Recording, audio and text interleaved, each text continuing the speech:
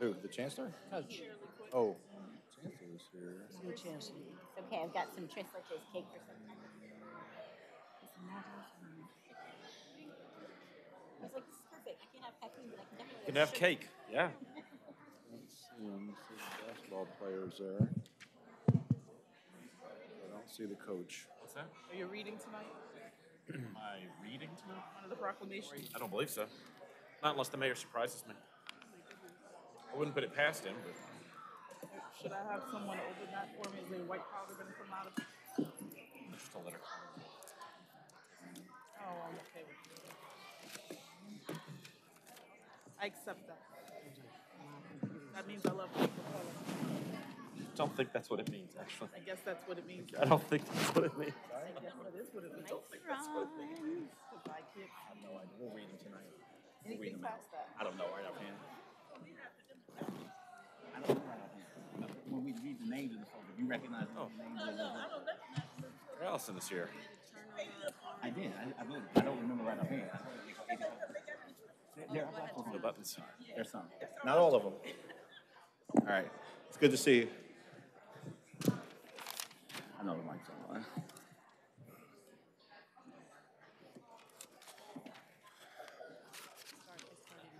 There he is. He's Mayor, the chancellor tells me the oh, coach is en route. Oh, he is? Oh, okay. You read my mind.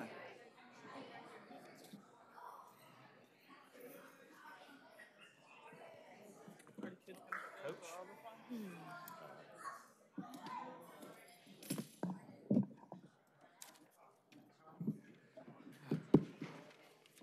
Got enough outlets for everybody. All set here. ちは。私は日本人ですね。そうですこんばんは。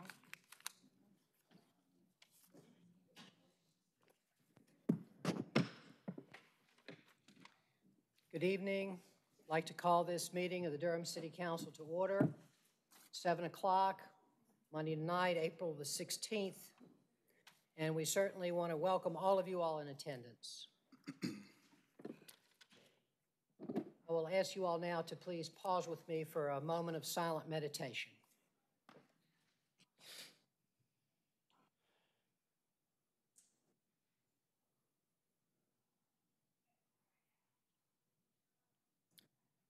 Thank you. And now I'll ask Councilmember Reece to please lead us in the pledge to the flag. Thank you, Mr. Mayor. Those of you in the audience, if it's your practice to do so, and if you're able, please rise and join me for the Pledge of Allegiance.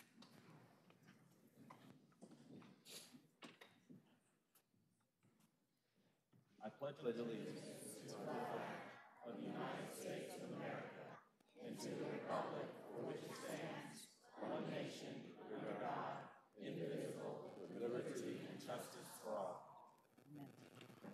Man, the kids really picked up the pace on it, didn't they? You guys were great. Thank you very much.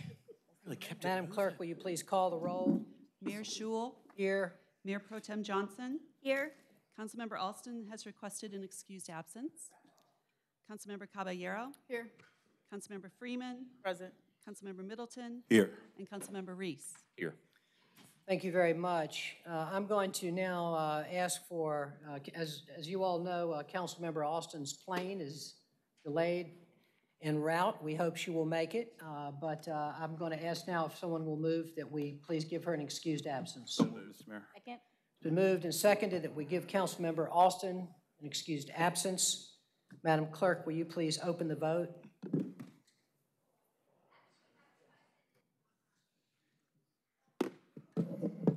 Close the vote.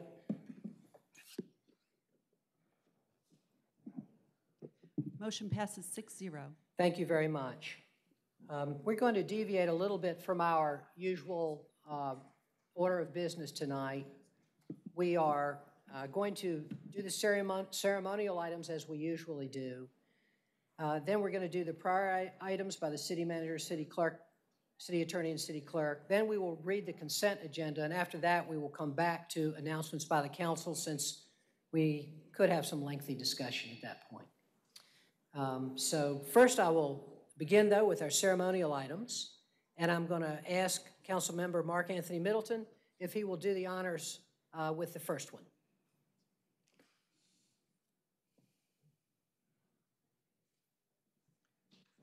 Thank you, Mr. Mayor, and to esteemed colleagues. Good evening, fellow citizens, residents, and guests. Welcome to your City Council chamber.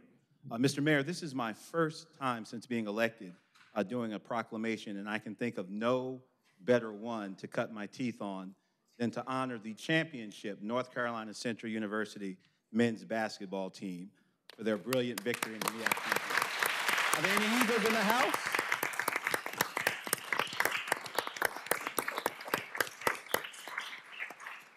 I'm going to ask if Chancellor Dr. Johnson O. Akinleye would come up and Coach LeVelle Moton, my friend, and the whole squad.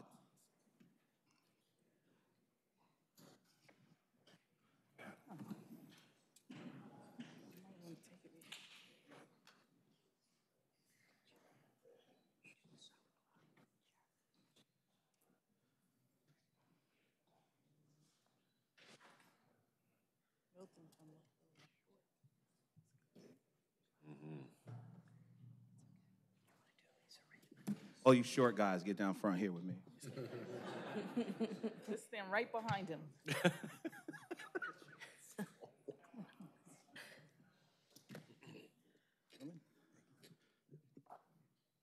The proclamation reads as follows. Whereas North Carolina Central University is one of America's leading historically black colleges and universities and is an in- integral part of the very fiber of Durham as a strategic partner for the educational, economic, and cultural advancement of the city.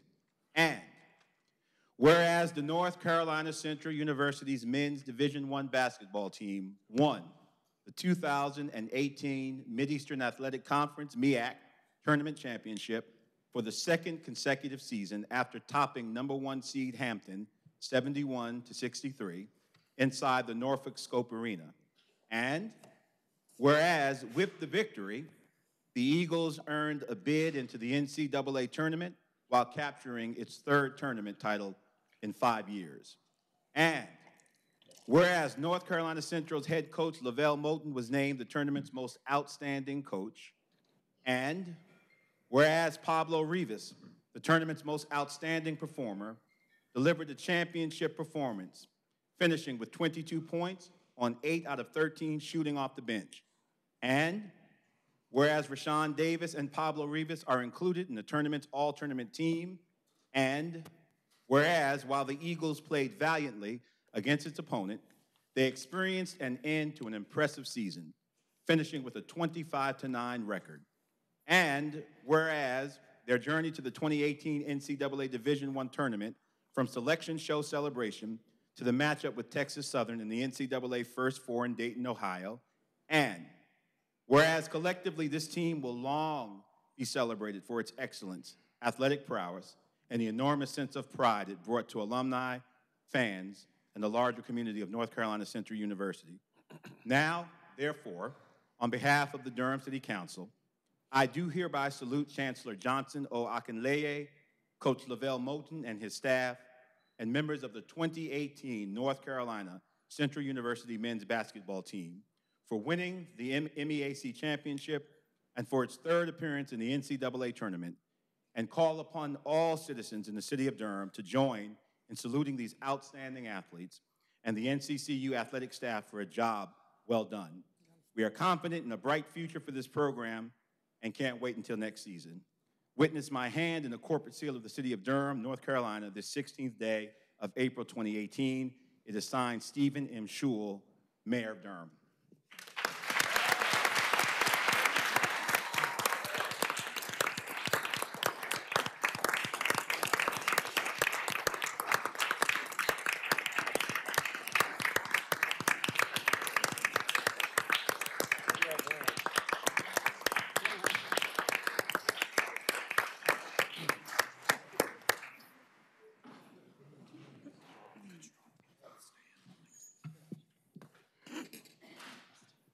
I won't be too long. I know you guys have some um, lengthy discussions that need to take place, but um, on behalf of North Carolina Central University, I want to thank you guys, Mr. Mayor, and everyone else, and just the city of Durham. It's too many people to name.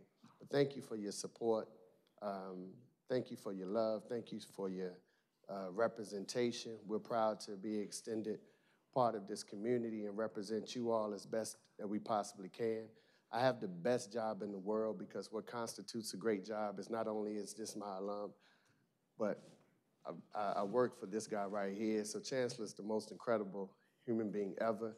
And secondly, and last but definitely not least, I probably get a lot more credit than I deserve because I, I haven't scored a bucket or contributed. I didn't play any defense. I'm kind of too old to do that.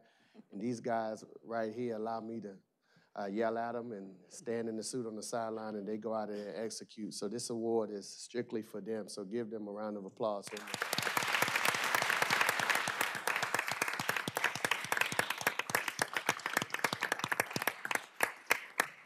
Thank you all, and um, we did it back to back, so we look forward to being here uh, next year.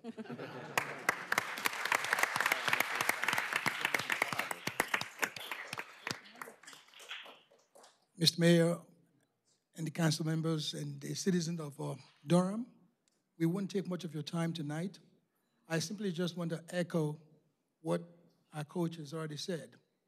Um, I want you to know that North Carolina Central University is a part of this city, and we appreciate the integration.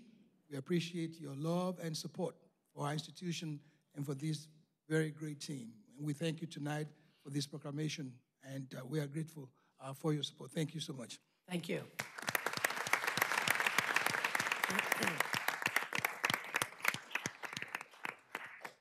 Mr. Chancellor, we are all looking forward to your installation this week. We're all very excited about it. So thank you for being.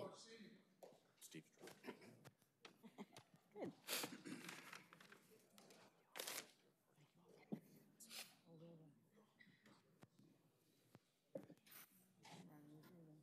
Let's go. Steve, it's at eight forty-five. Just a second.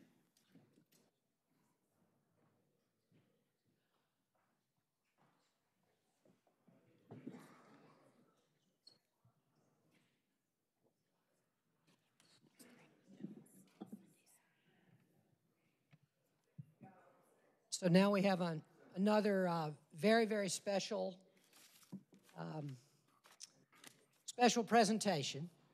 I think that I might, though, wait just a minute and allow other people who want to come in to do that because this presentation is going to need everybody's attention.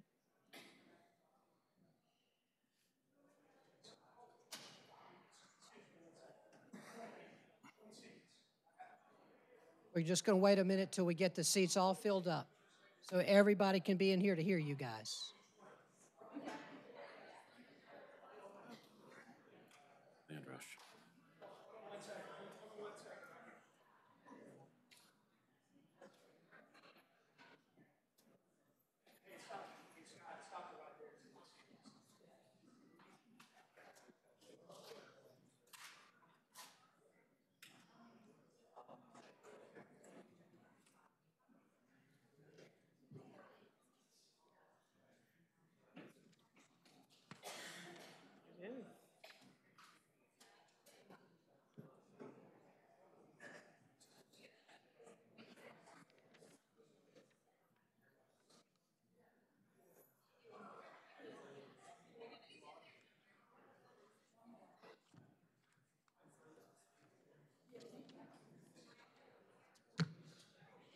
All right, thank you very much.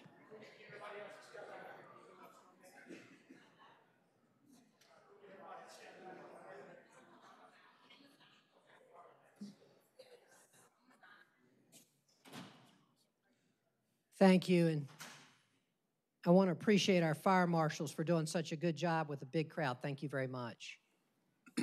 now we have a very special entertainment I'm very excited about. A few weeks ago, I got invited out to read in the Media Center at Spring Valley Elementary. And while I was out there, I had the good fortune to be reading to an exceptional group of third grade students. And they seem to have appeared in the first two rows here at Durham City Hall with their teacher, Ms. Alicia Morris. And um, they, while I was there with them, they did a very special pledge, which I thought was really amazing. And so I asked them to come to City Hall and do it for all of us. Ms. Morris, I'm going to ask you to come up now and your students, so you can put them wherever you want and come up here and say a few words to us, okay?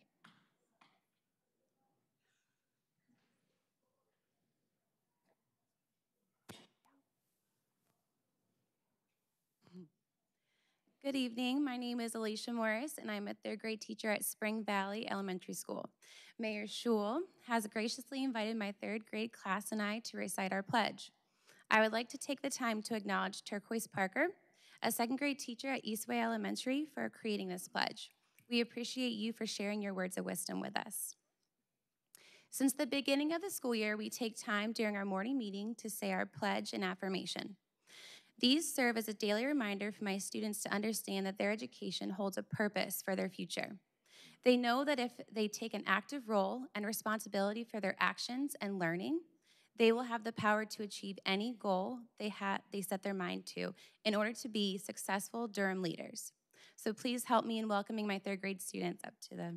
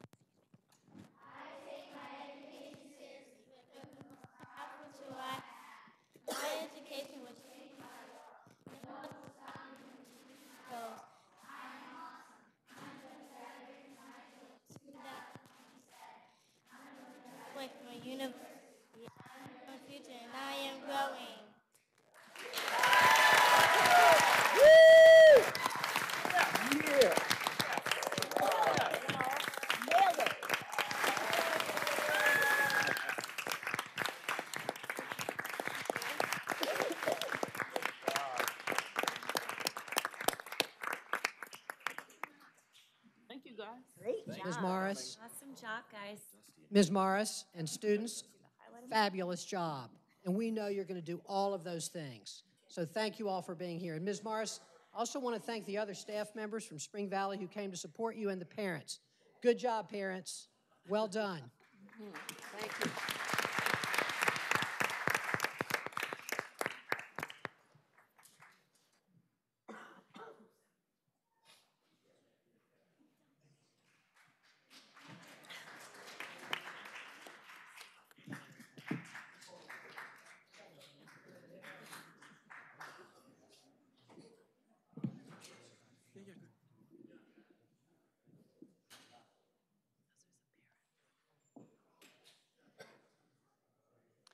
Again, we're going to pause and, and let some more people in.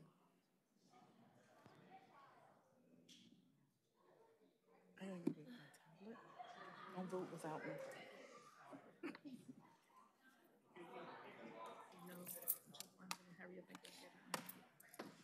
Y'all look a little dusty in here a minute ago. If it starts.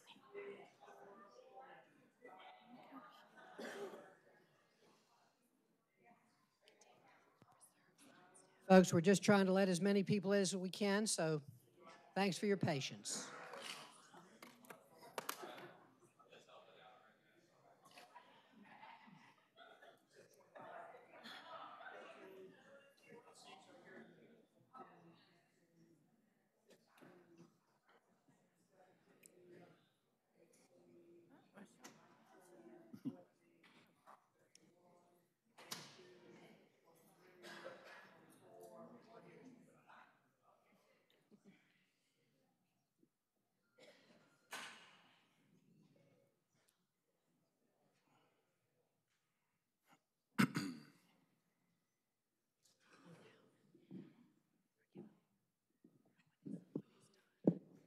Thank you very much. Again, I want to thank our fire marshals. We appreciate you.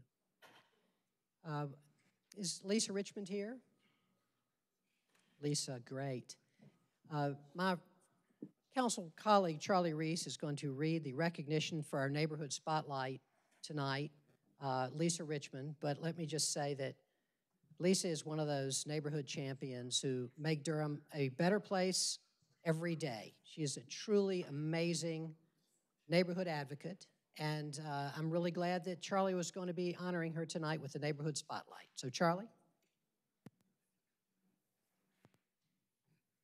Thank you, Mr. Mayor. I appreciate that. I just wanted to also mention that my daughter is, is a third grader at Hope Valley Elementary. Uh, but when those uh, third graders were doing that pledge, I'm not ashamed to say I got a little dusty in here. Anybody else? It was amazing. Uh, but enough about that. Let's talk about the Neighborhood Spotlight Award. Um, tonight we're honoring Lisa Richmond, who's the recipient of the Neighbor Spotlight for the month of April 2018. The Neighbor Spotlight Award recognizes community members that have gone above and beyond in volunteering their time to serve their community. This month, Lisa Richmond, a resident of the Birchwood Heights community, was nominated and selected because of the wonderful work she has done in her neighborhood, including but not limited to coordinating the volunteers of the Birchwood Heights Community Center for programming including a community garden, exercise classes, mentoring, a food pantry, and a computer lab, organizing neighborhood events and meetings, including National Night Out and health information workshops, and conducting door-to-door outreach and sharing information with neighborhood residents. Congratulations to Ms. Richmond on being the April's Neighbor Spotlight for the City of Durham, and thank you for all the work you do to improve our Durham community. And if there are any residents that have shown up in support, you can stand now. Congratulations, Ms. Richmond.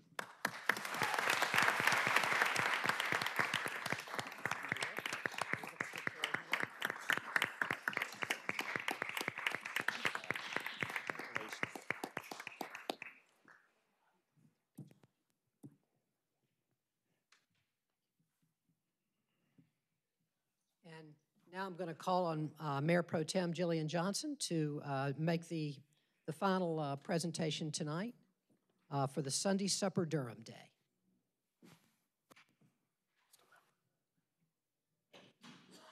Good evening, everyone. Good evening. So are, is um, James Glenn, Keith Daniel, and Harris Vaughn here? Hello. And some others, great. Whereas the city of Durham faces a 1 million pound shortage of food annually, with nearly one fifth of citizens and one in four children considered food insecure, living without a sufficient supply of food.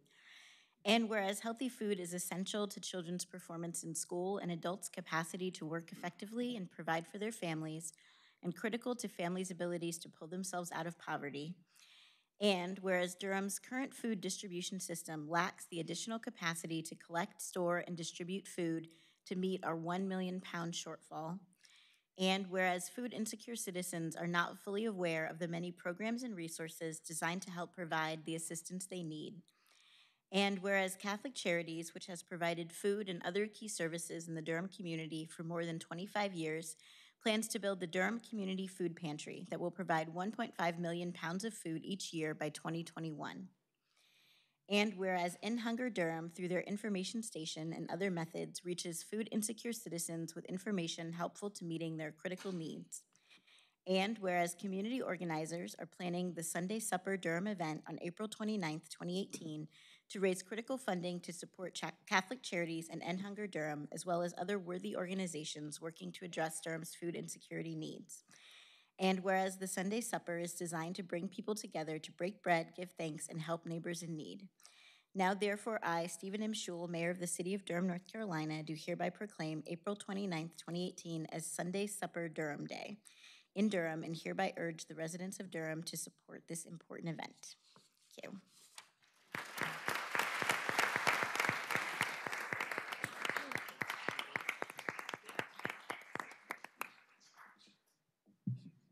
Thank you, Mayor Pro Tem Johnson, and thank you, Mayor Schewel, City Council, fellow citizens of Durham. We're honored to be here. We have a fantastic opportunity ahead of us in fighting food insecurity. That's why our team is here. That's why we have spent so many hours working with so many of you in our community to have the Sunday Supper Durham. And what this will be is a gathering of people underneath the water tower at American Tobacco Campus on Sunday, April 29th from noon until 3 p.m. For a very small fee, you get all the food you can eat, everything you want to drink, and some great entertainment. So we, our intent is to bring and unify Durham together as much as we can for an hour, have people sit across the table from one another, get to know somebody you don't know, and there's magic in that. There's some healing in that. And at the same time, we will raise some crucial funds for Catholic Charities' new Durham Food Pantry, as well as End Hunger Durham. These organizations are great. They are helping the citizens of Durham, and that's what we're about. We just want to help unify Durham. And please check out www.sundaysupperdurham.com. We'd love for you to volunteer or just attend and enjoy. Thank you for your time, and thank you for the proclamation, Mayor Schewel.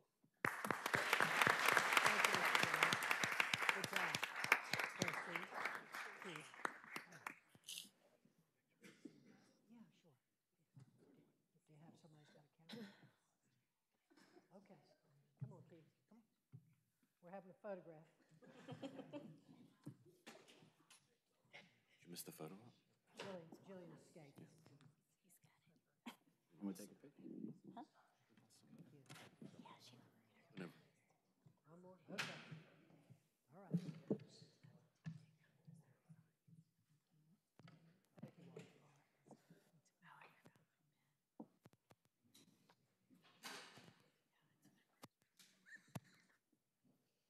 Now on to the fun stuff. We will have now the, uh, I'll now ask the um, city manager, Mr. Manager, any priority, priority items tonight? Uh, Thank you, Mr. Mayor, members of council. Good evening, everyone. I have one priority item this evening, uh, which is agenda item number 16, the utility extension agreement with the Miracle League of the Triangle Incorporated to serve the Miracle League at American Tobacco. We request that this item be referred back to the administration. Thank you very much. Can I have a motion on the manager's priority item? So moved. Second? It's been moved and seconded. Any discussion? If not, Madam Clerk, will you please open the vote? Close the vote.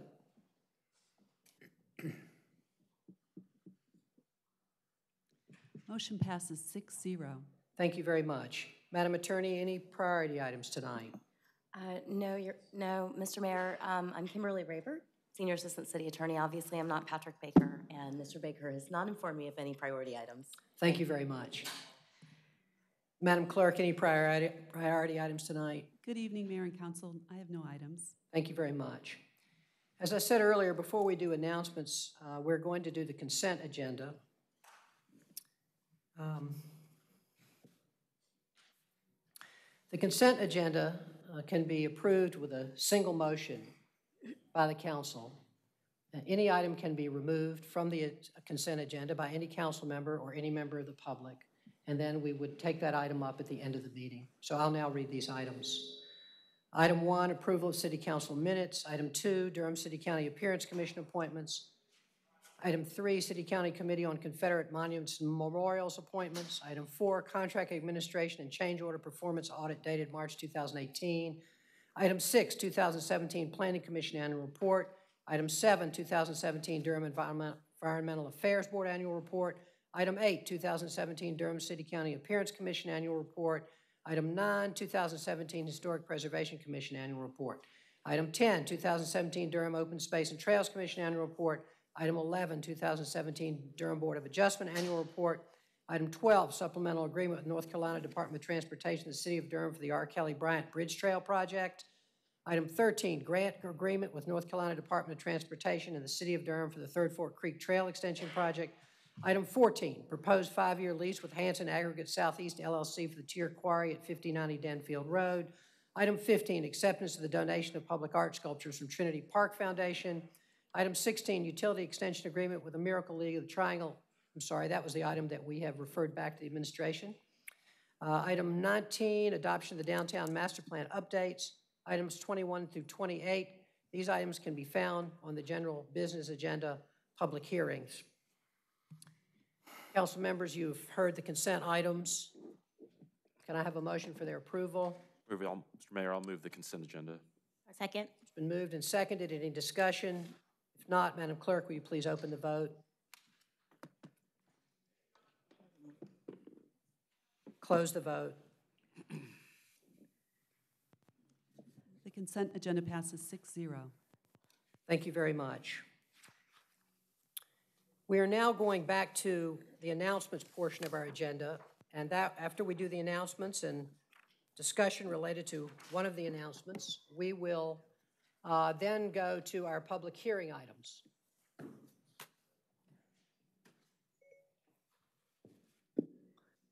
Me, there is one, uh, as you all know, there is already one announcement by the council uh, that uh, is the discussion of the council statement on international police exchanges. But we're beginning today with another announcement that I'm going to make, and then we may have other announcements by the council as well. As you all, many of you know, there were arrests in Durham this past week uh, by the United States Immigration and Customs Agency. And I made a statement uh, earlier in the weekend about this with the assistance of my council colleague, Javiera Caballero, and she has been doing a lot of work on this over the last few days. And we have another statement that we're going to make tonight. Uh, I will be I will be reading the statement in English, and she will be reading the statement in Spanish. Actually, we're going to do it the other way around. She's going to be reading in Spanish, and I'll be doing it in English. We are not taking comments on this today. It was not pre-announced on our agenda, uh, but I think you will get the import of what we have to say. So Javier, I'll turn it over to you and uh, for your remarks and uh, for reading the uh, statement. Thank you, Mayor. Um, Just uh, really quickly, it has been a hard few days in our state. Ha sido muy difícil estos últimos días acá en Durham y también en Raleigh y Asheville y Chapel Hill. Um, el cuento que les voy a decir esta noche es una mujer que nos pidió que se quería quedar anónima y es por eso que no voy a hacer su nombre.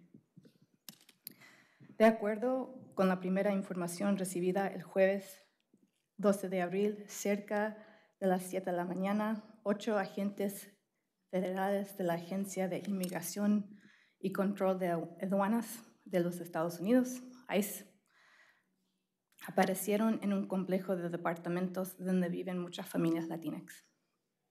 Estaban buscando a una persona específica que ya tenía órdenes de deportación contra él. Una residente de Durham, que también es una mamá de un niño joven, escuchó ruido afuera de su departamento y abrió la puerta para ver lo que estaba pasando. Los agentes de ICE inmediatamente y agresivamente forzaron la entrada del departamento. Los residentes adentro de la habitación eran la mujer, su hermano, su niño de 18 meses, dos amigos de la familia, un niño de 16 años que era el hijo de uno de los amigos y tres personas más que vivían en el departamento. Todos estaban dormidos. Los agentes los despertaron bruscamente y les gritaron que presentaran su identificación. Cuando la mujer pidió permiso para ir a buscar a su bebé, no le dejaron. El hermano fue detenido y también uno de sus amigos. La mamá no fue detenida porque su niño era tan joven, pero los agentes de ICE tomaron fotos de su pasaporte. Desde ese día la mujer nos ha dicho que se siente muy culpable de haber abierto la puerta y que está muy traumatizada con su experiencia. Se siente muy sola y desprotegida y ha sabido que su hermano, quien era el proveedor de su familia, fue transferido al Stewart Detention Center, detención que está en Lumpkin, Georgia. Este tipo de escenario se ha manifestado a través del área del Triángulo y al final de la semana pasada y en Asheville durante el fin de semana, donde personas fueron detenidas en casos que se llaman daño colateral, como el hombre en Chapel Hill que detuvieron cuando estaba sacando su basura. Una persona agradada por ICE, muchas veces la persona que los agentes, es- no, es la persona que los agentes están buscando. Y desafortunadamente son agradados porque ICE está operando con un alcance mucho más amplio bajo la actual administración federal. Cuando estos eventos estaban desarrollando, el gerente de la ciudad de Durham confirmó con la jefa de policía, jefa CJ Davis, que nosotros no, recibimos notificación previa de las actividades. Además, yo personalmente confirmé, confirmé con el alguacil Mike Andrews que su departamento, departamento tampoco recibió notificación previa de las acti- actividades. Como alcalde de la ciudad de Durham, condeno estos arrestos en los términos más enérgicos posibles. Acogemos a todos los residentes de Durham, sin importar el estado de, su doc- documentación, y no queremos que ICE tenga un gran, gran temor en nuestra comunidad. Yo creo que fuera de las obligaciones morales y éticas para darles la bienvenida y cuidar a nuestros vecinos más vulnerables, la comunidad inmigrante de Durham tiene un impacto enorme cultural, social y económico en nuestra ciudad.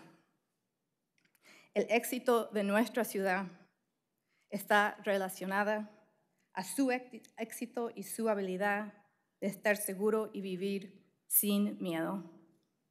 Les pido que donen a los fondos legales programados para ayudar a nuestros residentes en deten- detención y finalmente a nuestros inmigrantes. Les quiero decir que te queremos y tu lucha es nuestra lucha.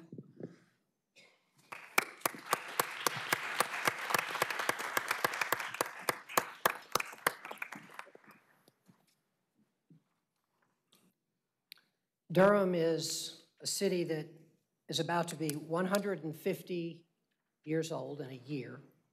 And I believe that was the first speech given from this podium,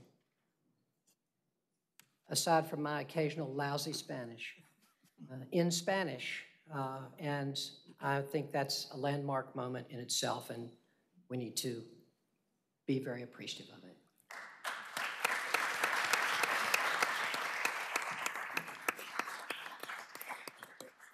I'm now going to read this statement that uh, Councilmember Caballero and I worked on together uh, in English. According to firsthand accounts, on Thursday, April 12th, around 7 a.m., eight federal agents with the United States Immigrations and Customs Agency, ICE, appeared at an apartment complex where many Latinx families live. They were looking for a specific person who had deportation orders against them.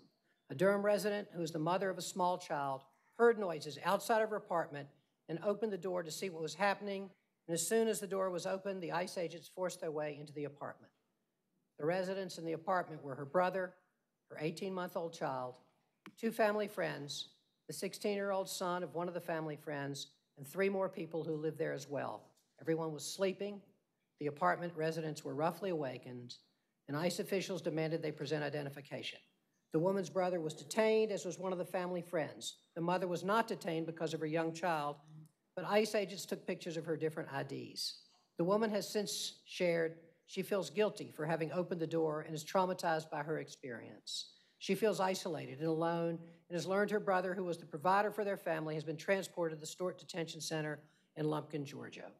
This type of scenario played out across the Triangle late last week and in Asheville over the weekend, where people are detained in what are called collateral damage cases. Like the man in Chapel Hill who was detained last week while taking out his garbage, a person seized by ICE is often not the person agents are looking for, but unfortunately are caught as ICE operates with a wider net and broader scope under the current federal administration. As these events were unfolding, our city manager, Tom Bonfield, confirmed with Durham's ch- police chief, C.J. Davis, that we did not receive prior notification of planned ICE activities. In addition, I personally confirmed with Sheriff Mike Andrews that our Sheriff's Department received no prior notification of the ICE actions as well. As mayor of the city of Durham, I condemn these arrests by ICE in the strongest possible terms. We embrace every Durham resident, regardless of documentation status, and we do not want ICE striking fear in our community. I believe that beyond the ethical and moral obligation to welcome and take care of our most vulnerable neighbors, the immigrant community in Durham has a huge positive economic, social, and cultural impact on our city. Our city's success is tied to their success and their ability to thrive and to live free from fear. I ask you to donate to the legal fund set up to assist our residents in detention. Finally, to our immigrant community, I want to say you are loved and your fight is our fight. Thank you very much.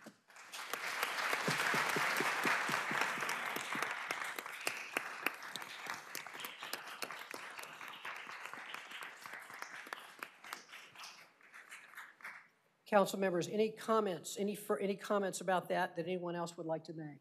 Uh, uh, Councilmember Freeman and then Mayor Pro Tem.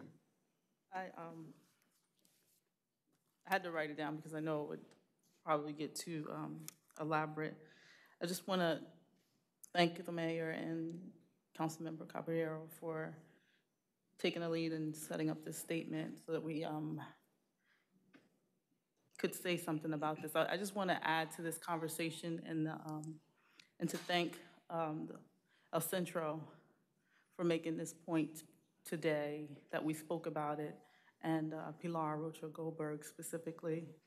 I um, as a member of East Durham, of the East Durham community, I've experienced a lot of families, I'm sorry. Take your time, you're good. Being shattered by what? I'm just gonna read what I wrote because for as long as we're gonna treat our immigrant community as criminals based on our country, state, county, and municipal system, we have to call out the immorality of the enslavement of, of these human beings, as well as the fear mongering that is occurring. It is completely unacceptable to participate in a system that would break families apart like this. And I can't say enough that it is the children who suffer the most in this. And I cannot bear, I can't bear to continue to go through this every time with each family. We have to do something. Enough is enough. I recognize that this is a system that we must operate in, but we have to do something. And I'll leave it at that. Thank you. Thank you.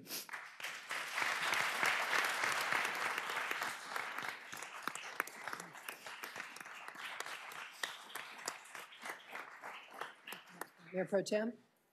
Thank you, Mr. Mayor. Um, I wanted to also thank the mayor and council member Caballero for this statement and to also bring into the conversation um, that while these raids leading to deportations are incredibly traumatic and um, and dramatic in the community, we're also dealing with a situation where people are being pushed into into deportation every day um, by being arrested for minor um, criminal violations that lead them into deportation proceedings because our county jail continues to cooperate with ICE and to um, and to honor ICE detainers.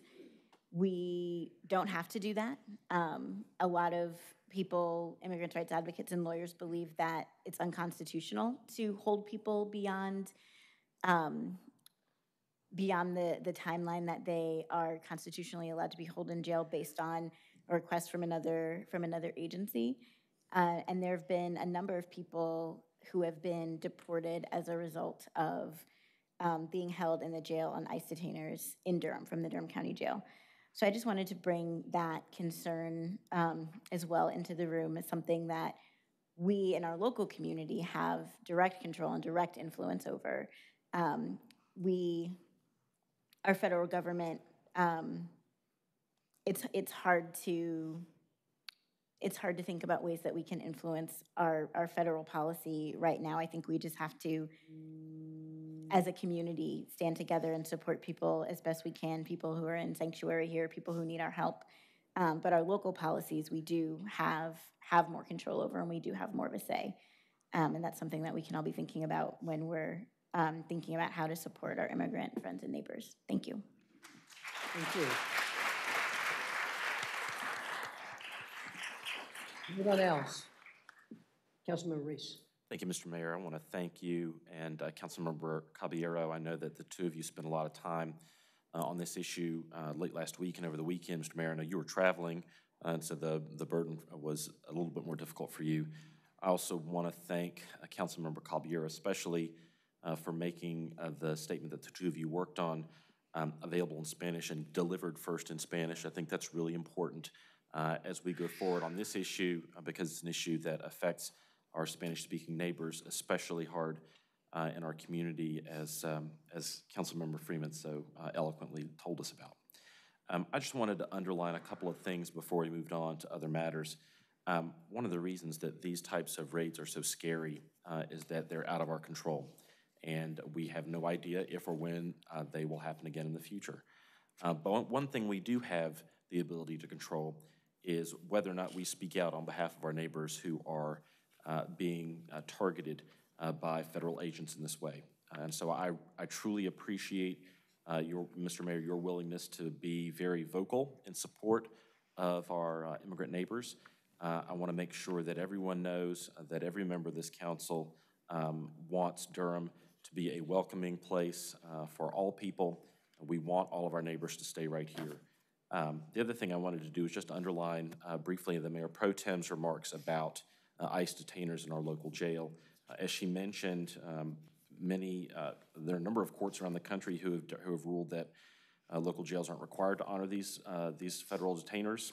there's also been litigation around the question of funding, um, and courts have held that the federal government cannot withhold funding of agencies that uh, do not honor these detainers. And so uh, I hope that's something that will continue to be part of our conversation uh, here in this community as we talk about how we can stand up uh, for the folks who are most vulnerable to these types of uh, federal overreach actions. And just again, thank you for all that, Mr. Mayor, all the time that you've put into this issue, and I hope we can figure out some way to protect one another going forward. Thank you. Thank you, Council Member. All right.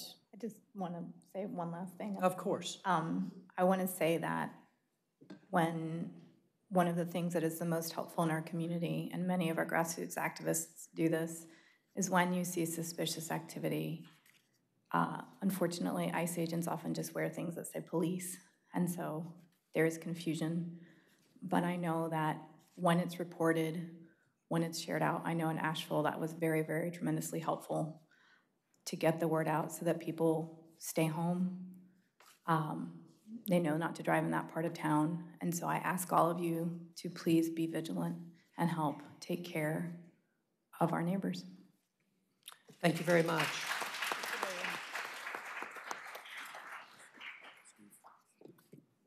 Councilmember Freeman. I, I apologize. Um, all right. I was just pulling myself together. I just want to also add to the conversation in that when I'm talking about the enslavement of our immigrant community, is it, it's the fact that there is not a deportation happening. Is that there being there there are immigrants who are being held and forced to work at these detention centers, and it's not acceptable for us to continue to put them there. It has to stop. I also want to add that the Spanish-speaking community is under severe attack, but so is the African community and the Muslim community immigrants as well and is not limited to one group. This is all of us, and we have to stand for one another.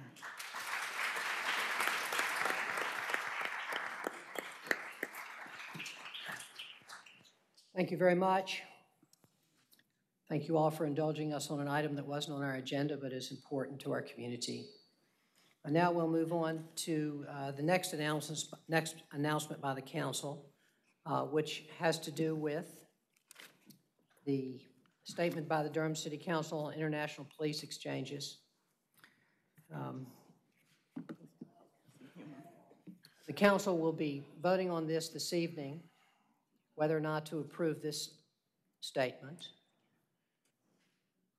Uh, I read the statement, and it was discussed by council members at our work session 10 days ago. After a lengthy process of discussion and hearing from our community, and since that time, we've heard from many more of you. Thank you. We enjoy hearing from you. Um, and us, we have many people who've signed up, almost 50 people, so to speak. So uh, here's what we're going to do. I'm going to read the statement again. Uh, it's not very long. Uh, at that point, uh, I will uh, ask any council member that has a comment at that point to comment, but then we will have comments from the public, and then I will ask my council colleagues again to discuss it. Uh, I think that's probably when most of our discussion will take place as a council. Since we have 50 people uh, who have signed up to speak, I'm going to give everyone two minutes. If you had planned on three minutes, which is what we mostly give uh, when we have 10 speakers or something, uh, please rearrange your comments into two minutes. We're strict. There's a timer right over here that the city clerk will be operating. You will be standing over at this podium, and when the two minutes are done, the two minutes are seriously done. Okay. Um,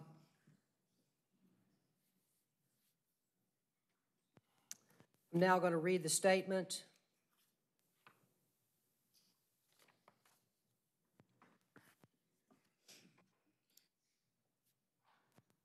Statement by the Durham City Council on international police exchanges. The Durham City Council appreciates receipt of the memo dated April 4th, 2018, from Chief C.J. Davis to City Manager Tom Bonfield stating that, quote, "There has been no effort while I have served as Chief of Police to initiate or participate in any exchange to Israel, nor do I have any intention to do so." The Durham City Council endorses this statement by Chief Davis and affirms his policy that the Durham Police Department will not engage in such exchanges. The council opposes international exchanges with any country in which Durham officers receive military-style training since such exchanges do not support the kind of policing we want here in the city of Durham. We recognize and share the deep concern about militarization of police forces around the country. We know that racial profiling and its subsequent harms to communities of color have plagued policing in our nation and in our own community.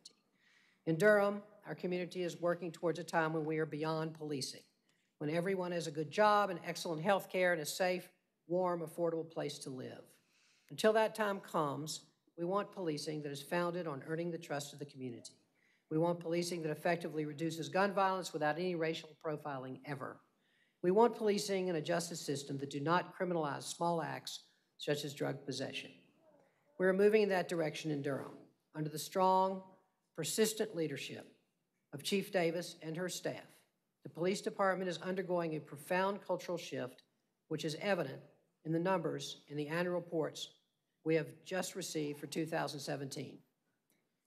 The reporting shows that while violent crime is on a 17-year downward trend in Durham, we are also undergoing an extremely dramatic shift in the way Durham is engaging in police work. Traffic stops in recent years have dropped from 32,227 to 11,578. Searches of cars have dropped from 1,296 in 2013 to 416 in 2017. Charges for drug violations in Durham are down from 1,223 in 2015 to 673 this past year.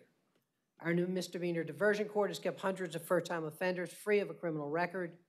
Use of force complaints by residents are down from 33 in 2016 to 15 last year.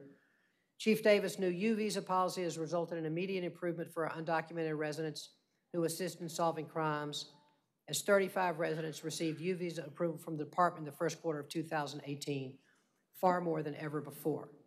An array of new police department policies and practices are working in Durham. And as the numbers above show with striking clarity, these reforms are today making a positive difference in lives of thousands of people, especially in communities of color. The Council knows that we still have much progress to make.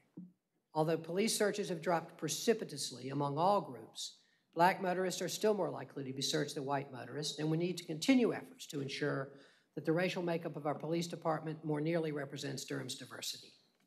The council is deeply committed to this work, and we are grateful to Chief Davis for leading this cultural shift. Black Lives Matter. We can make that phrase real in Durham by rejecting the militarization of our police force in favor of a different kind of policing, and that is where, what we are doing in Durham now. So that's the statement, and I'm going to ask now if I, any brief comments by my council colleagues, after which we will hear from, we will hear from members of the public. Council members? All righty, thank you. We're now going to hear from members of the public. Uh, This is not a public hearing, it's not a public hearing format. It's not going to, it's not going to be everybody for and everybody against. At, at different times in the program, I'm going to call your name. When I call your name, I'd like you to please come over here to the podium and uh, await your turn. And I will begin by calling uh, Jane Wagstaff, Muhammad Eid, Larry Beckler, Richard Ford, K. Robert Volkwine, and Tanad Shawa. If you all could please all come over here in the order I called you, uh, that would be great. So, Jane Wagstaff, you're our first speaker. Jane Wagstaff here? Outside, Mr. Mayor. She's coming. She's coming. She's at the door right now.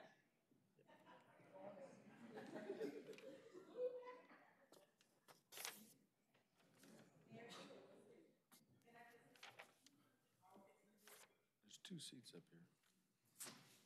Jane Wagstaff, are you in the room? Please come up, you're our first speaker. Ms. Wagstaff will be followed by Mohammed Eid, Larry Beckler, Richard Ford, K. Robert Volkwine, uh, Volkwine, I'm not sure if I got that right, and Tanad Shawa. So all of you all who have called your name, you need to be up here now. If you're not up here now, you won't be speaking, okay? Ms. Wagstaff? You, Hello. Please, please, just for all speakers, please give us your name and address, and you have two minutes. Ms. Wagstaff, welcome. My name is Jane Wagstaff. I live in uh, Pennington Place in Durham. And I'm just going to be very brief. I think the city is safer if we adopt best practices. There are lots of studies, I'm sure, on best practices, no matter where they come from. And we're all safer if the police are part of the community. And Durham's about to price the police out of this community. It is hard to live in this community on a policeman's salary. So if you want community policing, then you need to be able to have police who actually live here. So I think that's a very important piece of this. But we're all safer if we're looking at best practices and we're always open to best practices wherever it comes from and do the job that they're hired to do and insist on the best quality and training for the people that they hire. Thank you so much. Thank you, Ms. Wagstaff. We'll now hear from Mohammed Eid.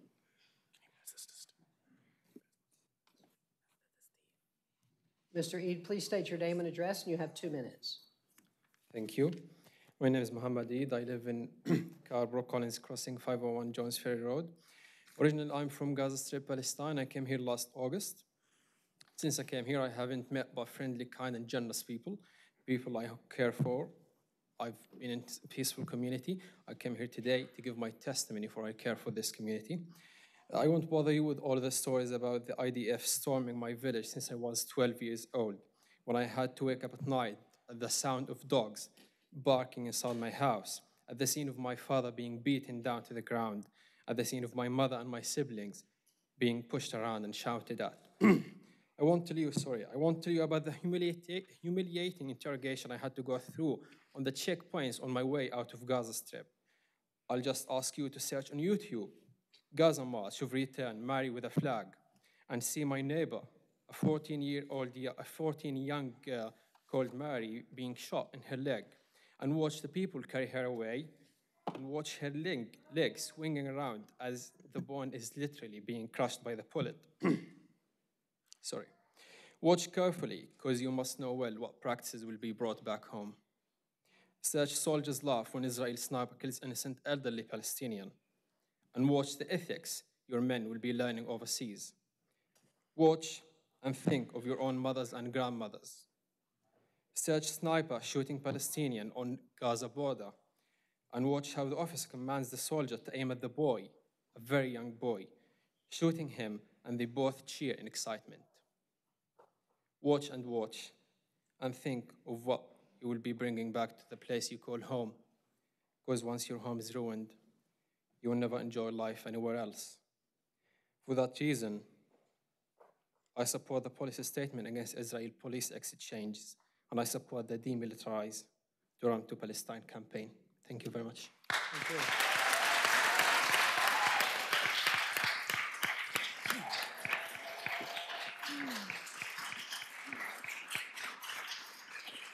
Excuse me. I know you're going to want to applaud. There are 50 speakers, okay? At the very end, you kind of can uh, applaud as much as you want, but I'm going to ask you all, all to please hold your applause so we can get through this, and everybody gets the respect that they deserve, okay? So please hold your applause. Thank you so much. Um, Larry Beckler. Yes, Larry Beckler, Durham, uh, Lakehurst Court in Durham. I'm a little confused by all the issues. I first became aware of the general topic last Thursday.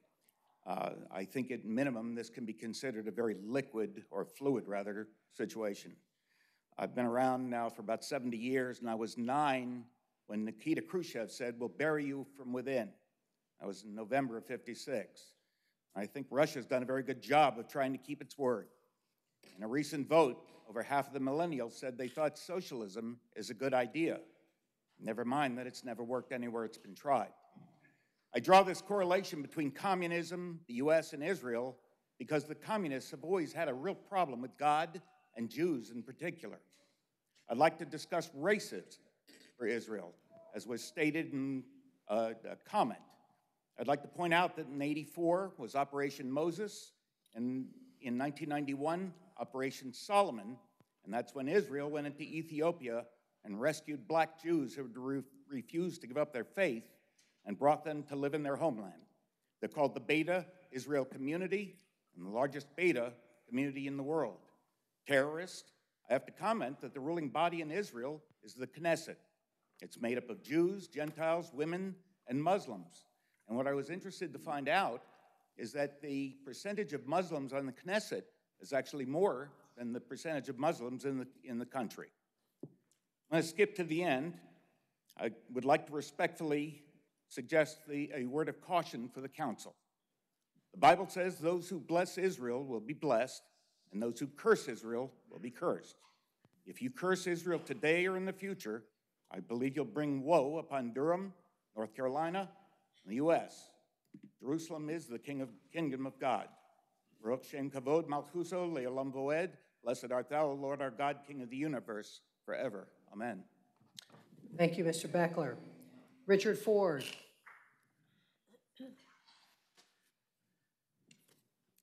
Richard Ford, 6416 Falcon Bridge uh, Road, Durham. Uh, I am the uh, chair of the Friends of Durham. The Friends of Durham do not have a position on the Palestinian-Israeli conflict. However, we wonder why the City Council feeds, needs, feels the need to take up a position on this. There are real problems facing this city, and the Palestinian situation is not one of them. And further, nobody has ever suggested sending Durham policemen to Israel for training. Just look at the letter you've published from Chief Davis. So this entire discussion is much ado about nothing, in my opinion, and it is pursuing an insult to our chief and the police force. It is ignoring the advice of rabbis representing the arc of Jewish faith in Durham.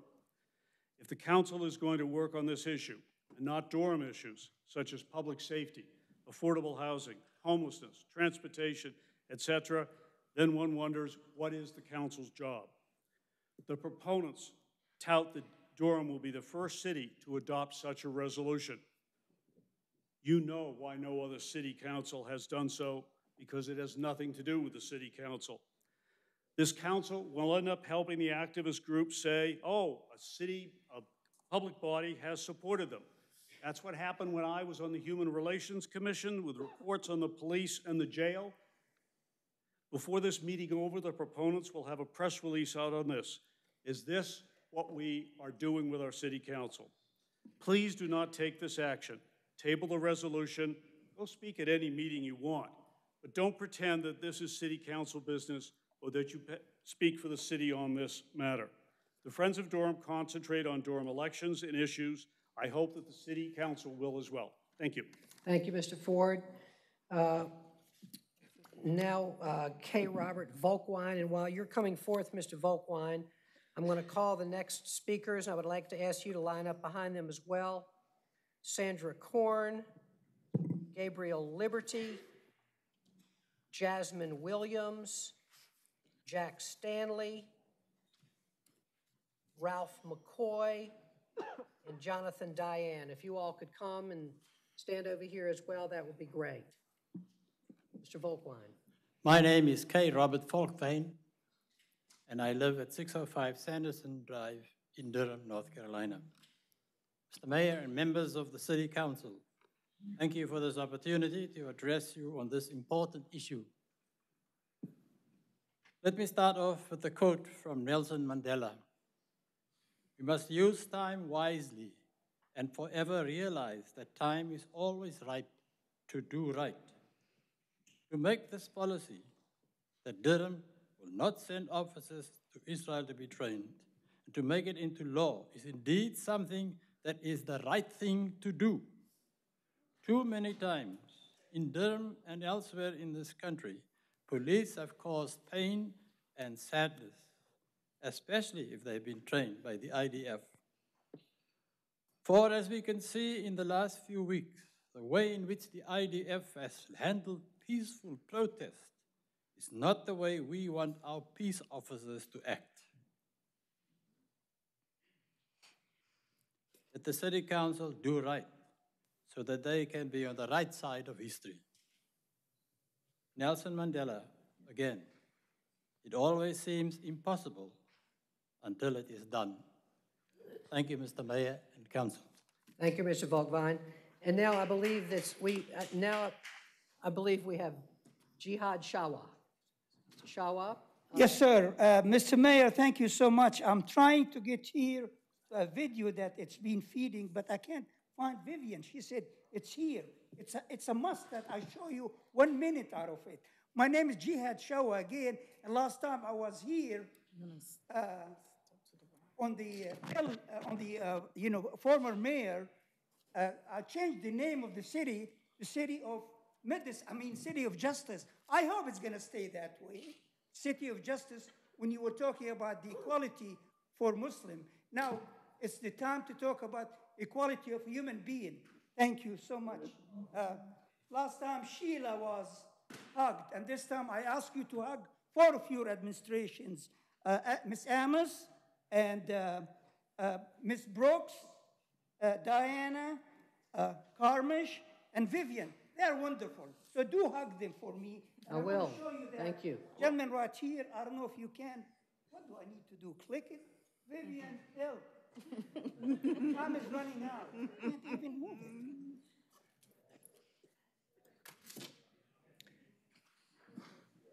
Well, anyway, this guy here, you can't even, yes, you can see him. Uh, how do I turn that on? I want him to talk. Yeah, push the, push Play the triangle. Anybody can help? Excuse me. It's okay from the audience. You really don't need to. Well, I gotta say, yeah, go ahead. This, this is, this is a, a not, well, not Nazi, I'm sorry, that's a Zionism. And then you've got the Israeli army, which I like to refer to as one of the most, one of the best trained, best equipped, best fed terrorist organizations in the world. That's the idea. And yes, they have generals and they have nice uniforms, but their entire, their entire uh, purpose is terrorism.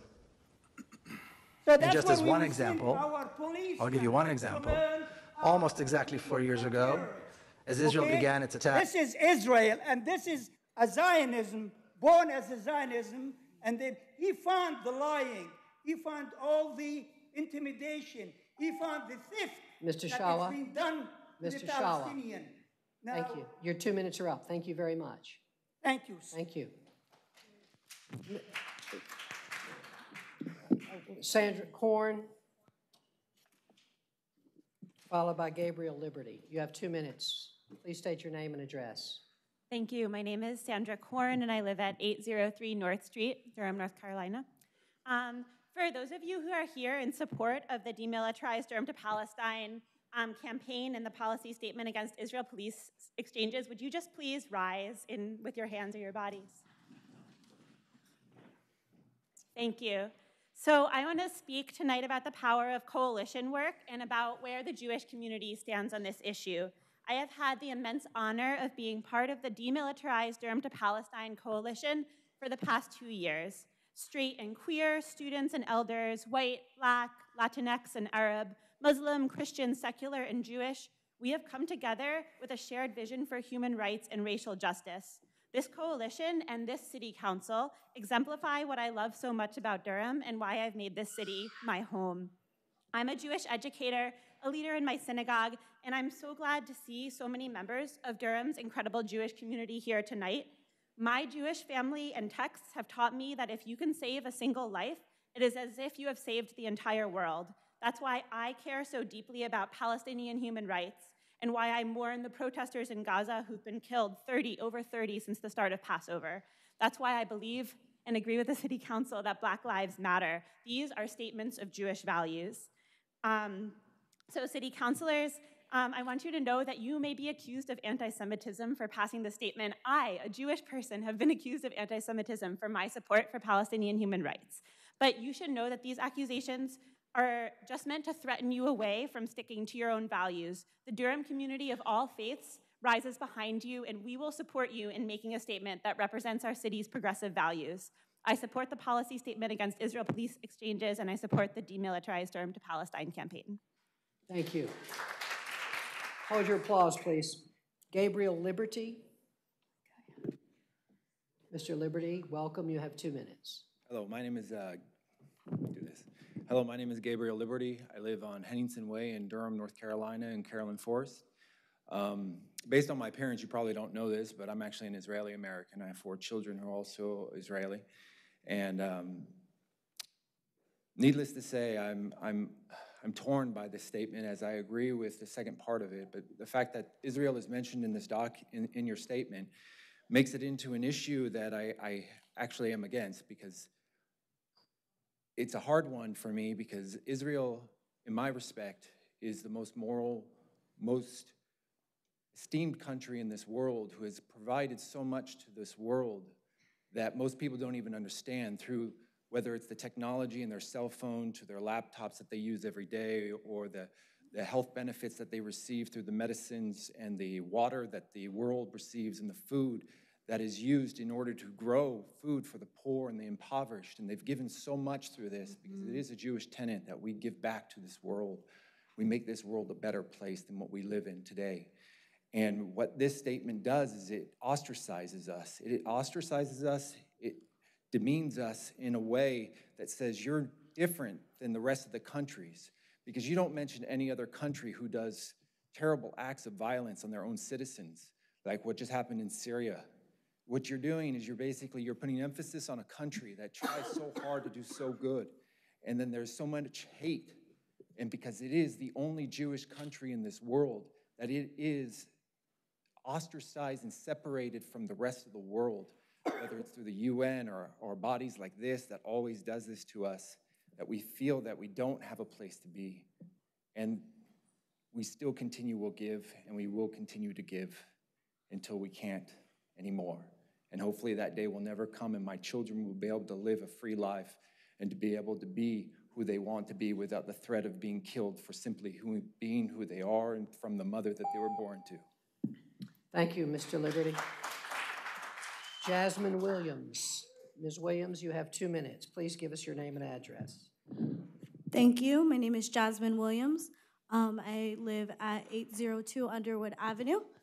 Um, I think a lot of people here probably understand why we don't want our police taking pointers from the Israeli military, um, but we also have to remember they shouldn't be taking tips from us either.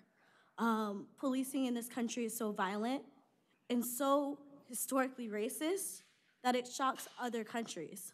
Um, and black people make up triple the proportion of the population on the inside than they do in the country as a whole. Um, and I say this as a black person, um, as a person who is Muslim, um, as a person who is indigenous to this land that we not, now call the United States. Um, so when we, we're looking at a country that's in a state which a lot of people would describe as apartheid, I think the last place that they should look to to swap expertise with would be the people running the United States incarceration system. I support the ban exchange changes, both um, for the sake of over-policed people here, especially black and brown people, um, and in Palestine. Thank you. Thank you. We'll now hear from Jake Stanley. Mr. Stanley, you have two minutes. Hi there, I'm Jake Stanley. I live at uh, 200 Knox Circle in Durham. And I'm here uh, as a millennial representing the North Carolina Piedmont chapter of the Democratic Socialists of America, uh, sponsoring partner of this campaign. Um, so as a democratic socialist, we believe in government, government truly by, for, and of the people. We are fighting alongside the groups today and many all over the country to transform the United States so that everyone, particularly black, indigenous, immigrant, LGBTQ, Muslim, and other oppressed communities can thrive not merely survive on the scraps of a wildly unequal capitalist system. Freedom from the fear of state violence is essential to creating that thriving society. But as we have seen in the past decade in the streets of Ferguson, Chicago, and Baltimore, the sidewalks of Staten Island, the neighborhoods of Sa South Sacramento, and countless places in between, including just over the weekend with ICE, um, black and brown people are disproportionately threatened and killed by law enforcement the militarization of police, municipal and county forces that look more and more like an army than peace officers, this compounds a systemic problem.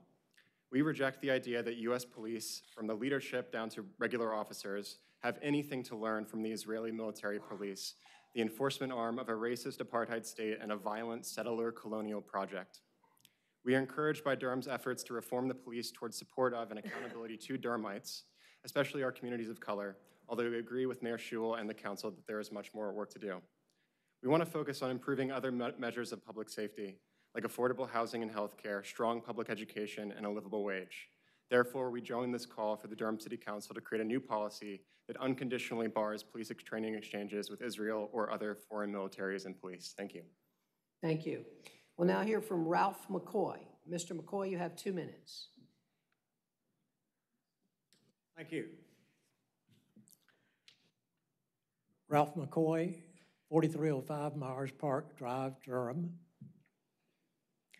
I keep on my cell phone a picture of a 13-year-old boy, Ahmad Abu Daqqa.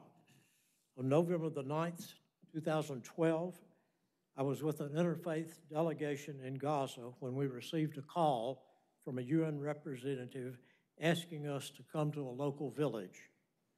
There we met Ahmad's parents. The previous day, Ahmed was playing soccer with friends in front of his home. He was shot by an IDF soldier from an Israeli hel helicopter. The Israeli military was in Gaza illegally clearing terrain beside the wall that imprisons that land. Ahmed ran to his front door and fell dead. Since his death, over 700 children have been killed by Israeli police and military, most from indiscriminate fire. It's impossible to express the grief of his parents that day. Only, Sig, only Cindy and Craig Corrie, our leaders on that delegation, could understand their unspeakable loss. Their daughter Rachel was run over and killed by an Israeli military bulldozer while protesting the demolition of a, of a Palestinian home in 2003. There was never any public investigation or explanation of why the IDF soldier shot Ahmed.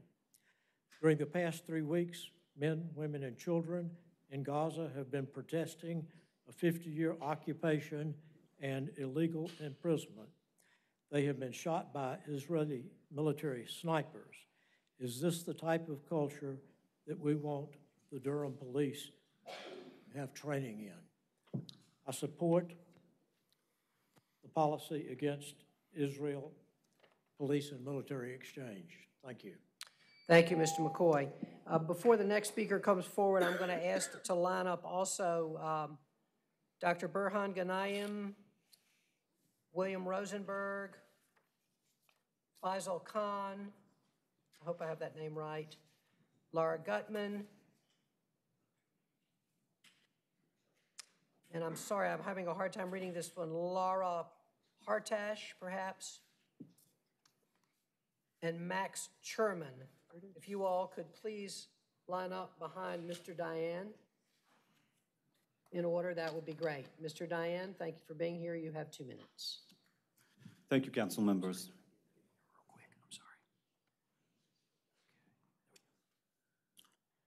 Thank you, council members. Uh, Jonathan Dayan, I live on Anderson Street in Duke Forest in Durham. Uh, we moved here seven years ago to be transient, and we loved Durham so much that we decided to stay in this wonderful city, built a, a new uh, business here, and ironically, our business is mainly uh, bringing money from Israel for uh, lower income investments, uh, building housing for lower income in Durham. So I hope that in the end of this evening, we will find a reason for more investments coming to Durham, that we are more inclusive.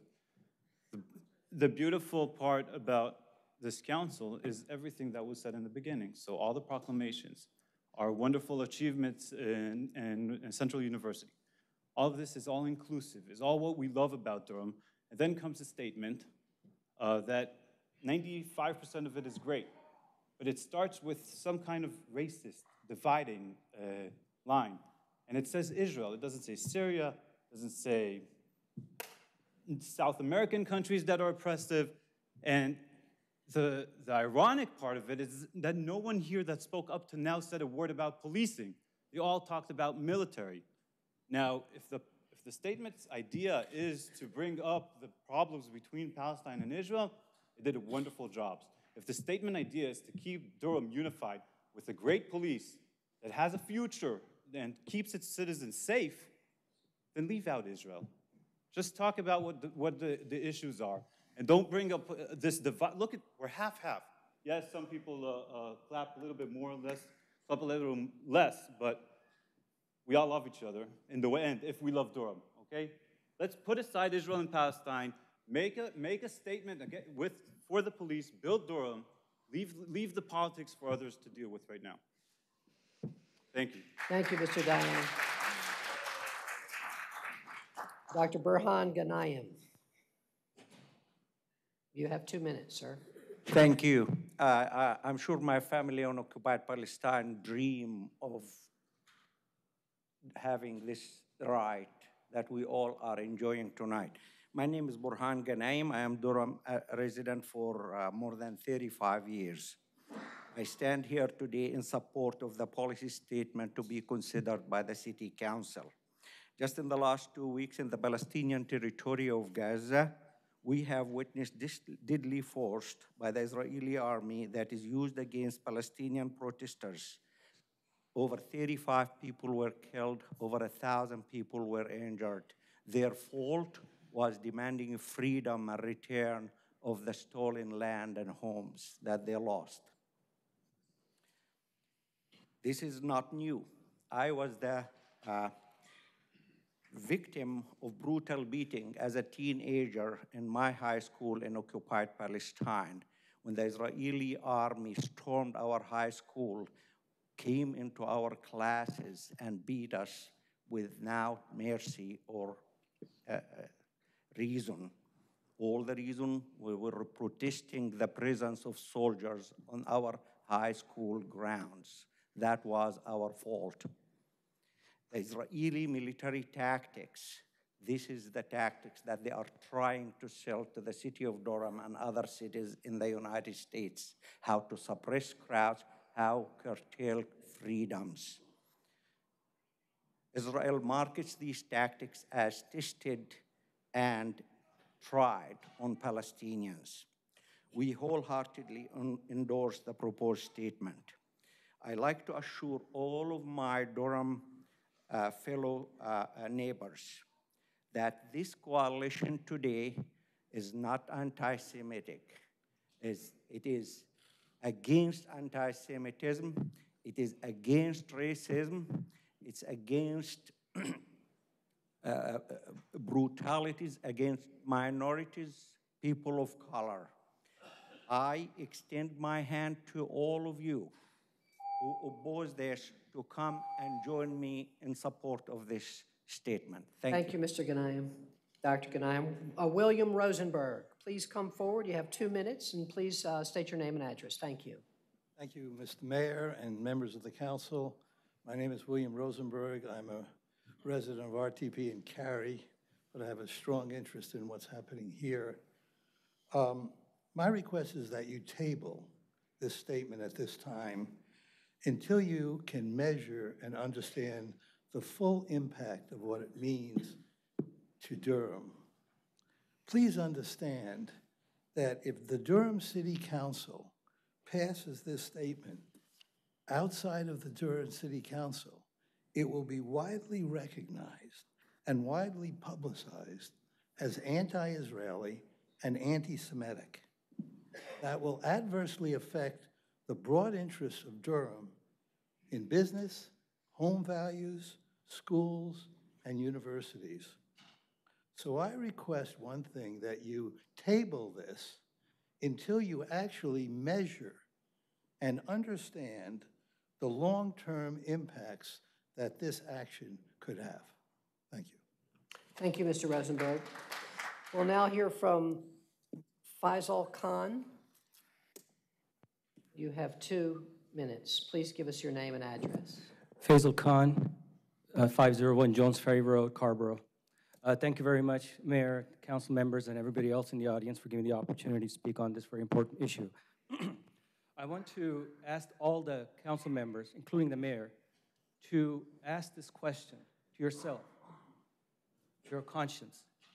Would you support what ICE did this, this past weekend? Because they are doing exactly the same thing as what the Israeli police and IDF are doing in occupied territories of Palestine. I want you to ask this question to yourself. How would a two-year-old child would ask for help when his or her house is invaded by the intelligence community of Israel or IDF or the Israeli police? How would that child would ask for help? How did this child ask for help when the ICE agent stormed into that apartment? Or in Carrboro? Or in Chicago? Or in LA? Because we are dealing with the same issue here. This is not a political issue. This is a human rights issue. This is the dignity of Palestinians living in Gaza, which is part of Palestine, living in the West Bank, which is part of Palestine, East Jerusalem, which is part of Palestine. Very simple. I'm really disturbed what is happening in this country right now. It's unprecedented and unacceptable. We should not have any training exchange programs with the Durham Police Department or any Israeli intelligence police or IDF. It's unacceptable. So I ask you, support this statement. Thank you. Thank you. Can I hold you, ask you to hold your applause, please? Laura Gutman, please come forward. You have two minutes. Members of the council, um, audience. Um, I'm Laura Gutman, and I live on Watts Avenue. I've been there for 47 years. Um, I'm um, wanted to uh, comment on the um, proposal, which appears to be a proposal having to do with the training of the um, uh, Durham County, uh, the Durham City Law Enforcement agents. Um, we have a very fine chief of police who was recruited uh, very carefully. She comes with an enormously credible uh, reputation nationally. Um, uh, she's a very fine, uh, exceptional recruit. Part of the usual uh, uh, um, uh, expectations of the chief of police is that she will determine the appropriate training for the police officers. And um, this um, statement is going to compromise that um, and uh, removes that from her uh, full purview. Uh, I think this is profoundly disrespectful for a highly professional um, um, member of, of our community who was brought to us, um, uh, I think by perhaps members of this uh, council. Um, in any case, I think that, again, that this is very disrespectful, and I urge you to um, return this, um, uh, the, the ability of, of, of her ability to train, to decision, the, the, the decisions to train her own officers um, uh, for the appropriate roles which they have to play. Uh, thank you. Thank you very much, Ms. Gutman. Now we'll hear from Laura Hantash. Not sure I have that right.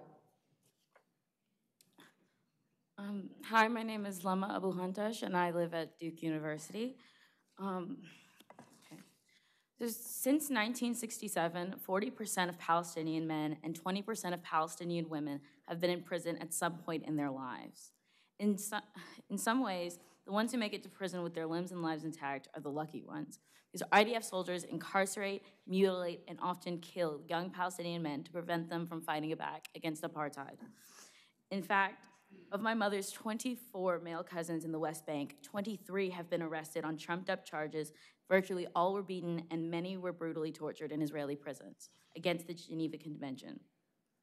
This institutionalized system of prejudice and mass incarceration is mirrored here in the US, which boasts the world's largest prison population that is disproportionately composed of black men. In the words of Angela Davis, Palestinians and black Americans are in the same state, the carceral state which is alive and growing here in Durham. The Durham police are supposed to serve and protect our community, but IDF soldiers neither serve nor protect Palestine, they occupy it. By engaging in police exchanges, Durham's department is learning to enhance racial profiling, use excessive force, and police the community like an occupying military. Just yesterday, I had probably the scariest experience of my life, not involving an IDF machine gun, when I woke up to a text from my friend saying he'd been arrested. While walking on Duke Central campus the night before, a police officer had stopped him and asked for his identification, but he wasn't carrying his Duke ID. He was later handcuffed and held in police custody until his roommate confirmed that he is, in fact, a Duke student. But why hadn't he, a visibly college aged uh, person on a busy campus, been singled out as if he didn't belong? Because he's a young black man. These are your tax dollars at work, racial profiling, and presumption of guilt, courtesy of the IDF. The Durham Police Department must reflect the community it serves, not the Israeli military. We must end police exchanges. I support the, uh, this resolution um, to end Israeli police exchanges with Durham. Thank you so much. Thank you very much. Um, Max Sherman, you have two minutes. As Mr. Sherman comes up, I'm going to call out the names of the next group of speakers, and if you'll come over here to my right and line up, that would be great. Uh, and Jenny Blass, David Roswell, Jerome Fox, Carol Fox, David, T H E U R E, baby, Thurer, not sure. You live on Demarius Street. You know who you are. Uh, Rabbi Zalman Bluming, and Lee Mortimer. If you all could please come over here to my right, uh, and you will be following Mr. Sherman. Mr. Sherman, thank you for being here. Please tell us your name and address. Hi, I'm Max Sherman. I'm also a student at Duke. Today we are faced with a non-issue. Non, no ongoing Durham police cooperation with any military exists, nor would it be likely. Chief Davis asserted her one visit to Israel was a goodwill trip focused solely on leadership development and public relations with homeless populations. She should not be misrepresented by this council. Despite a letter signed by 10 esteemed diverse local rabbis warning against targeting Israel, certain members of this council joined, the, joined petitioners and put political interests ahead of the community they serve. Is this consistent with a Durham for all? Will these members have the professionalism to become proximate with the, Jewish, with the concerned Jewish community? Or will they continue their sly machinations while fleeing from accountability to their constituents? Note this Students for Justice in Palestine at Duke University, a group closely tied with the petitioners, ignores the terrorist group Hamas's genocidal ambitions and suggests Israel provokes wars in Gaza to use it as a human laboratory of experimentation subjects for testing its advanced weapons and intelligence systems for economic gain. It's 2018, and the Jews are again being baselessly and shamelessly accused of heartless manipulation, murder, etc., for economic gain. This must be stopped. However, it seems that the Council today is intent on sending its message. The message it sends is a resounding one. If you are a business owner or an individual looking for a community to call home, don't you seek a community built on respect, honesty, and trust, not one that stabs you in the back? Shouldn't your elected leaders care about serving their hardworking constituents, not narrow political interests? Today, the Jewish community has been misled and ignored. Tomorrow, it could be you. Thank you, Mr. Chairman. We'll now hear from Jenny Blass. Ms. Blass, please tell us your name and address. You have two minutes. Um, Jenny Blass, Odie's Road, Chapel Hill. Um, not not Durham, but I know a lot. But I go to a shul in the area, and I know a lot of people who live here. Um, anyway, um, I'm Jewish and proud of my religion and heritage, and that extends to the state of um, and that extends to the state of Israel. The insinuations that the state of Israel, um, where I have family, is racist and supports white supremacy are extremely harmful to me. I feel that what Israel does has been misconstrued by many people in this room. Israel only fights in self defense, and the Israelis want peace as much as the Palestinians. The labeling of Israel in particular is violent um, and militant is offensive to me as a person, and as hints of anti Semitism. I'm not saying that this issue isn't worth discussing. I just think we, um, that we need to take a look at the motivations, in particular political ones, that are behind this controversy. I hope Durham and the research triangle as a whole will continue to be welcoming to people who identify with Israel like I do. Thank you for giving me your time. Thank you very much, Ms. Blass. Now we'll hear from David Roswell. You have two minutes. Hi, I'm David Roswell. I live at 106 West Woodridge Drive in Durham. I'm a member of the People's Alliance and am reading a statement written by the People's Alliance in support of the campaign. Dear Mayor Schewel and members of the Durham City Council, we are writing to express the support of the Durham People's Alliance for the campaign led by the Durham to Palestine Coalition to, preclude, to preclude any collaboration between the Durham Police Department and the Israeli Defense Force. We strongly support the message in Mayor Schewel's statement that the Council opposes international exchanges with any country in which Durham officers receive military-style training, since such exchanges do not support the kind of policing we want here in the city of Durham. We ask the, the City Council to act on that message and to pass a resolution that clearly expresses the city's commitment to pursue community safety without resort to the kind of military tactics used by the Israeli police against Palestinians. Policing in the U.S. has a long history of violence against black and brown communities. While the Durham Police Department, under Chief C.J. Davis, has begun to make progress in reducing the incidents, the incidence of targeting and violence against black and brown communities, including immigrant communities, we want to see continued progress and more demilitarization, not less. The Demilitarized Durham to Palestine, Palestine campaign is based on the finding that police exchanges between the U.S. and Israel pro promote militarized policing at home and overseas. And we have seen under the Trump administration the language of security and counterterrorism being used to enable racist scapegoating and justify violent and discriminatory practices against targeted communities. Now, more than ever, we need to challenge the idea that our security comes from militaries, police, prisons, and border walls, and work towards a safer world for all people based on community, equality, and justice. The People's Alliance believes that Durham can best promote public safety by moving ahead on the vision laid out by the mayor in his State of the City address. Thank you. Thank you. We'll now hear from Jerome Fox.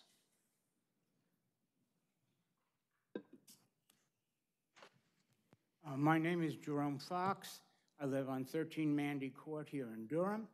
I'm one of the rabbis who uh, sent the letter to the council urging you not to uh, single out the state of Israel in your condemnation or your, your um, problems you're having with police training.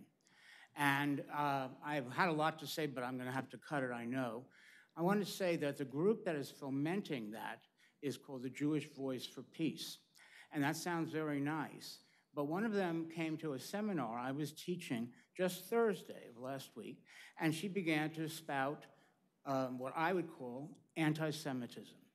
She said the Israeli army is uh, a bunch of butchers, just as bad as ISIS. Uh, that's why I'm wearing the Israeli army skull cap tonight, by the way. Uh, and then she went on to say that she wants one state between the Jordan and the Mediterranean. And I said, well, then, you know, the Jews would eventually get outnumbered.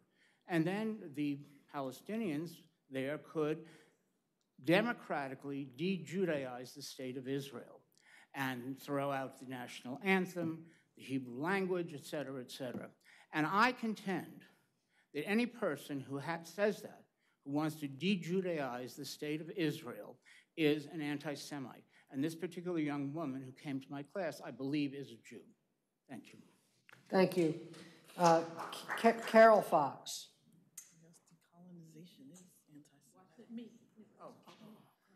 Carol Fox, you have two minutes. Thank you for being here. Okay, you're welcome. So my name is Carol Fox, and I live at 13 Mandy Court in Durham. And I would like to request of City Council that you please remove mention of Israel or the Israeli police from your resolution uh, on other matters concerning the city of Durham. Israel has no relevance to the issue of how Durham police does its job. Israel has no relevance to the issue of police brutality or unfair treatment of people of color or disabled people here in Durham or in the United States. Removing mention of Israel will make the proposed resolution stronger and clearer and less confusing. Removing mention of Israel from the resolution will prevent City Council from muddying the waters in the issue of community policing and local city matters. Thank you. Thank you very much. Uh, And now we will hear from David Thurer. Hi, y'all. Um, I'm David Thur. I live on Demarius Street here in Durham, and I'm here representing the Inside Outside Alliance. We support the ban on police exchanges with Israel. We believe that the displacement of Palestinian people is unjust and that it's important to disrupt the facade of normalcy such exchanges seek to create the occupation of Palestine. Having seen in the past few weeks the violence carried out against Palestinian protesters by Israeli security forces, we believe such exchanges would only further militarize the Durham police. I can say personally, having been tear gassed by the Durham police while peacefully protesting the death in custody of uh, Chuy Huerta, that we are already that they are already dangerously militarized.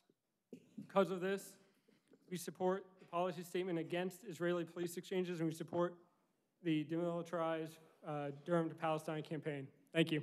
Thank you. We'll now hear from Rabbi Zalman Bluming. Thank you, Your Honor, the Mayor and the City Council. I have the greatest respect for you and our community and the Jewish community. Praise for your success and continued success each week in Shul.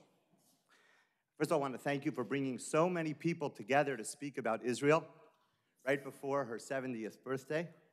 I congratulate you on the 150th birthday of Durham, North Carolina, which we're going to be in one year from now, and over 3,000 years of the Jewish presence in the holy eternal capital in the city of Jerusalem. But I have one request. My request is let's make the city we love a city for all. I'm here less to talk about Israel and more to talk about Durham.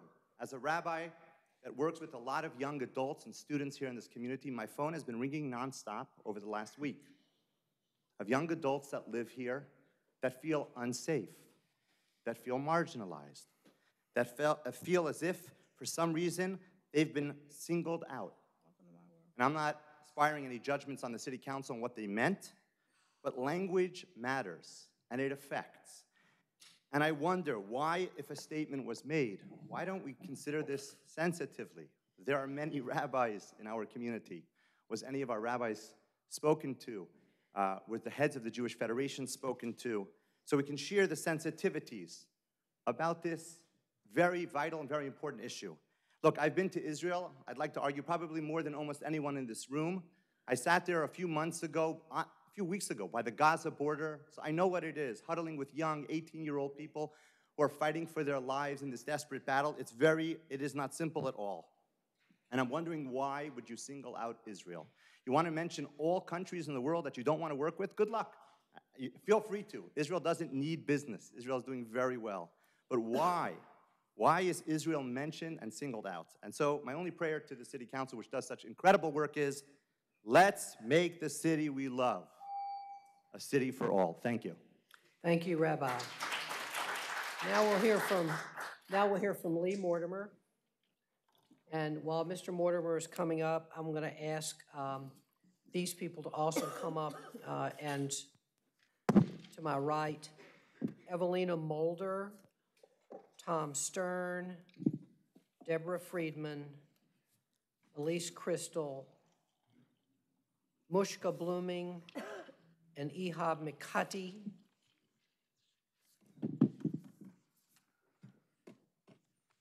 And I believe that there's another Deborah Friedman. We have two of you. No, you're the same person. But you may not speak twice. Okay. Um, all right. Uh, so now we're going to hear from Mr. Mortimer, followed by Ms. Mulder. Mr. Mortimer, welcome. You have two minutes. Good evening. I'm Lee Mortimer. I live at 4116 Livingstone Place in the Trotter Ridge neighborhood. I'm a 30-year resident of Durham. Our son entered kindergarten here and went through Durham Public Schools. I participated in a number of civic activities, including serving on two task forces studying city-county merger. I was a youth soccer coach several seasons and a candidate for the school board in the year 2000. I think I did better as a soccer coach than in that school board election. I'm here tonight representing the Coalition for Peace with Justice. Our office is located at the Lyon Park Community Center. We advocate for a peaceful resolution of the Israeli-Palestinian conflict. We have endorsed, and I have personally participated in, the Demilitarized Durham to Palestine campaign. We urge you to support this policy statement, putting the city of Durham on record as opposing members of our police department being trained by Israel's police and military. I don't know all the components of training that other U.S. police departments have undergone during often fully paid trips to Israel. I do know that Israel has a well-documented record of human rights violations and that our police would gain nothing worthwhile from being trained by a regime that holds a subject people under military occupation as it dispossesses them and colonizes their land. This is not, as some opponents claim, singling out only one country on the planet, Israel. Far too many regimes brutalize their subject populations. But Israel is the only one on which the U.S. government lavishes military, financial, and political support.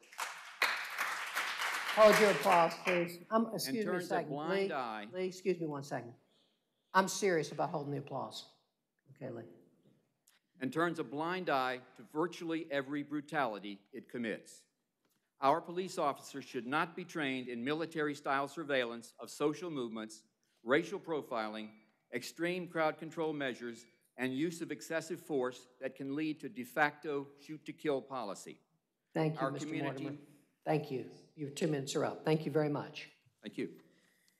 We'll now hear from Evelina Mulder.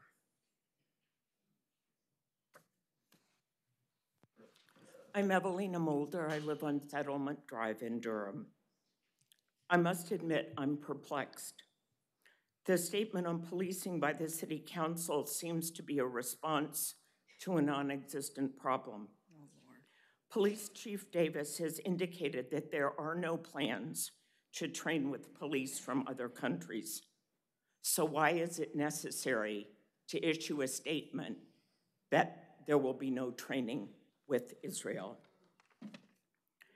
I fear that the council, by issuing this statement, has become a pawn in a publicity initiative. I moved to Durham in part because it's a well-managed city with elected and appointed officials who share the values that I hold dear. This statement, as currently worded, demonizes Israel and by implication the Jewish people. I am one of those Jewish people, and I'm a Durham resident.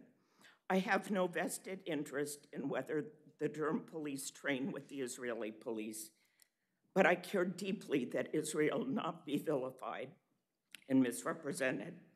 I care deeply that the council take the time to reword the statement, removing reference to Israel and thereby removing the unnecessary and politically motivated targeting and demonization of Israel. Thank you. Thank you, Ms. Mulder. Uh, Tom Stern, you have two minutes.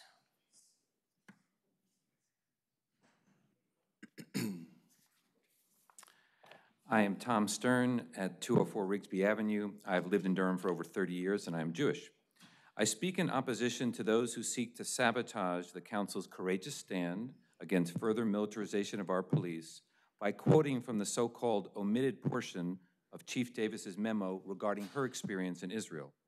Their position would have you believe that these police exchanges are simply about leadership academies and building relations with refugees and the homeless. Nothing could be further from the truth. Regardless of Chief Davis's specific experience, the major organizations facilitating police exchanges with Israel tout their focus on counterterrorism tactics. For example, I hold in my hand a recent Anti-Defamation League recruitment brochure for these police exchanges with Israel. It lists the training topics as preventing and responding to terrorist attacks, intelligence gathering, and the evolution of terrorist tactics. Two other major providers of these trainings state they are to strengthen law enforcement counterterrorism practices and security tactics. There is simply no denying that these trainings are inextricably linked to the militarization of Israel's police and security forces and serve to export that mindset and those tactics to police departments in the U.S. Further, the claim that Durham was, has not been complicit in these military-style trainings is also false.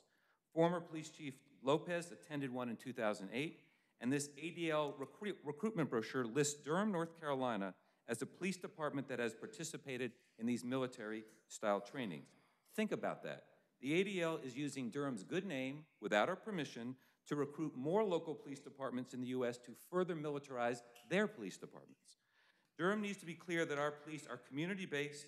We do not support racial profiling. We do not support disproportionate and violent responses to civilian protests. We do not see our own residents as the enemy. I support the City Council's proposed new policy against these exchanges. Thank you. Thank you, Mr. Stern. Now we're going to hear from Deborah Friedman. Ms. Friedman, welcome. You have two minutes. My name is Deborah Friedman, and I live on Hardscrabble Drive in Hillsborough, but I am a Durham taxpayer. Members of the council,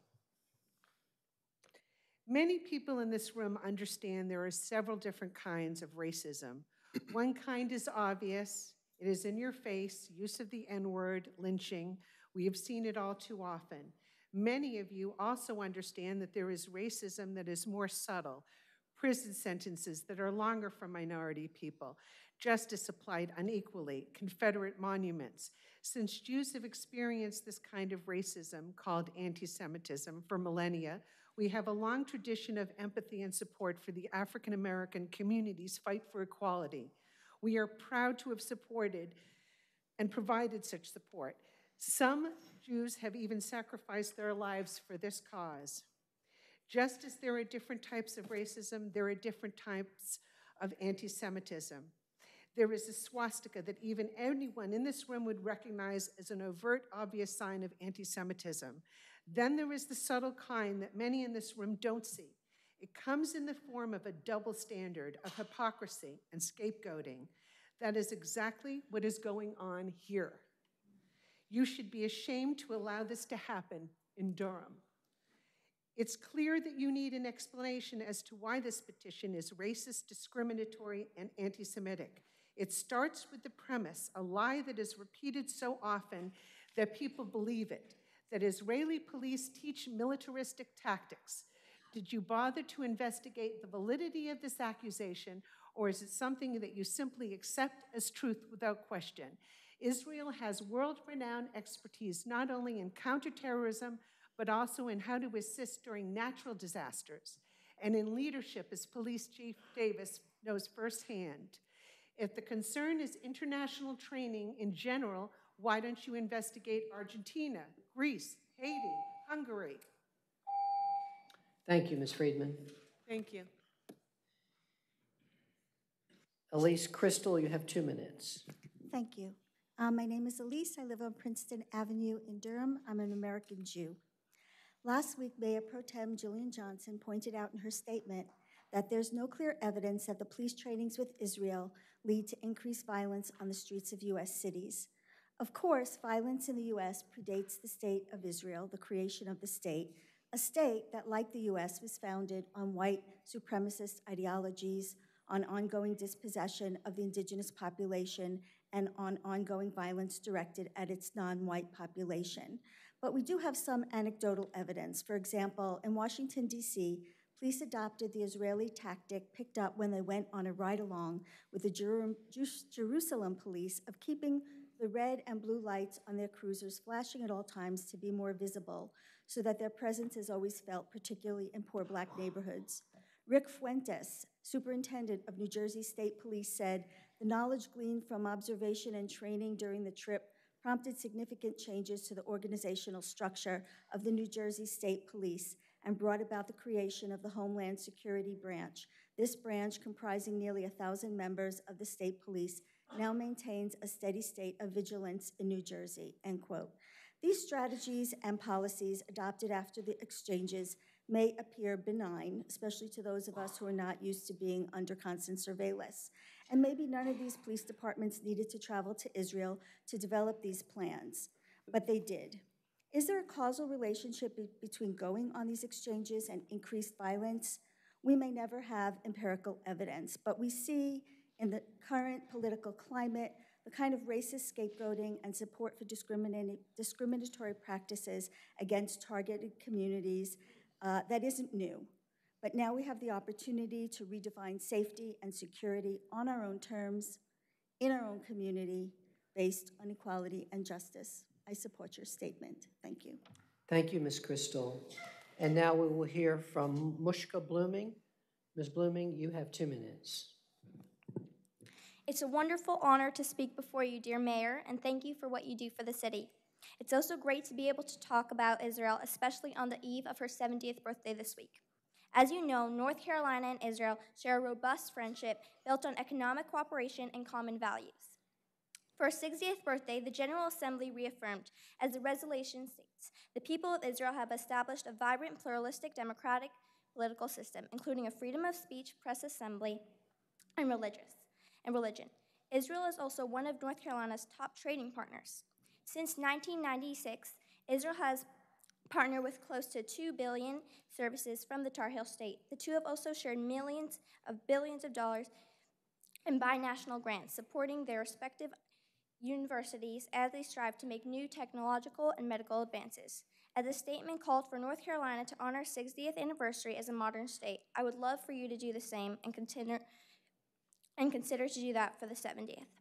As I'm sure you are familiar, House Bill 161, North Carolina recently signed publicly declaring support for Israel and legislating punitive measures against those boycotting the Jewish state, divestment the companies that boycott Israel.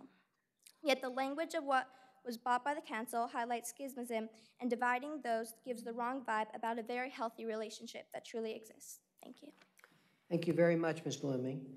Uh, while we're waiting to hear from Ehab Makati, I'm going to call the following people up, and if you would please come over to my right. Ahmad Amira, Mike Ross, Lee Mortimer, you cannot speak again. Uh, Adam Goldstein, uh, Minister Rafiq Zaidi Muhammad, Stan Raboy,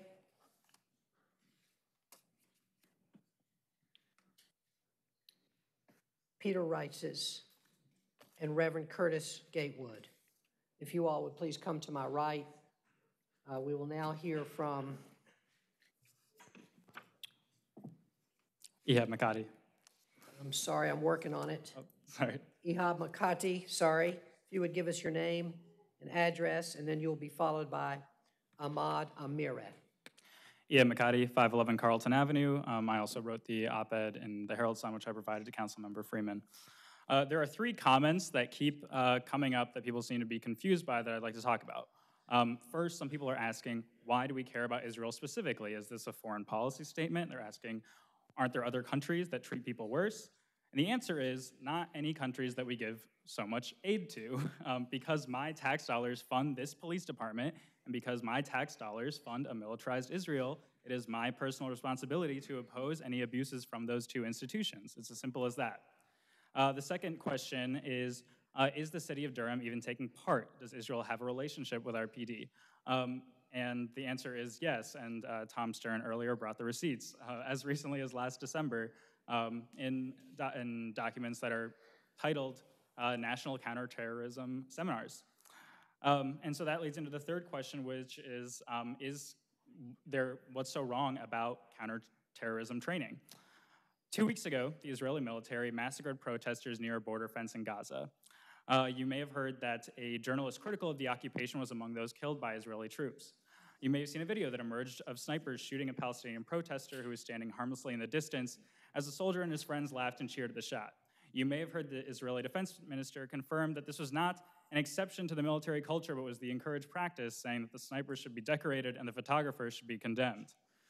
If it's not obvious to you, this is what counterterrorism looks like in Israel. It doesn't have anything to do with minimizing violence, but with expanding the definition of terrorism so broadly that it means standing around a fence that the government doesn't like you to stand around. Americans are already terrorized by state violence at protests. Remember, the water cannons used in freezing temperatures on the indigenous people at Standing Rock, for example. Like the Palestinians, these were people who were standing up for their right to land stolen from under them. Instead of protecting us, our police grow more and more each year to look like soldiers, and the violence that is enacted upon their victims isn't treated as a crime, but as an unavoidable or even heroic action. Whatever these two forces will learn from each other, it won't make me feel safer. We should make Durham a leader in true safety and ban these exchanges. Thank you. We'll now hear from Ahmad Amira. Mr. Amira, you have two minutes. Ahmad Amira, 51 Brody Dim Drive, Go Duke. The Atlanta Police Department in 2014 said that Chief Davis's Atlanta exchanges, quote, include training where officers learn tactics on preventing acts of terror, end quote. The Atlanta mayor defended these exchanges for their counterterrorism focus, and Donald Trump has applauded Israel for its racial profiling and has even used Israel's apartheid system as justification for his border wall and for his Muslim ban. At this point, City Council needs to draw a clear line between counterterrorism and deadly racism. For Israel, the line blurs into one, and countless Palestinians have died as a result. Former Israeli Defense Minister Moshe Ya'alon has admitted to targeting civilians in Lebanon in 2006 and in Gaza in 2014. Current Defense Minister Avigdor Lieberman recently claimed that, quote, there are no innocent people in Gaza after he authorized the murder of dozens of unarmed Gazan protesters. Durham needs to take a stance against the intentional murder of civilians and not glorify atrocity by claiming Israel is some expert in counterterrorism. The countless hours of interrogation every Palestinian faces when traveling through Israel is not counterterrorism, it's racism. Israel's airport security that uses a scale of 1 to 6 to identify an individual's threat level is assigned by race. The 6 on my passport classifies me as an extreme threat to Israel. Calling me a terrorist just because I'm Palestinian, that's not counterterrorism. That's racism. Arresting teenagers in the West Bank like Ahed Tamimi for merely waving flags and throwing rocks like those. That's not counterterrorism. That's excessive force and that's deadly. I say, let's not glorify the deadly racism that Israel imposes upon the Palestinians it illegally occupies. Don't let the suffering the Palestinians face under the Israeli military become some model for policing in America. Reject racial profiling, reject police militarization, and put our black and brown communities here in America first. Black Lives Matter. We need to reach a point where those words represent the widely accepted truth and not some distant goal. Let's make a difference. Let's demilitarize Durham and free Palestine. Thank you. Thank you. Thank you very much. Uh, Mike Ross. We won't take your two minutes for that, Mr. Ross. Thank you very much. Mr. Ross, you have two minutes. Thank you, Mayor and City Council members, for allowing me to speak. I had three main points, which I may not get to. First, JVP's pervasive demonization of Israel, as we see tonight, is a recipe for unending conflict. The anti two, the Anti-Defamation League, the premier Jewish organization fighting for social justice, has been targeted by JVP's initiative. And three, as we witness today, JVP is bringing the conflict and discord from the Middle East to our city council. First, in the petition, JVP disgracefully claims a direct link between U.S. police training in Israel to deliberate oppression of minorities here. That is, there is absolutely no evidence for that smear, and teaching such hate will never lead to peace. Tonight, they will hijack this forum, as we've seen, to attack Israel. They will make claims which are, are accusing the one Jewish state of being entirely evil. make that, a, a, make that a, what you will. But their statements will be a steady stream of accusations, more about instilling blame than being constructive. Mutual respect comes from cooperation and compromise, not continued incitement and conflict. Second, JVP has attacked the ADL. The ADL, which sponsors trainings for police to combat hate crimes, to counter implicit bias, and to build trust with communities. Their courses in Israel focus on Israelis' balancing of security concerns with the imperative to uphold civil rights. It is a gross inversion of reality to claim that the ADL is complicit in oppressing people of color. Third, as we see today, JVP is bringing the conflict to us. They are sowing division in the community by telling minorities that Israel and its supporters are to blame for police brutality against them. This lie leads to distrust, division, and inevitably hatred. I'd rather envision a Durham that is inclusive and tolerant. In summary, please do not support their divisive agenda. Please continue to be a welcoming city. Don't listen to people, either from the right or from the left, who want to tell you what to be afraid of and who's to blame for it. Thank you, Mr. Ross. Adam Goldstein. Uh, Adam Goldstein, uh, Ukiah Lane, Chapel Hill, North Carolina. Thank you for allowing me to speak today, and thank you for your service on behalf of the people of Durham. My name is Adam Goldstein. I'm a family physician. I've been involved in multiple leadership positions in the Durham Chapel Jewish community for almost two decades, including being past president of the Lerner School in Durham, past president of Durham Chapel Jewish Federation that supports over 5,000 Jewish families in this region and in Israel. I'm chair of the statewide North Carolina Hillel on 13 campuses throughout North Carolina for Jewish Life on Campus. Why do the majority of Jewish organizations and synagogue leaders see your current statement as anti-Israel and anti-Zionist? And why do some see overtones of anti Semitism? These concerns, as applied to Israel, are not simply criticism, because we are all willing to criticize, as we are here in the United States at times, but it's when policies or statements are done that seek to delegitimize, demonize, and apply double standards to Israel. They're almost always done under the shadow of extreme prejudice, whether from the hatred and lies of the far right or the far left. The petition, which became a statement, started with the premise that was false and demonizing, and six council members signed it. Despite changing the petition to the statement, please take ownership that the sponsorship of the petition in this entire episode is designed to single out one country and one country only, not Iran, Syria, North Korea, China, or Russia, but Israel. You do so in conjunction with an organization known to demonize Israel, and you do so in a way that will harm Jewish life on campus and towns in North Carolina and Durham moving forward. Finally, you had the completely distorted the Durham Police Department's chief glowing statement on Israel. Trying to take one sentence out of context in support of you is not truly honest. You brought these petitions up during the Jewish holidays of Passover and right before the Jewish memorial in Israel for fallen soldiers. The whole statement, starting from a petition for an issue that doesn't even exist, along with your failure to consult with multiple Jewish leaders to discuss this impact, along with continuing to keep the name of Israel in the statement and distorting the police chief's statement, are blights on this great city unless changes are made tonight. Thank you. Thank you. We'll now hear from Minister Rafiq Zaidi Muhammad. Sir, you have two minutes. Good evening.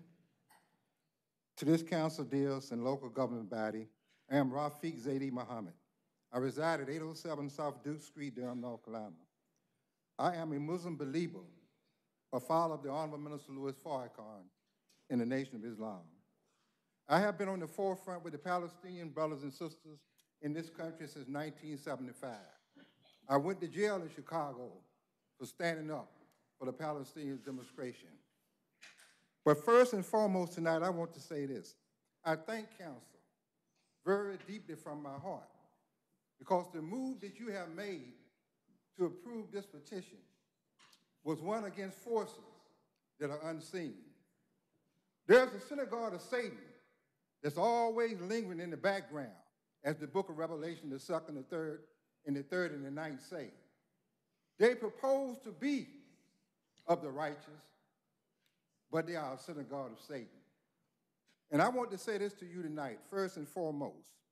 Let it be known that as a citizen of the Nation of Islam and a resident of the city of Durham, I support the petition to prevent police exchanges between the Durham Police Force and the Israel, Israel Defense Forces, known as IDF. My words tonight in the last 30 seconds may draw widespread criticism from some in the community. But I am obligated to point out the inordinate control that some Jews have over the political system in this city. And I praise you and thank you for the inherent effort that you have made to make this proposal one that we all can deal with and stand firm on. Thank you very much, and may, may Almighty God Allah bless you and continue to in, intervene in all our affairs. Thank you.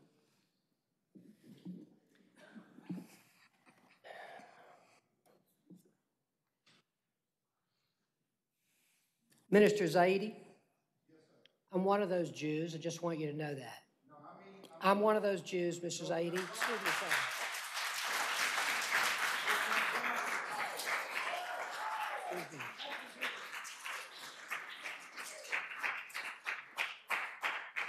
Please be seated. That is, I, I can't describe that as anything other than anti-Semitism, and just as I would speak out, excuse me.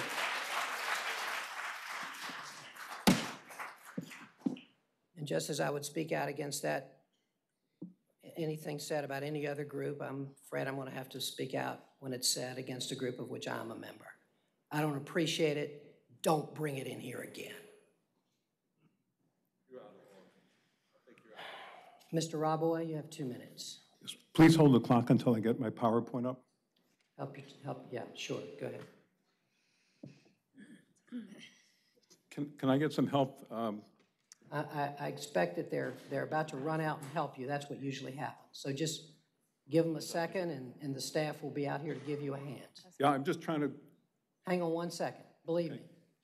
thank you. Hi, this one right here. Okay. This is the advance button? Yes, sir. Okay, good.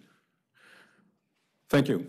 First, I want to say, uh, my name is Stanley Roboy, uh, Circle Park Place in Chapel Hill. This whole process, to me, has been very bothersome. Uh, The petition that was brought was actually signed, the petition, by six of the members of this council. And some of the members of the council actually helped uh, formulate the petition. In addition, uh, there's a specific email that one of the council members sent. Thought I'd send this in case it has any use for future BDS purposes. Is my PowerPoint actually showing? Yes. Okay. Is this, We can, we can see it, Mr. Roboy. pardon?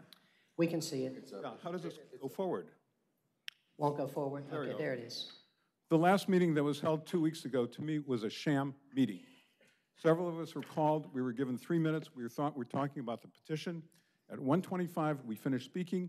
At exactly 2:35, 10 minutes later, the city council produced a statement that was given to the newspaper, a long statement uh, that clearly could not have been written in 10 minutes. It was at least the day before.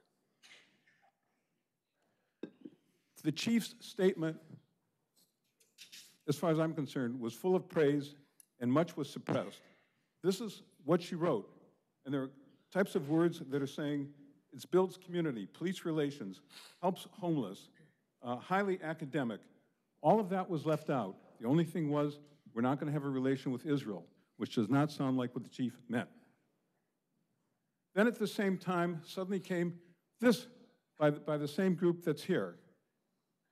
It's on the web, and it says, no more police at Jewish synagogues. And in fact, it says there should be no more police departments. We might like to not to have police, but just imagine what we would have in this country with no police departments at all. We single out here only Israel. But look at all the other countries, some 25. Your time's up, Mr. Roboy. Thank you. Peter Reitzes. And then we will have Reverend Curtis Gatewood, and then I'm going to call some other names that can assemble over behind Mr. Gatewood. Um, Bob Gutman, Michelle Laws, Buddy Bomsey, I'm sorry if I haven't got your name right there, Robert Hollister, and Rhino Rachel Gulper.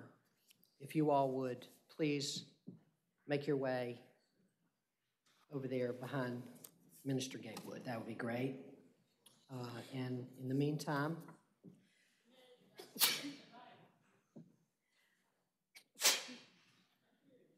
I'm sorry. Uh, I'm, I'm being told I'm not being loud enough, for which I'm often not. Let me say it again.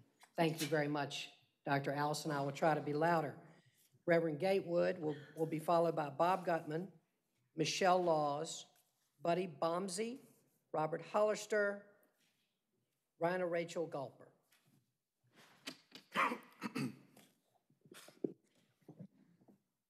Yes, sir, Mr. Reitzes. Thank you. Thank you. My children's synagogue school in Durham not too long ago was faced with a bomb threat. The Durham police were there. I'd like to be the first person tonight to thank the Durham police for everything you do every day. Councilperson Jillian Johnson said something that I think everyone in this room can agree upon. She recently said that it is not anti Semitic to criticize Israeli policies and practice. But let me tell you what is anti Semitic. This month, the City Council received an email from one of the petitioners, and the email listed what the petitioner called savage military countries. And the petitioner said Argentina, Bolivia, Brazil, Colombia, and Costa Rica, just to name a few. There were about 20 countries. This city council ignores all of those countries that the petitioner says. And this city council says, let's focus on Israel, the only Jewish majority country on the planet. My friends, that is anti Semitism. Singling out Israel and forgetting about everybody else, that is anti Semitism. During President Obama's administration, the Obama State Department defined anti Semitism in relation to Israel with three examples demonizing Israel, delegitimizing Israel, and holding Israel to double standards. If this council passes your statement tonight, you are doing all three things that the Obama administration said are anti Semitic. I ask one thing remove all mention of Israel from your statement. Thank you for your time. Thank you very much. Reverend Gatewood, you have two minutes. Please tell us your name and address, sir. Yes, under the council, you can leave with the clerk.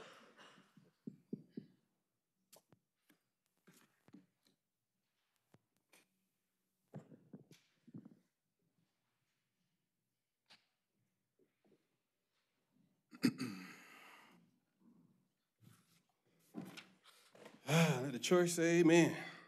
Amen. First, I'm Reverend Curtis Gatewood. I reside at 129 West Front Street, Oxford, North Carolina. I'm the founder of Justice Ministration, which is justice being the acronym for Jesus Uniting Souls to Increase Community Engagement. I'm also founder of Stop Killing Us Solutions Campaign. The basis for which I stand in solidarity with those who support the resolution is driven by my adamant opposition to the militarization of the police department in Durham or anywhere else in the world, first.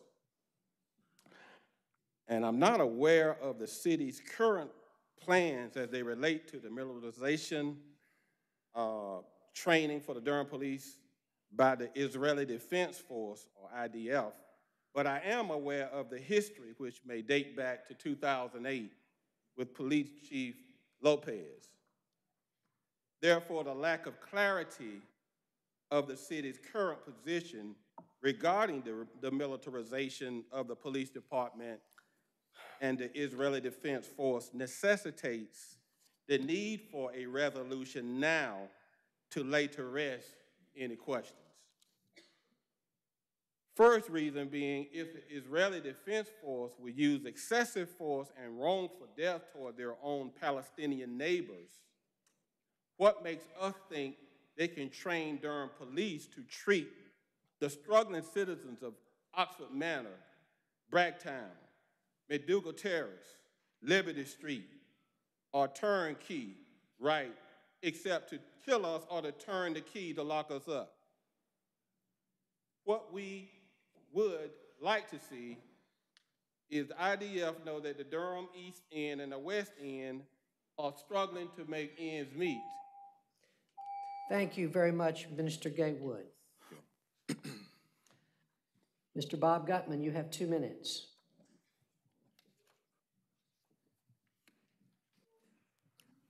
How do I start this? Uh, Hang on a second and someone will come help you. I'll get started. I have a picture of a baked cake on the first slide um, because we know the cake is baked. And we're very sad about it because the name Israel was insisted on being there. In the lead up to the petition initially presented, it was very clear that JVP, a notoriously anti Zionist organization, included its chosen language to defame Israel. This is a national program that's been going on several years, and you are supporting it by inserting the name Israel almost gratuitously. I have, that's it, thank you. I have to ask, what was the point? What did that, what purpose did that serve the city of Durham? It's great to have a very well formulated and very clear, kind, uh, and thoughtful police policy. But why do you have to mention Israel? It's only because you've decided to insert yourself in national and international politics for the sake of these people who come and notice that they have all said the same thing we're saying. They have all declared that they're for this because it defames Israel. Just the same thing we're saying. They don't need to do that. Or you don't need to do that. They do need to do that because that's what the national organization wants to happen. I just want to go, I was going to go through a bunch of slides showing you how many people on their side support what I'm saying. But I do want to just end by saying that when Mayor Schewel ran, he gave two promises. Strong support for Chief Davis's emphasis on de-escalation and racial equity training. That's a promise properly being kept. The next, another statement is, quote, I will continue to work toward a police force that effectively fights violent crime while actively seeking to build the trust of our entire community. That's a promise that needs to be kept. Thank you. Thank you, Mr. Gutman. We'll now hear from Michelle Laws. Ms. Laws, you have two minutes. Thank you, Mr. Mayor and members of the um, City Council. I really just want to come and offer my um, approval and, and uh, just my hats off to the police chief for standing in a very difficult and uncomfortable place. I am a Jewish, Muslim, Hindu, Buddhist, loving Christian. The God I serve says that he has no respect of person. I come from a history, a family, a, a, um, a group of people who understand the danger of us holding on to these narratives embedded in historical documents, often revisionist histories, and our own interpretations of what the Lord means.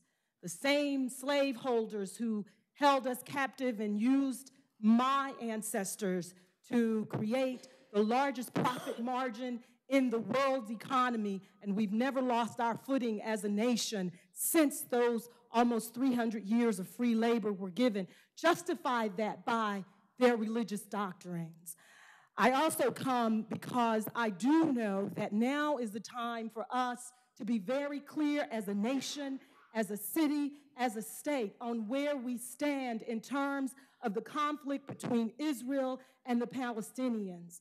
Far too many children and women and disabled and elderly are losing their lives because men on both sides are refusing to come to the table and reason together as the good Lord our Creator has called us to do. And in terms of Israel, the United States entered in 2016 an agreement, a 10 year military assistance agreement with Israel that is worth over $38 billion. The diplomatic and military alliance between our two countries is incestuous, and it is the largest cumulative recipient Israel is of U.S. foreign assistance since World War II. Israel is not hurting in any kind of way, and largely it's because of we our complicity. Thank you. Thank but you very much. Children are, and women are. Thank you very much. the real issue. Thank you very much, Ms. Laws. We will now hear from Buddy Bomsey. I'm sorry I haven't gotten your name right. Uh, you have two minutes. That's correct. Hello, my name is Buddy Bomsey, and I'm a lifelong Durham resident. I've attended charter and public schools, and I am now a junior at the North Carolina School of Science and Math. I have been active in local government for two years as a member of the Durham Youth Commission, and I am Jewish. I am here tonight to speak to the City Council about the proposed statement regarding training of members of the Durham Police Department in Israel. Last week, a coalition of groups, many of which have missions that I support, presented a hateful petition to the Durham City Council called Demilitarize from Durham to Palestine. This petition contained allegations that Israeli training of American police forces assists them in the practices of racism and racial profiling. Anyone who has studied American history knows that white supremacy and racism and the violent behavior related to such ideas has been ingrained in American society for more than four times as long as Israel has existed as a sovereign nation.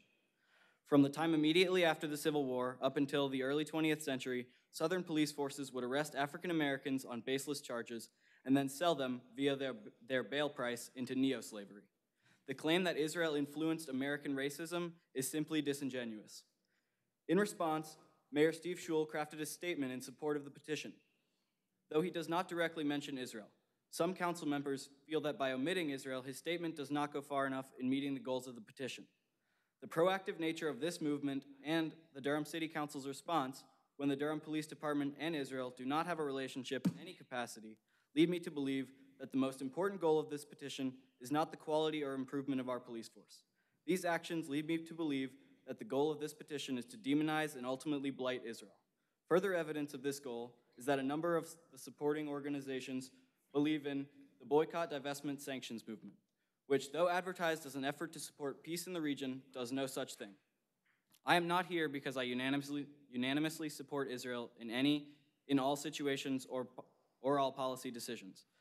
But I cannot stand by as the state of Israel is slandered by false accusations or as my city government promotes such assertions. This petition is nothing more than a gratuitous attempt to, to have our progressive city participate in the last socially acceptable form of discrimination. I ask you to go no further in responding to this petition. Thank you. Thank you very much. We'll now hear from Robert Hollister, and then uh, Ms. Galper after her, after him, and then uh, after, then we will be followed by these people, and these will be our last speakers. In order, please, over to the right. Um, Ron Baron,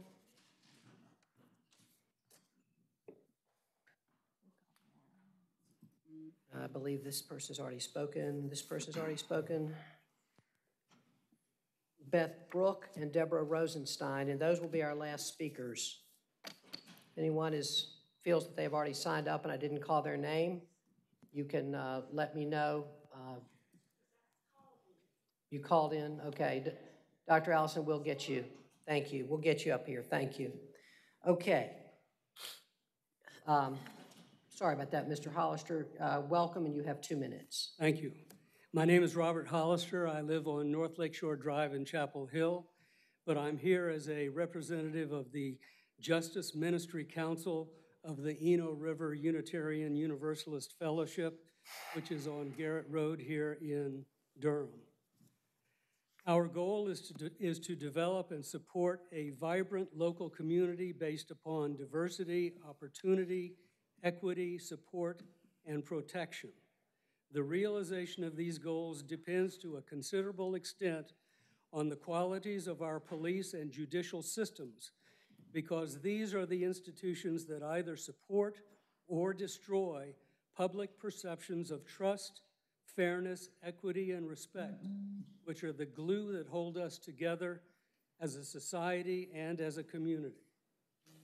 Of particular concern is the increasing militarization of our police forces. These practices include training in military tactics, the provision of military-style assault rifles, combat dress, and the military equipment such as armored personnel carriers and mine-resistant and ambush protection vehicles. In your consideration of tonight's resolution, we respectfully request that the Durham Council consider the following. Number one, the adoption of policies that prohibit the militarization of the local police force. Number two, policies that prohibit the police force from applying to the Pentagon for military equipment. And number three, policies that prohibit the provision of foreign training for police officers in military, military style procedures and tactics. Thank you. Thank you very much. Now we'll hear from Ms. Gulper.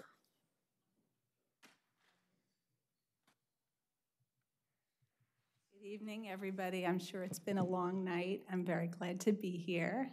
Um, so I, I, the coalition has asked me to say that um, just to affirm that we reject any support that comes from anti-Semitism and that this previous speaker making those comments is not a member of our coalition.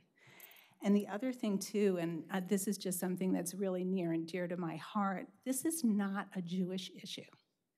This is a human rights issue, and it's not about, for me personally, being against Israel and being called anti Semitic. And there's been a lot of vitriolic and insulting comments and attempts to fire people who have opinions that are different than the conventional Jewish community.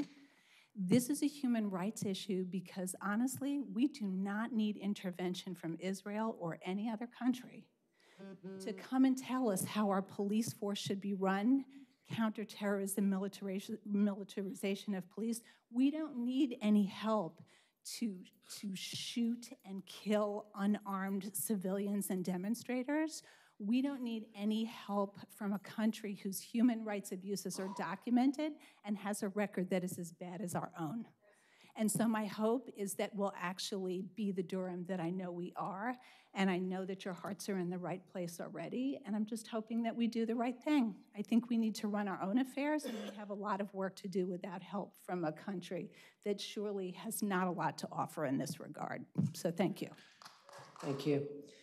Uh, we'll now hear from Ron Baron, followed by Beth Brook, followed by Deborah Rosenstein, and then we will hear from Dr. Lavonia Allison, and that will be our last speaker. Um, Len Baron, 208 North Driver Street. Um, I've been in Durham 15 years now.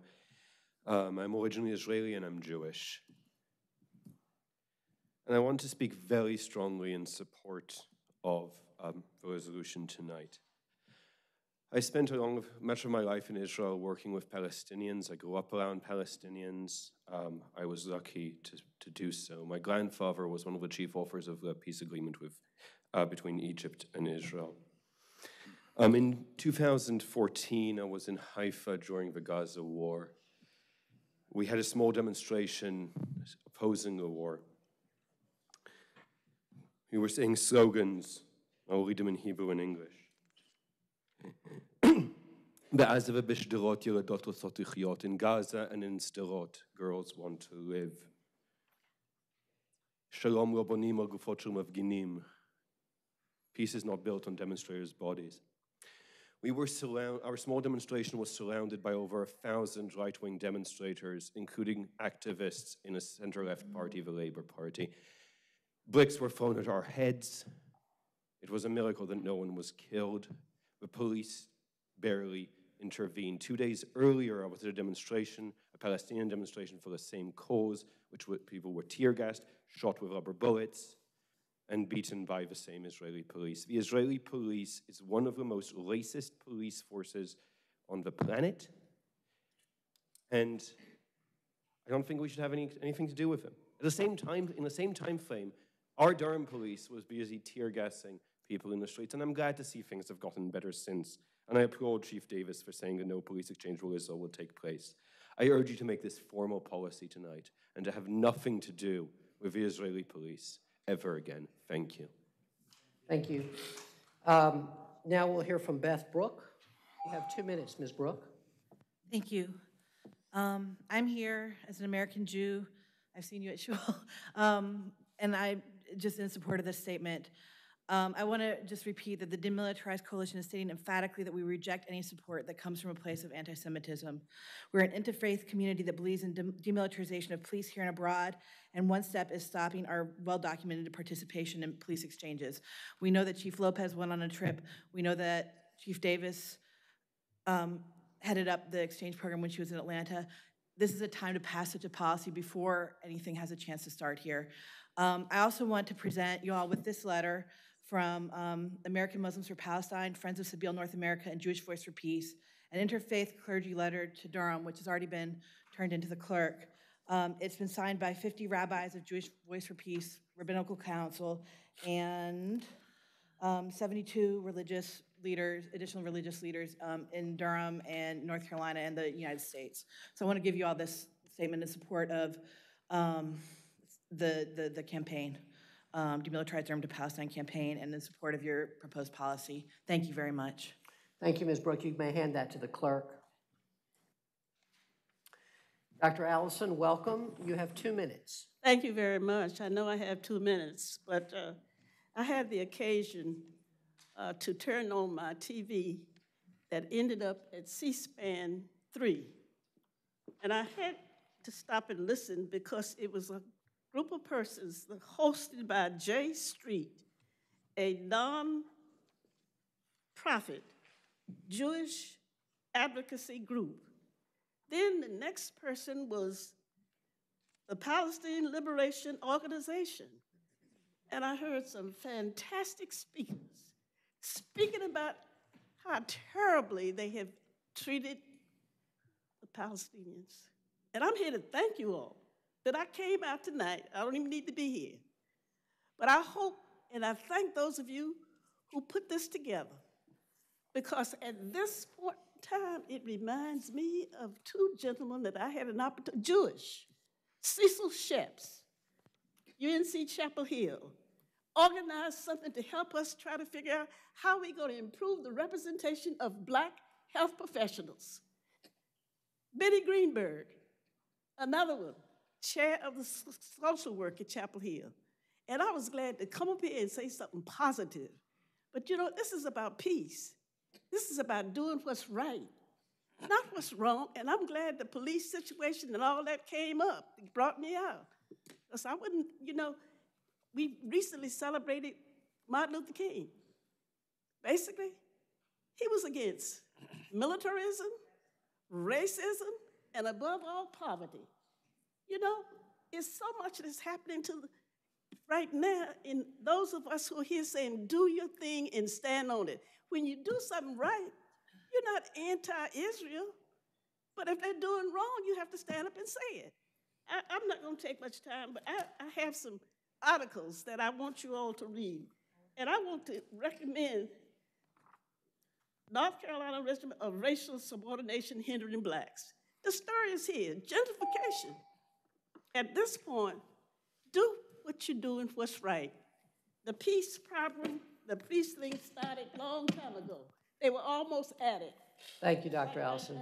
We were almost at it till they pulled somebody up and named T.R. Thank you, Dr. Allison. Um, is Deborah, excuse me, is Deborah Rosenstein here? I'm here.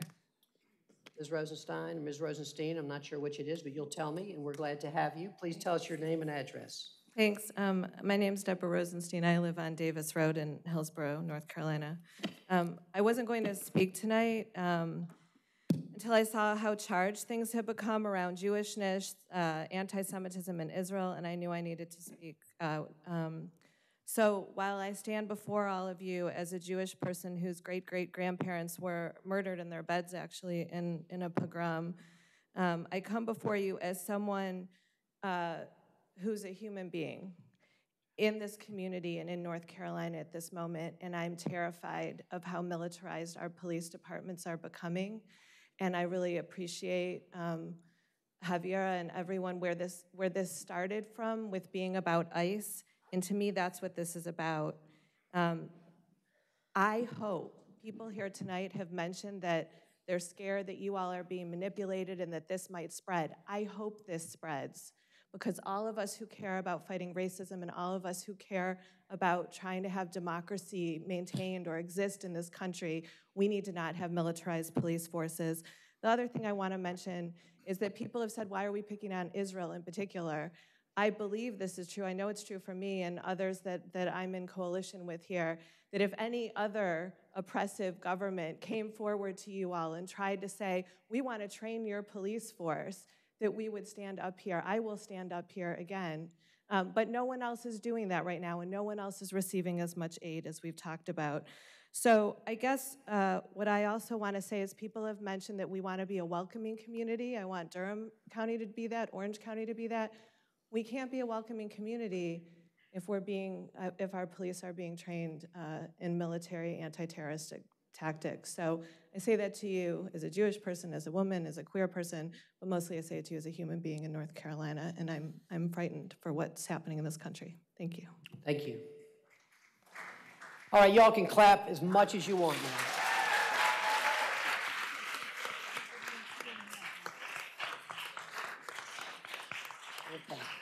Thank you very much. Thank you. Thank you. Council members, you have heard the speakers, and I want to express my thanks to all the speakers. I want to especially express my thanks to the young speakers, the students who came on both sides of this issue. We had, we had a lot of young people, and they had very different opinions from each other, and I really appreciate the fact that you were starting young to speak your conscience uh, and it's, I think it's especially courageous in a, in a highly charged and controversial atmosphere, and, but you did it, and you did it very well, so I especially want to appreciate you. Council members, um, any, any comments at this point?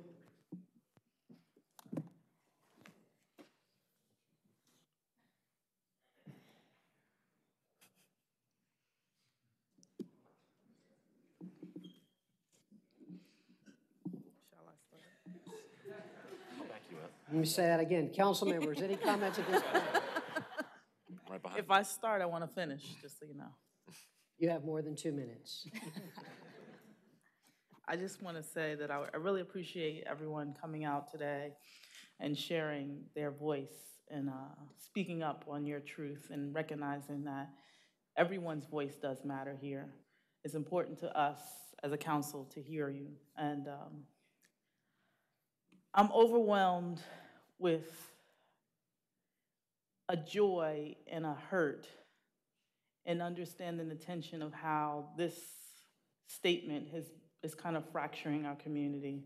I'm also overwhelmed with the fact of who I am as a person, as a human being, acknowledging that I have to stand in solidarity with the people that I feel that are most impacted and recognizing that the people of color in this country who are dis disproportionately targeted, whether immigrant, whether Black Lives, whether Standing Rock, whether, I mean, the list goes on and on.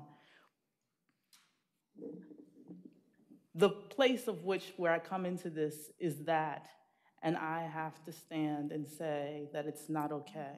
It's just not. For us to support a militarized police force or training of a militarized police force, recognizing that we are trying to decriminalize our police forces here in Durham. And I think that the information that was shared, I, I mean, I'm thankful that it was said repeatedly, you know, the $38 million that's, that's paid to Israel as aid, bill, billion, I'm sorry, billion dollars as aid, and the fact that it, I, really wanted to ask staff about how do we have our city removed from their literature because it shouldn't be on there.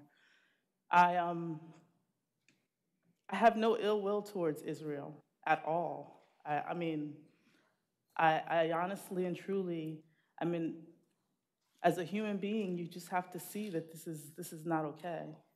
And it falls in line with the way in which things have happened throughout the course of history. And we have to know that this is not, this is not for me a religious battle, battle. This is a human rights issue and recognizing that you cannot allow your, any armed person to shoot down someone else who is unarmed.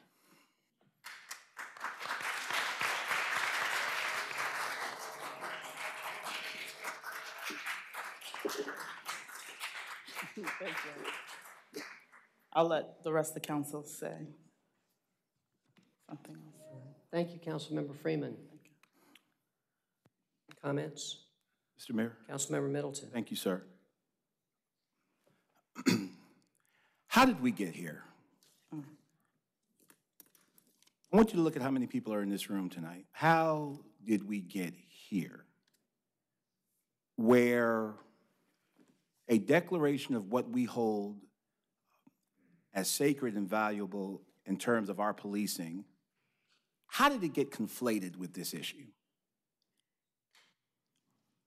The United States of America is the only nation in history that has ever written down the words, all men are created equal. We're the only person that, people that only act, that actually wrote that down. And anytime I take an opportunity to point out where we failed in that, I'm not being unpatriotic. So the proposition that a critique of Israel as a nation state and as a bona fide geopolitical player on the world stage is tantamount to anti Semitism is ridiculous. It's a ridiculous proposition. And anyone who would, I'll meet anyone, anytime, anywhere that would like to debate my record in this city uh, and, and point out where it's been anything other than ecumenical and pro justice. I'll have that debate anytime. With that said, I just went through a campaign. Many of us up here just went through a campaign. And I spoke to literally thousands of people. And I got to tell you, most of the people I spoke to were not talking about exchanges between our police and Israel. They were talking about can I get a job? Where am I going to live? Are the buses going to be running on time? So, how did we get here? The statement, if you read it, I, I want to exegete the actual statement a little bit, then I'll yield. The statement, first off, it, it, it, we didn't jointly write it, although I, many of us agree with it and agree with elements of it. We didn't pen it as a group, it wasn't a group project. But I want you to look at the statement. Firstly, Israel is mentioned within the context of a quote from the chief. The first paragraph is the chief talking about Israel. It's in quotes. The council did not single out Israel. The council is quoting the chief in her statement. And if I wanted to just single out Israel, I think it would have been a far more eloquent statement to strike the council opposes international exchanges with any country in which Durham, uh, Durham officers receive military style training. If I wanted to just single out Israel, we should do away with that paragraph that mentions other countries. And let's really stick it if we want to be that singular. I also want you to note something. It says that we oppose military style training. Well, read that. Does that mean we can get training that's not military style? What does military style mean? This statement does not preclude exchanges with Israel that are outside of military style. So I, I want you to take a clear look at the statement. This is, for me, it would have been an opportunity for us to positively state how we feel about policing. But it's been conflated with an issue that there are people right now earning PhDs in different slices of this issue religiously, politically, anthropologically. So to think that any statement, and I'm not, I didn't get elected to parrot the statement of any particular group on this issue. If you will note, this statement is not the, the statement that JVP submitted. It wouldn't have passed because some of us found it problematic, some of the things in JVP statement. This is not no action either. This is not verbatim what JVP submitted to us. It's a compromise. I think it could have been artful in some other ways, and, and, and there are some things I've spoken with my colleagues uh, offline and behind the scenes about it. But what I am encouraged about the statement is that one, it's a, it's a positive statement of what we hold valuable in terms of policing. Now, I signed the petition. And by the way, the evening that we had, uh, there was a, um, a forum at, I believe it was the Hayti Heritage Center, uh, in which we were asked to sign it. There was no bunch of papers of text that we got from JVP on that evening. I signed it because I'm against uh, military, I'm, I'm against exchanges of the Durham police with Israel and any other nation. Our debate and machinations in this city about how we wanted policing did not occur in light of Israel. When we decided as a city how we wanted to be policed, we weren't talking about Israeli exchanges then. The chief answered the question about Israel. I'll tell you why. Because she was asked about Israel. I'm one of the people that asked her. I served on the committee that, that vetted our candidates to hire chiefs. She was asked specifically about Israel. She was asked specifically about Israel. Had she been asked about Syria or North Korea or Fiji, then she probably would have responded to any of those nations. So she was asked. So she responded. That's how Israel got in here. The council did not single out Israel, it's a quote. And then the next paragraph, we go on to say, all any country, any country. I am deeply, deeply, deeply, and I will put a button on it after this. I am deeply troubled by some of the rhetoric that has surrounded this debate. I'm deeply troubled uh, uh, by this mayor being called a Nazi sympathizer. I'm troubled by that. I'm troubled by friends, friends, people that I deeply respect, suggesting that the mere mention of a nation is somehow anti Semitic. I'm offended by it because I've seen that tactic before in America as a black man living in America when you want to critique something. We're better than that. And the debate is better than that. And I think that many of us have, have allowed this debate to descend into a caricature. The issue of Palestine and Israel deserves a much deeper debate and a much more respectful one. I got news for you. Whether this uh, uh, statement passes or not, Durham is not going to have military style training with Israel or any other country. The chief said it before the statement came, and I believe the chief. I said to the mayor when we discussed this, one of the options is why do we even have to respond? Do, do we have to say anything? I mean, there's a whole lot of groups in this city that write me emails every day that would love to have this council spend this much time on their issue. But when you got more money, when you're better organized, when it's a sexier issue, I guess you get our attention. I'm supporting this statement um, not because I think it's perfect, not because I'm an anti Semite. Fight me about it if you want. I'm supporting this statement because it's a positive statement of what we want as policing. And by the way, this fire started long before JVP or anybody else brought up the Israeli issue in Durham. We've been talking about how we want to be policed for years, and it was not done in tension with the Israeli Palestinian conflict. It was not. I urge my colleagues to support the statement, and I urge this community to keep talking with each other instead of at each other. Thank you, Mr. Mayor. Thank you, Council Member.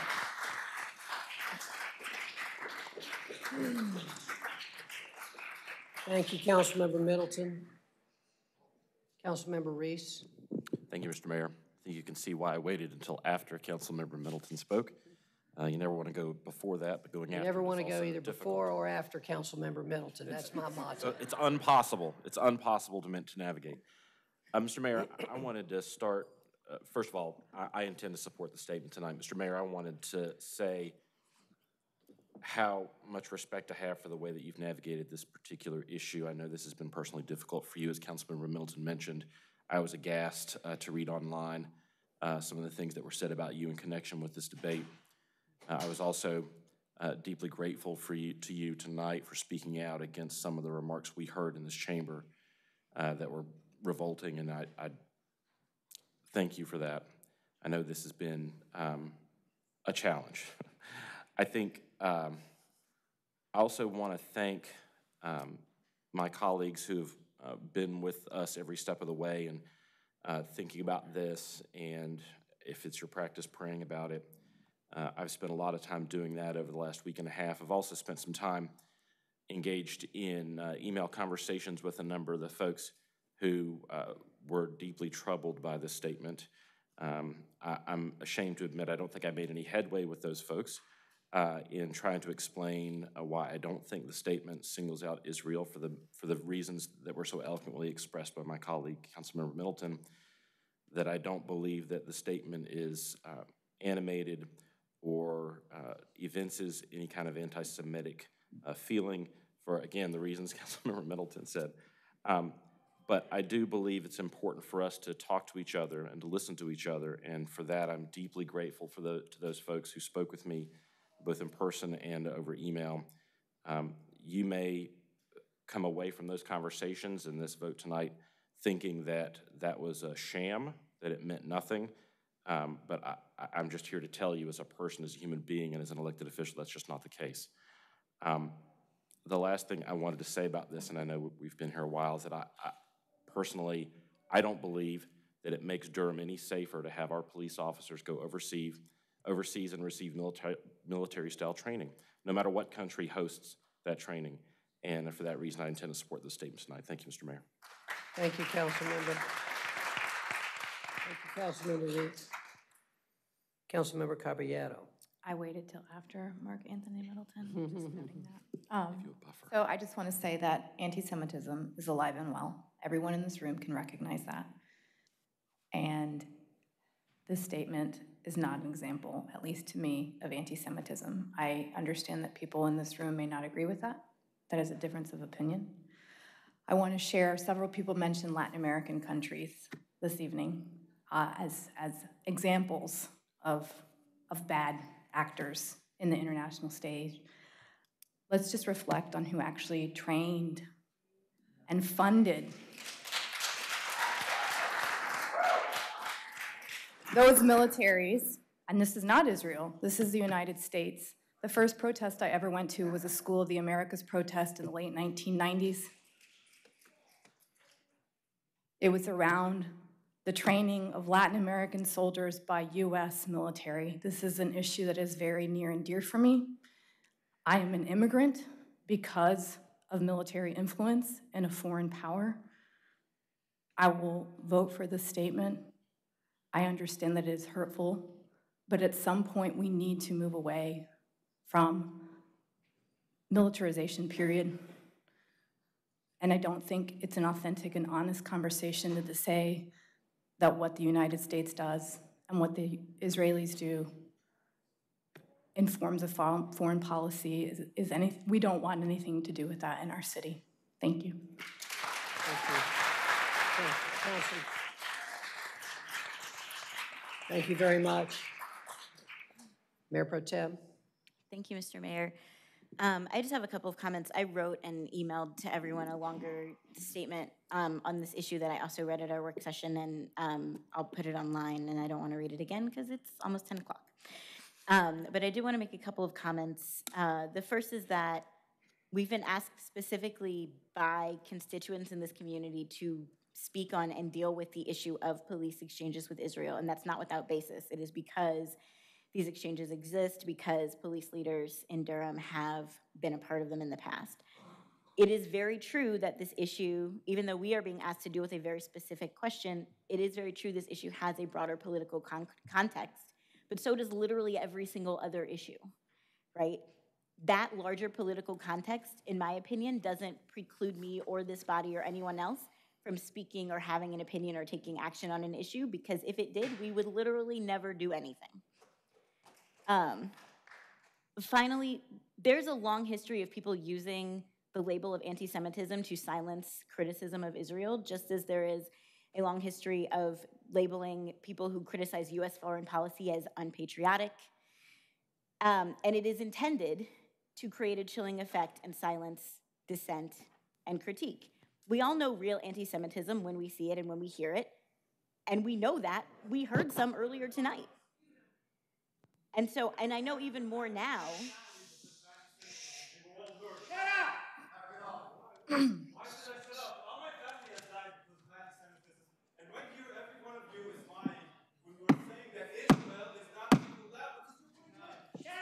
Mr.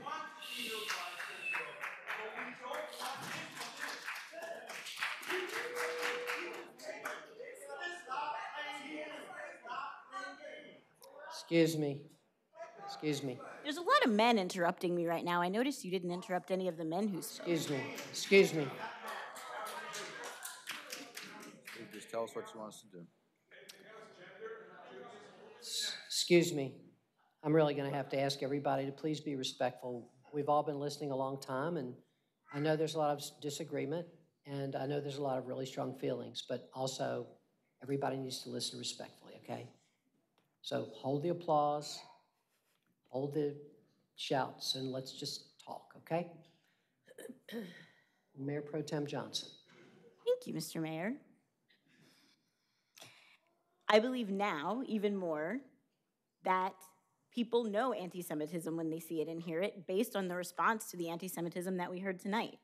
And that is not the response that we got to this statement. The majority of people who are here tonight, who have read Mayor Schewel's statement, who have contacted us about it, even if they disagree with it, are not telling us that this is somehow demonizing Israel.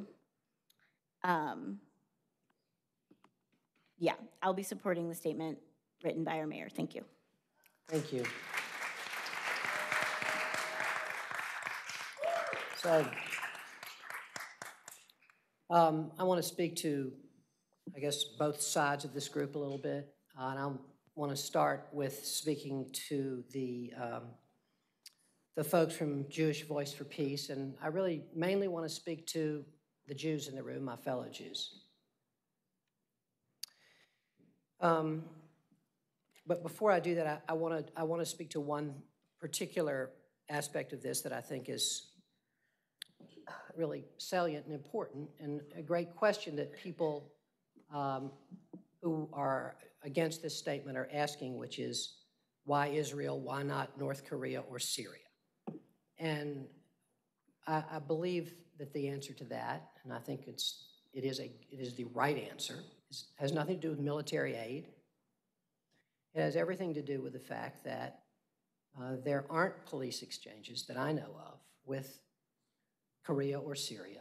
And the statement is very explicit in saying that we oppose all exchange, militarized exchange with other militarized police forces.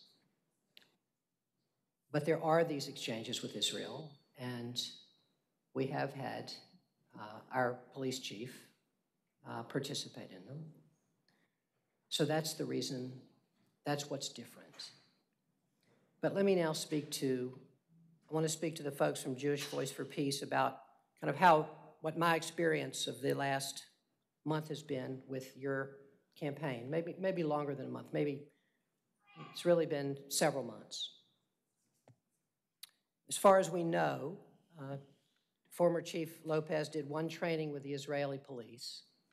And from that one training, I feel like the folks in Jewish Voice for Peace have worked hard to give the impression that Durham's police department is intimately involved with training with the Israeli police. And I feel like you've sought to blame Durham's connection with the Israeli police for racially biased policing in Durham, and you've cited lots of incidents of purported police misconduct to support the claim. I feel really strongly that this is a basic misunderstanding of how racialized policing happens in America, including in Durham. We live in our own country with a history of racial oppression in all of our institutions. And the problems with discriminatory policing in our country, which have been enormous and which continue to be enormous, have virtually nothing to do with Israeli society and everything to do with our own. I have received lots of emails from people living here in Durham, good people, many of whom I know, which includes the following paragraph from an email that was sent out by Jewish Voice for Peace, and these people have been sending to me. I'm proud to live in Durham, and as a progressive city, we have no place training the police with the army of any state that has policies of occupation and apartheid. I want to make sure this does not happen again, so I'm asking you to take a stand. I probably got 50 emails that said that. It pains me, it pains me that so many people are being, being given the completely false information that our police have been training with the Israeli army and that this should not happen again. This is so untrue. Our police have not been training with the Israeli army. There's no factual basis for that. There's not even a rumor about it, except for this email. And it's so damaging to the police community relations and everything that we're trying to accomplish. The truth matters. It especially matters in the era of Donald Trump. And no desire to win political advantage justifies making up stuff that isn't true about Durham's police department and then spreading that truth all over God's creation. Attacking our police department through falsehoods is only going to hurt our ability to continue the police reforms we are undertaking and is going to hurt our ability to build trust with our community, which is being told that our police have been training with the Israeli army and that this must not happen again. And I want to stress just for a minute those police reforms. I want to say what the statement says, just so you'll, you'll get it. So, in the last few years, especially in the last couple of years, the number of traffic stops in Durham have gone from 33,000 to 11,000. The number of searches in Durham in the last two years has gone from 1,200 to 400. The number of drug arrests in that same period of time has gone from 1,200 to 600. These are real reforms that are really mattering. And one of the ways in which we make that happen as a city council is to have the backs of our police department when they're doing the right thing. And our community has to do the same. And every time you attack them falsely, you undercut our ability to win their trust so that we are able to support them in their reform.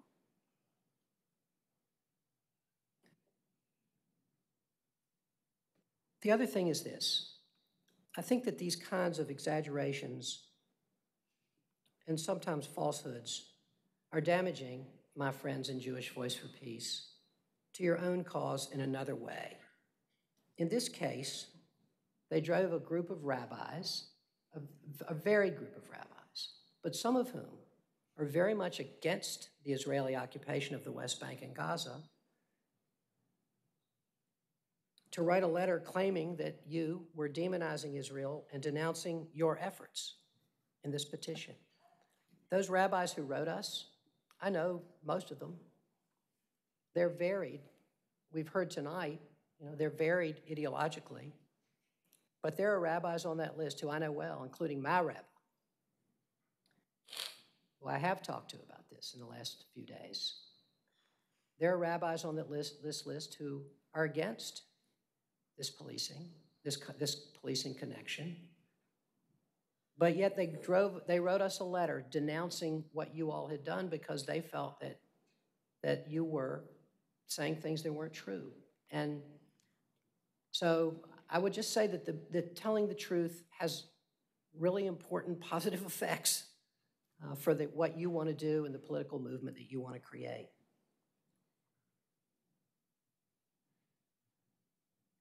If you want to make change, in the American Jewish community's response to what is happening in Israel and Palestine. And you, then you have to be truthful. remember who we are as Jews. I'm 67. Six years before I was born was the end of the Holocaust. Uh, the Holocaust wiped out half of us on Earth. And the prelude to the Holocaust and what made it possible was the lies that people told about the Jews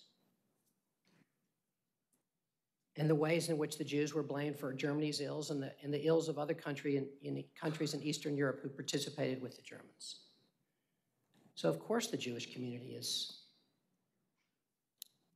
sensitive to the lies, to lies that are told about us. And this, of course, they have a special resonance.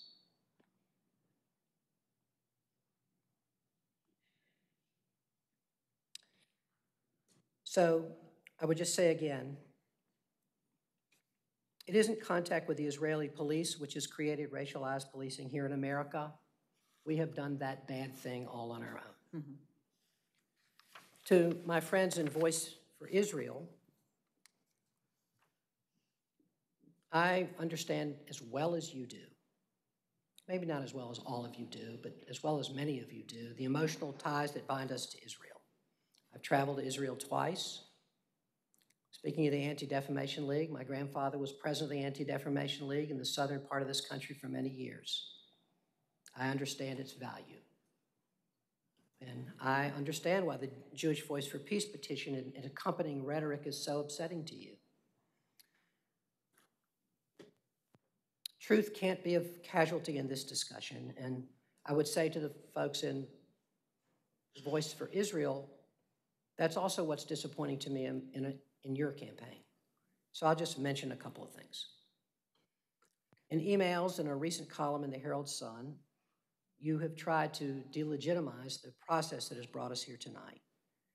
You misled people in this column and in the emails into thinking that there would not be an open forum to discuss our statement, that this was somehow orchestrated with Jewish Voice for Peace or some, somebody else, which couldn't be farther from the, from the truth was, if it was orchestrated at all, which I, I suppose you could use the word orchestrate, it was discussions that we all had in ones and twos over a couple of weeks to try to figure out what to do. And uh, I did have a statement ready at the last work session, and it did go to the media, but it, it wasn't anything but, a, but the same kind of discussion we have on every issue. And then to be followed tonight by a wide open forum where everybody got to say absolutely what they wanted to. This has not been fast-tracked, as you, as you have said, or anything other than a thorough and fair process in which all voices have been heard. In fact, I believe it's been an exceptionally open and patient process, and any implications to the contrary are false. And also to my friends in Voices for Israel, it isn't true as you have said, that the council publicly sided with those, this is a quote, the council publicly sided with those who falsely accused Israel of training the police to, quote, terrorize black and brown communities here in the U.S. The statement does not have any language like that, and you know it. I was impressed by my colleague Jillian Johnson at the work session when she explicitly rejected that assertion, and some of you all were there to attend that. The council statement has no rhetoric, anything like that, yet you have publicly and repeatedly says that it does. I know this issue strong, stirs strong emotions. I can't even describe to you the emotional roller coaster I've been on about this in the last few weeks. Believe me, I, I get it. But it doesn't help to say things that aren't true in order to whip up support for your side. So I'll say one thing that I have been really thinking about myself in terms of, you know, how to, what do, what do I have to say in terms of really being honest about this and the way this statement is positioned and that sort of thing. And one thing I will say to, to, to, to a, a, critique that Adam Goldstein uh, offered tonight and I've heard before, um, there's, it's no question that Chief Davis' entire statement says that she had a positive experience in her training with Israel. There's no question about that. When we put out the statement, when I mailed this, I mailed this, I, I don't know if I mailed it or I handed out the statement to the, to the, um, to the press. I also provided Chief Davis's entire letter. But I do think it's important to say that. I also take Chief Davis's words at face value that she has no intention of having police exchanges with Israel. She is a very direct and strong person, and our statement endorses that stance. I agree with that stance. And I know that is where I differ from you, my friends in Voices for Israel. As our statement says, we want our police to have the kind of training that promotes the police work we are trying to do here in Durham under the leadership of our truly outstanding police chief. And I might I also add, under the leadership of our city manager, who was really, who hired Chief Davis and has really made this happen.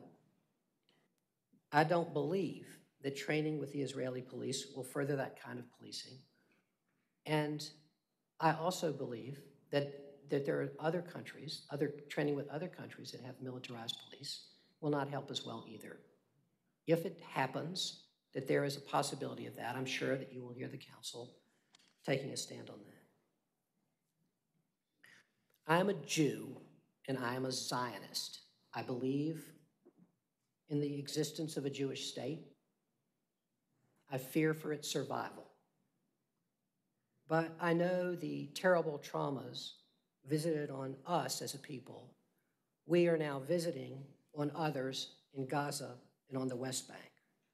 And to me, not only are our mortal souls in danger because of that, but I also believe that the survival of the Jewish state is dependent on doing justice to the Palestinians, and I do not believe that we are. And when I say we, I believe I include myself. So that is the context in which I view this statement. Um, and I have appreciated everything I've heard tonight. And uh, I'm now going to ask if there's a motion on this statement. So moved.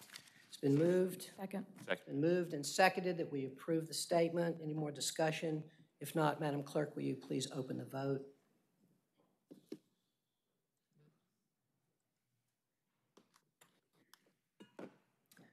Close the vote. The motion passes six Thank you. Thank you.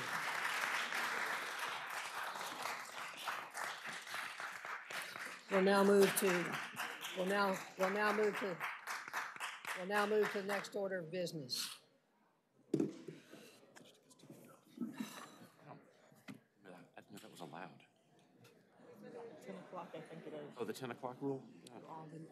I now need to go do something I'm headed to. Laverne, we'll give you these, dear heart. Can I have, can I, can I ask you to please uh, give us some quiet, please, so we can proceed with our business? Thank you. We're going to proceed with our business. Could you all, if you're, if you're staying, we'd love to have you. We're going to do some fascinating public hearings.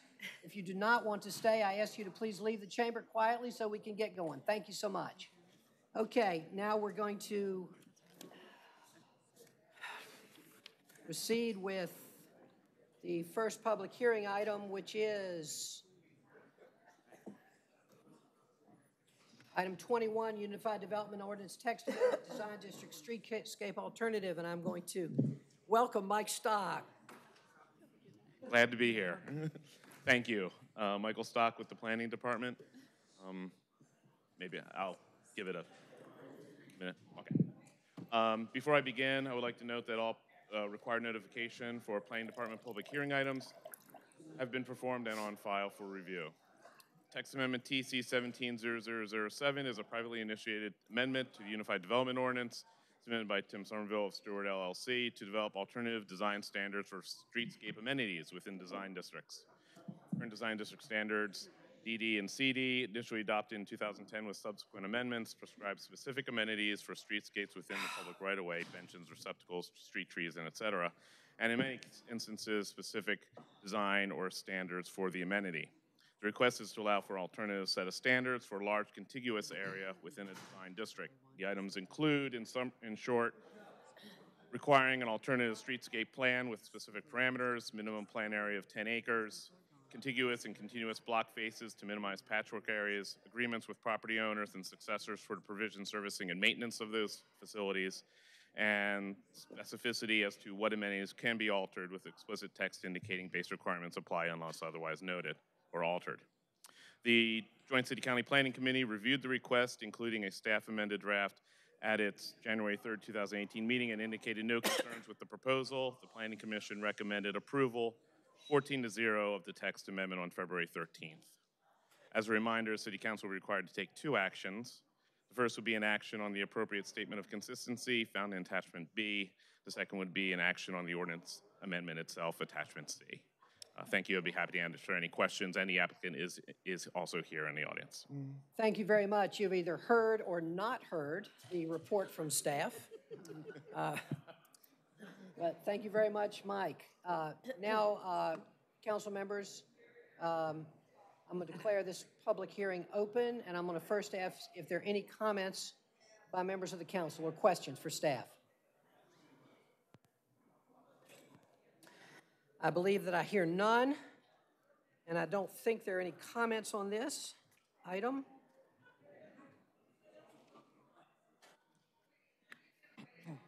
Oh, yes, there are. I apologize. There are comments. Um, I'm going to wait just a second so we can get some quiet. Again, I want to thank our fire marshals and appreciate you for what you're doing back there. Um, We have two speakers who are both proponents of this text amendment. One of them is Tim Summerly, I'm sure I can't read the name, and the other is George Stanzial. Um, You all are both proponents of this text amendment, uh, and I believe that this was a- an an amendment that was um, privately initiated, and that you all were part of that. That's correct. And so I suppose you're here to say that.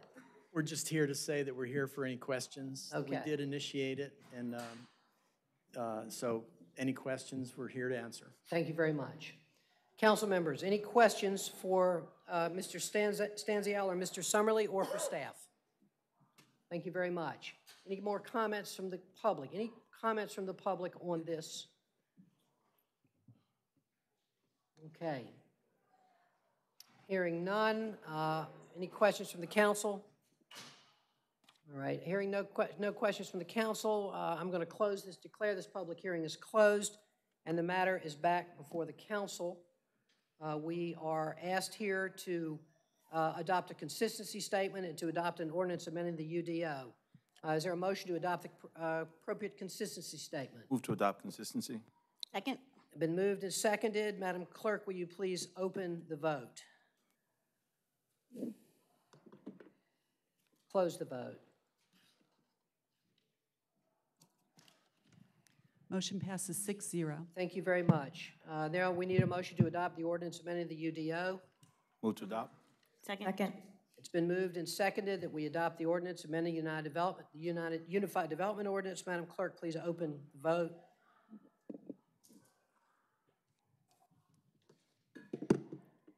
Close the vote.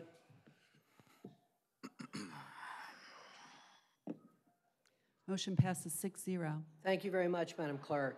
Thank you. Uh, Thank you all. Thank you, Mike. Mike, I'm sorry you had to stay so long, but it's much appreciated.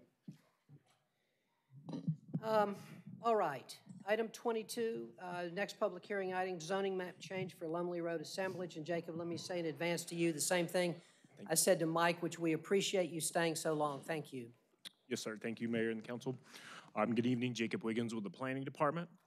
Um, a zoning map change request has been submitted by Andrew Porter for four, properties generally located at 4138 Lumley Road.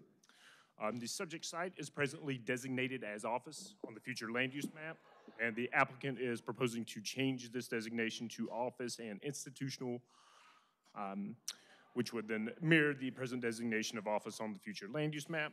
There was no development plan submitted in conjunction with this request. Attachment seven in your packet does list the permissible uses in the office and institution zoning district. Um, At the February 13th, 2018 meeting of the Durham Planning Commission, the commission recommended approval by a vote of 13 to 0. Staff finds that the request is consistent with the future land use map and applicable policies and ordinances, and notes that there are two motions required to adopt this item, the first being a consistency statement, and the second being the zoning ordinance. I'll be happy to answer any questions the council may have at this time. Thank you very much, Mr. Wiggins. Um, You have heard the uh, report from staff. I'm now going to declare this public hearing open, and I'm first going to ask if there are any questions from members of the council for staff. Hearing none, uh, we do have one speaker on this item, uh, Neil Ghosh. Uh, Mr. Ghosh, you are a proponent, uh, and uh, I suppose I start out by giving you five minutes and hope that you don't take it all. Yeah, I don't plan on taking all that. Good evening, Mayor Schewel, Mayor Pro Tem Johnson, and members of the City Council. My name is Neil Ghosh. I'm an attorney with the Morningstar Law Group here at, uh, in Durham, 112 West Main Street. I'm here tonight representing Darlington Advisors, and with us, we have Carlton Midyette, who is the manager for Darlington, and we also have uh, Andy Porter with Coulter Jewell Thames, the landscape architect on this project. I want to thank staff for their presentation. I think they gave a great overview of the project. I have just a few things to add. I'll, I'll be brief. Uh, the site is only eight acres and is designated for office on the future land use map. Uh, the requested OI district is consistent with the future land use map, and no comprehensive plan amendment was necessary.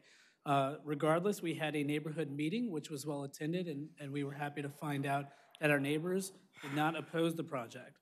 Now, we view the OI district as a real positive in this location, primarily for three reasons. First, there's a strong demand for office use in this area. A recent report from the Triangle Office Market states that office vacancy rates near RTP and RDU is only 3.6%, which is very low.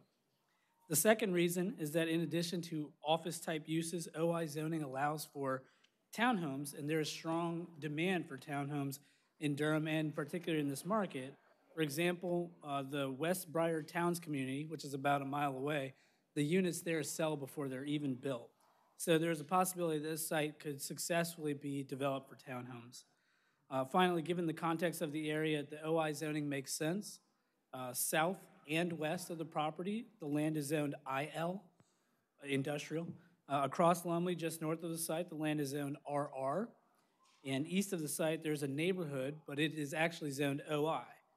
The current RR zoning on the parcel is basically a hole in the zoning map, and uh, it doesn't give a reasonable opportunity to develop the site in a desirable way, given the industrial zoning to the south.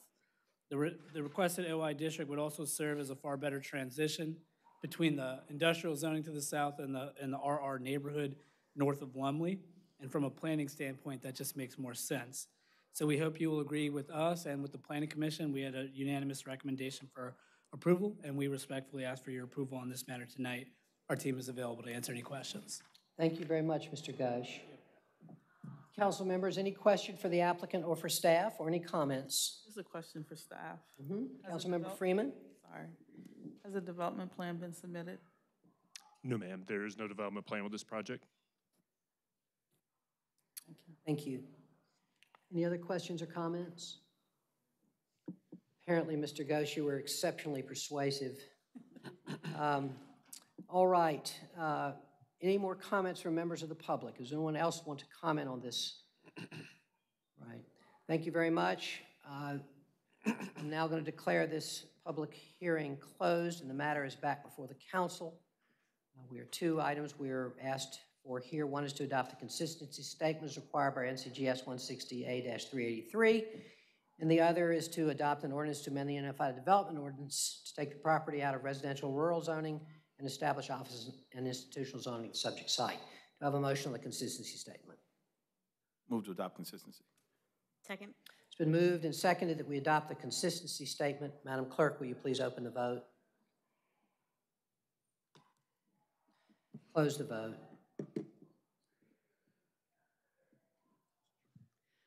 Motion passes six zero.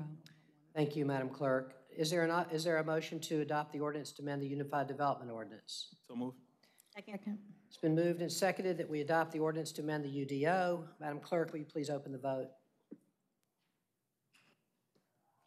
Close the vote.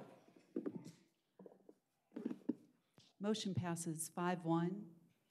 Thank you very much. Just a moment. Um, All right. With we- Councilmember Freeman voting no. Thank you, thank you. I should have waited for that. I apologize. Thank you very much. Now we'll move to item 23, consolidated land use item for 410 Crutchfield Street.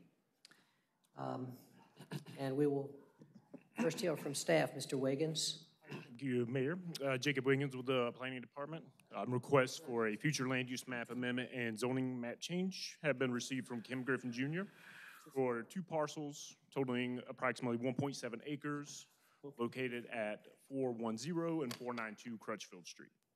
The subject site is presently designated as medium high-density residential on the future land use map and is zoned residential urban 5. Mr. Griffin proposes to change these designations to office on the future land use map and office and institutional on the zoning map. No development plan was submitted in conjunction with this request, um, and if approved, the request would allow any uses allowed in the OI district. Attachment 7 in your packet provides a list of those permissible uses. The Durham Planning Commission, at their February 13th, 2018 meeting, recommended denial by a vote of seven to six on this item. Staff has determined that the request is consistent with the future land use map, comprehensive plan, and applicable policies and ordinances.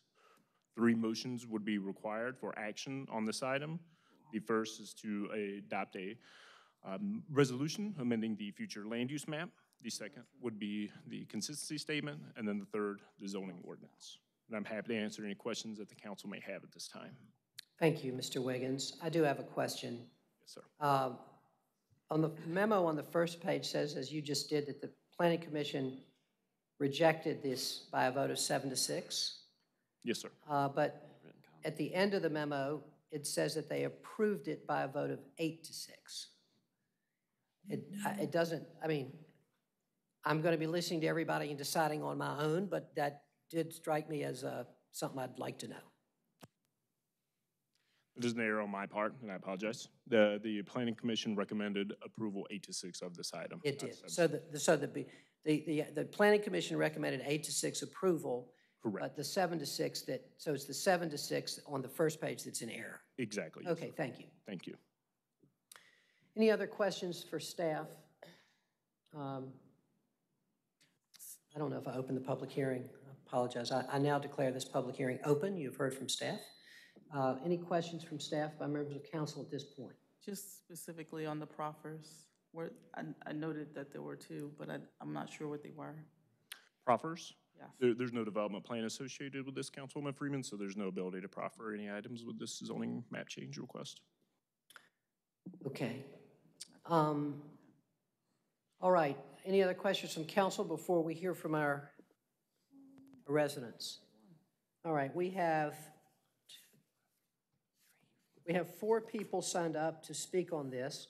We have three people signed up as proponents. Uh, They are Kim Griffin Jr., Jim Wise, and Dan Jewell. And we have one person signed up as an opponent, which is Joe Hackett. Uh, I'm going to, Mr. Mayor, he's, proponent? I could tell by his shirt. Okay, then you should have checked that. All right. Uh, We have four proponents. Is there anyone here who is here to speak against this development? Anyone here speak against this development or this, this change? The zoning change? Anyone here? All right. Uh, I'm going to uh, give each, I'm going to give the uh, proponents uh, 10 minutes, and again, I hope you won't take it all. You all have a total of 10 minutes. You can split it up any way you want. Mr. Griffin, welcome. Thank you. I'm Kim Griffin, 1816 Front Street. I'm with Griffin Associates Realtors. I had the property for sale. The York Rite Masonic Bodies bought this property in 1950 to build a lodge on. They have since determined that that's not uh, where they need to put their lodge, and they asked me to sell the property. They asked me why no one had purchased it. And I said that uh, basically no one wanted to go through the zoning process in Durham because the folks that have approached me the most are medical users. And we started the zoning process to change it to office institutional. We have had two neighborhood meetings. We have had a lot of good neighborhood support, and the neighbors of the same mindset as the uh, Masonic Lodge. And at this point, I'll turn it over to Jim Wise, the neighbor, who is a proponent and has been waiting for several. Thank you. Mr. Griffin, Mr. Griffin, before you step down, can I just ask you if you wish you were still up here as a member of this august body and could have enjoyed this meeting tonight? No, I told my wife this morning I was not looking forward to this. Okay. Well, we're glad to have you. my four years here. We're glad to have you back in these chambers, Mr. Griffin. Yeah, Mr. Wise. Good evening, Mayor Schewel, members of the City Council. My name is Jim Wise. I live at 207 West Carver Street. I've lived there for 36 years. My house is a couple of blocks from the property in question here, and as a homeowner and a longtime neighborhood resident, I not only have no objection to the requested change of land use designation and zoning, I positively hope that you will approve them. Why this uh, large property is designated in zone uh, RU5 residential, I don't really know, but it bears no resemblance or very little to what's on the ground up there on Crutchfield Street. Crutchfield is four blocks long. Fronting on the north side, there's a picnic shelter, two residences in the 200 block, one of which is a garage apartment that actually belongs to a home fronting on Turrentine Street, and six office buildings.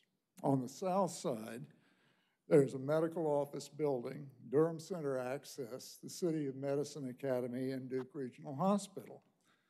Developing the York Rite property, if it's to be developed as an office, would be harmonious with the existing character of Crutchfield Street and a logical use of the property. Certainly more logical at this point than residential uses, given its uh, neighbors on Crutchfield Street and its location at the corner of Duke Street, which is already a very heavily traveled thoroughfare and only getting more so all the time. Not exactly an attractive place to build homes. I encourage you to consider the compatibility, logic, and on-the-ground reality and vote to approve the requested land use change and rezoning. Thank you, and I'm going to pass the baton to Dan Jewell. Thank you, Mr. Wise. Mr. Jewell? Mr. Mayor, I just want to mention real quick that it's also nice to see Mr. Wise back in these chambers. He's Certainly spent is. quite a Thank bit of you time for- here as well. as a Yes, Reporter for the Herald Sun. exactly. Thank you for that. You're right, Mr. Councilmember Reece. We're glad to have you back, Jim. Thank you, Jim, and thank you, Mayor and members of the council, for you hanging out uh, this evening as well.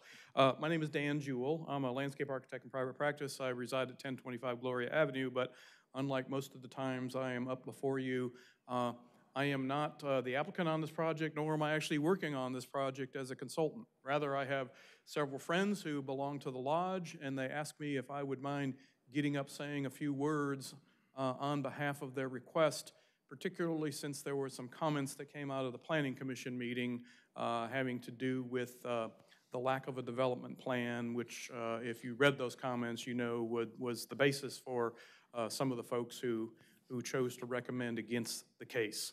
Uh, Development plans are very expensive.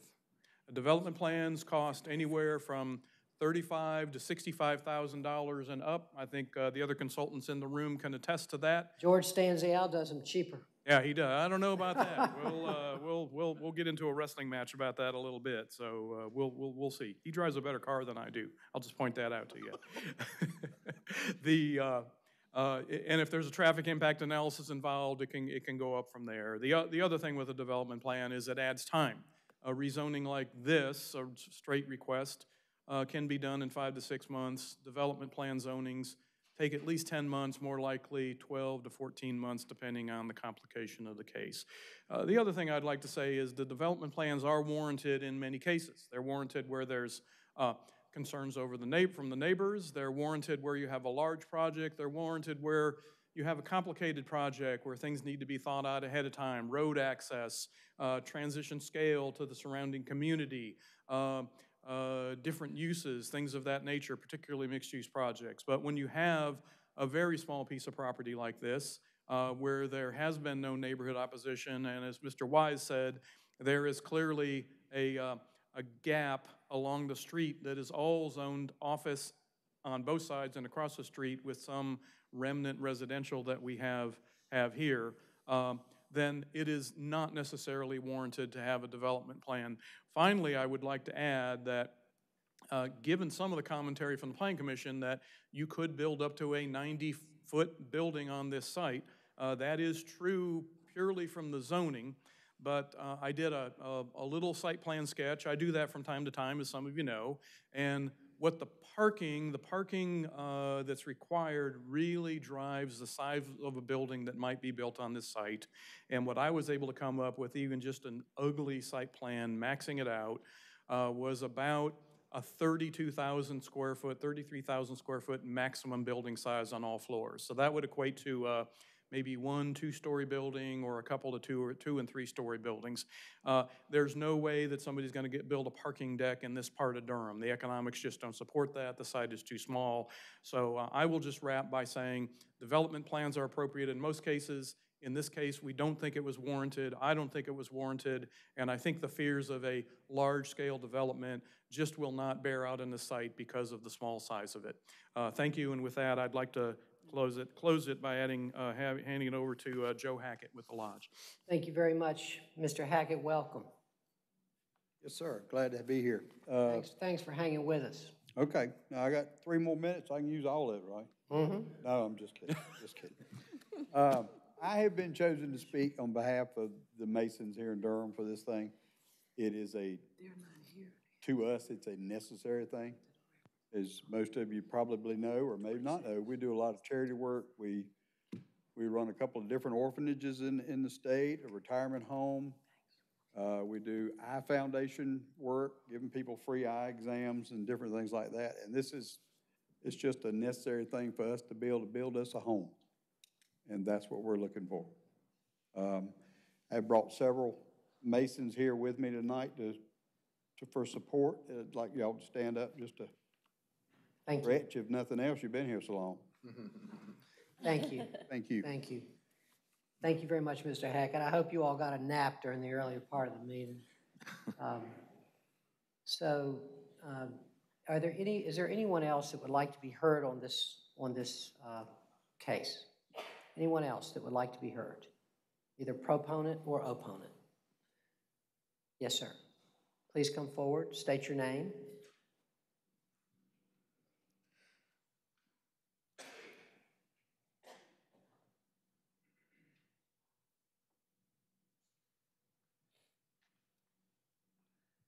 State your name and address. Are you a proponent of this? Uh, no, I'm for it. Yeah, that's good. Okay. Same thing. Okay, look, see that clock over there? Okay. You got two minutes Two and 20 minutes. My- seconds. My name is Rodney Bradshaw. I'm a past master of Shepherdmore Lodge, number 840. Uh-huh. And I'm very close friends. First, I'd like to say good evening to all the council. It's been a long night. But I'm a very close friend of a lot of the brothers of Fellowship Lodge. They come to visit our lodge on Cook Road. And uh, after knowing them for two years, I just recently found out that they didn't actually have a lodge. They actually rent a place that they go to over near Northgate Park to have their meetings, which is very, very small. So I look at this uh, being an opportunity for them to be able to build a lodge, a great thing. I don't want to bring religion into it, but it's no different than uh, Muslims having a mosque to go to, or Christians having a church to go to, or people just having different places that they would like to meet. So I think this is very important for the community and not making it a black and a white thing. Lots of people don't know that white Masons can come to the black lodges, blacks can come to the white Masons lodges in the state of North Carolina. That was something that was passed about 10 years ago. So this is a, when I was in the chair as worship master, this is a, it's a relationship that I took and built with this lodge. And we're here tonight to support them to show that we're all one, no matter what color it is. We're all one when it comes to masonry. And we also do a lot of different things in the community and make different donations to the orphanage children home. So I just think it would be a good thing for the council to vote upon this, for them to have somewhere to go. It's just like not having a house to go to at night or, or different things like that. And I just want to say, uh, if you give them the opportunity, I know it would be a good situation for the Durham community. Thank you very much, sir. Much appreciated. All right, is there anyone else that would like to be heard on this matter? Anyone else that would like to be heard on this matter? All righty. Um, If not, uh, any, any, I'm going to, if not, I'm going to declare this public hearing closed, and the matter is back before the council. Council members, any questions, comments? I just have a few for staff. Mhm. Go ahead, Councilmember Freeman. So I just wanted to just highlight, so I'm noticing a trend with the approval of rezoning without a developer or development plan. And I just want to make sure that I highlight that this process works well for developers and it works well for property owners as individuals. And um, it really is the piecemeal approach that we've been talking about, which has been harmful across this city. And uh, I want to make sure that we note that, I mean, I'm not saying that this project is not, you know, it's small enough where it won't have this huge of an impact, but I want to recognize that we do have an upcoming case with, with the Old West Durham uh, conversation around how a neighborhood is trying to do some small area planning and recognizing that their community is shifting and changing in a way that they're not comfortable with. And then this is, this is the opposite of that. And I just want to highlight that for folks. Thank you, council member. Any other questions or comments? I do have a couple. Uh, One of them uh, regards the comment by Planning Commissioner Ghosh. um, And I, I'm, I don't, I'm, I'm not gonna try to get you guys to answer these tonight, Jacob, but let me just, I'm gonna say two things, and Pat's here, you all can listen to it and do what you want with it. Uh, But I thought he had an interesting comment about there, the idea that work on amending the UDA to allow, UDO to allow for zoning conditions to prohibit uses and further restrict dimensional requirements like height without the need for a development plan. I don't know if that's a sensible approach, but it struck me as in this case, it might have been exactly the kind of thing that would have been useful. Mm-hmm. I'm not sure how often it's useful in cases, but I'll just mention that for your future consideration. And then similarly, Tom Miller in his comment said, these cases point out the weakness in our OI zone, Julie. the one-size-fits-all category allowing a very wide range of uses and pretty intense developments. Most municipalities have more than one OI zone, allowing for different intensities based on context. Again, I thought those were both just very thoughtful, interesting comments that might be useful going forward. Um, So now you've heard them from me. They may not be useful going forward as well, but um, they, I, I thought that they had good possibilities. Lack of planning. If I might very briefly, Mr. Mayor, Pat Young with the Planning Department, I just want to appreciate you for making those comments and let you know that those are both things we discussed internally about looking at as part of a update of the comprehensive plan process. We could decouple those and do those earlier, but they both have a lot of merit and we'll evaluate them fully. Thank you. I'm not trying to get you to do them earlier, but thank you. Uh, I also want to appreciate, we, I got a very useful email from Councilmember Reece today on this case. Uh, Do you want to talk about that at all? Absolutely, Mr. Mayor, right. thank you. Yeah. Um, I'll be, I'm, I intend to vote for the matter on our doc, on our agenda tonight, but I was, I was not inclined to support it uh, when the, when these items first came through our agenda at the last work session and reviewed them, uh, simply because I shared the plan, some of the planning commissioner's concerns about a lack of a development plan and what could be put on this site and how that would impact the neighborhood. I had had an opportunity to sit down uh, with Dan Jewell, uh, who spoke with us tonight, and he um, kind of walked me through the analysis that I, quite frankly, don't have the skills and ability to do, uh, to figure out exactly what could be built on that uh, piece of property under current uh, UDO requirements. He was kind enough to uh, send that to Jacob Wiggins with the, with the planning department, and uh, I followed up with Jacob uh, this morning, who uh, knew exactly what I was talking about and um, agreed with uh, Dan's assessment of what could be done. I think the maximum building that can be built on that site, given parking and setback requirements, is somewhere in the neighborhood of 33,000 square feet or thereabouts. Um, and it'd have to be surface parking because structured parking makes no sense in this neighborhood. Um, and so I think that gave me a lot more comfort about the fact that even though we can't guarantee the specific use that the uh, that folks have talked about uh, this property being used, that whatever ends up happening with this site, and I don't I don't question the motives of the folks who are seeking to use this transaction. I just know that stuff happens. You know, uh, transactions go sideways. Um, but no matter what happens with this property, it, it can't match up with some of the I think, concerns that the number of the planning commissioners quite rightly raised at the, at the uh, planning commission. Um, and so I shared that with my colleagues because I thought that would be helpful, um, given that, that a number of the planning commissioners who voted against this matter, the planning commission raised that as a concern. I just really appreciate um, both Dan Jewell for spending the effort to do this uh, kind of, I won't call it back of the analysis because you actually had a little map, you actually did some work, um, and especially the folks at the planning, at the planning department, Jacob, for, for taking this up and, and taking a look at it. We appreciate that work. Thank you, Mr. Mayor. Thank you very much, Councilmember Reece, and also, uh, I, I thought the analysis was also extremely, extremely persuasive, I agree. Any other comments, questions? All right. Yeah, go ahead, I just want to say that uh, while I would support the rezoning, I would like to um, explain that I am not supporting the UDO change based on the fact that we need to address this as a comprehensive focus. And I don't know any other way to demonstrate that in a way that's uh, impactful other than voting no. So I just want to make sure that I share that with you guys. Thank you. All right, council members, uh, uh, I believe I've already closed this public hearing, uh, but if not, I do now.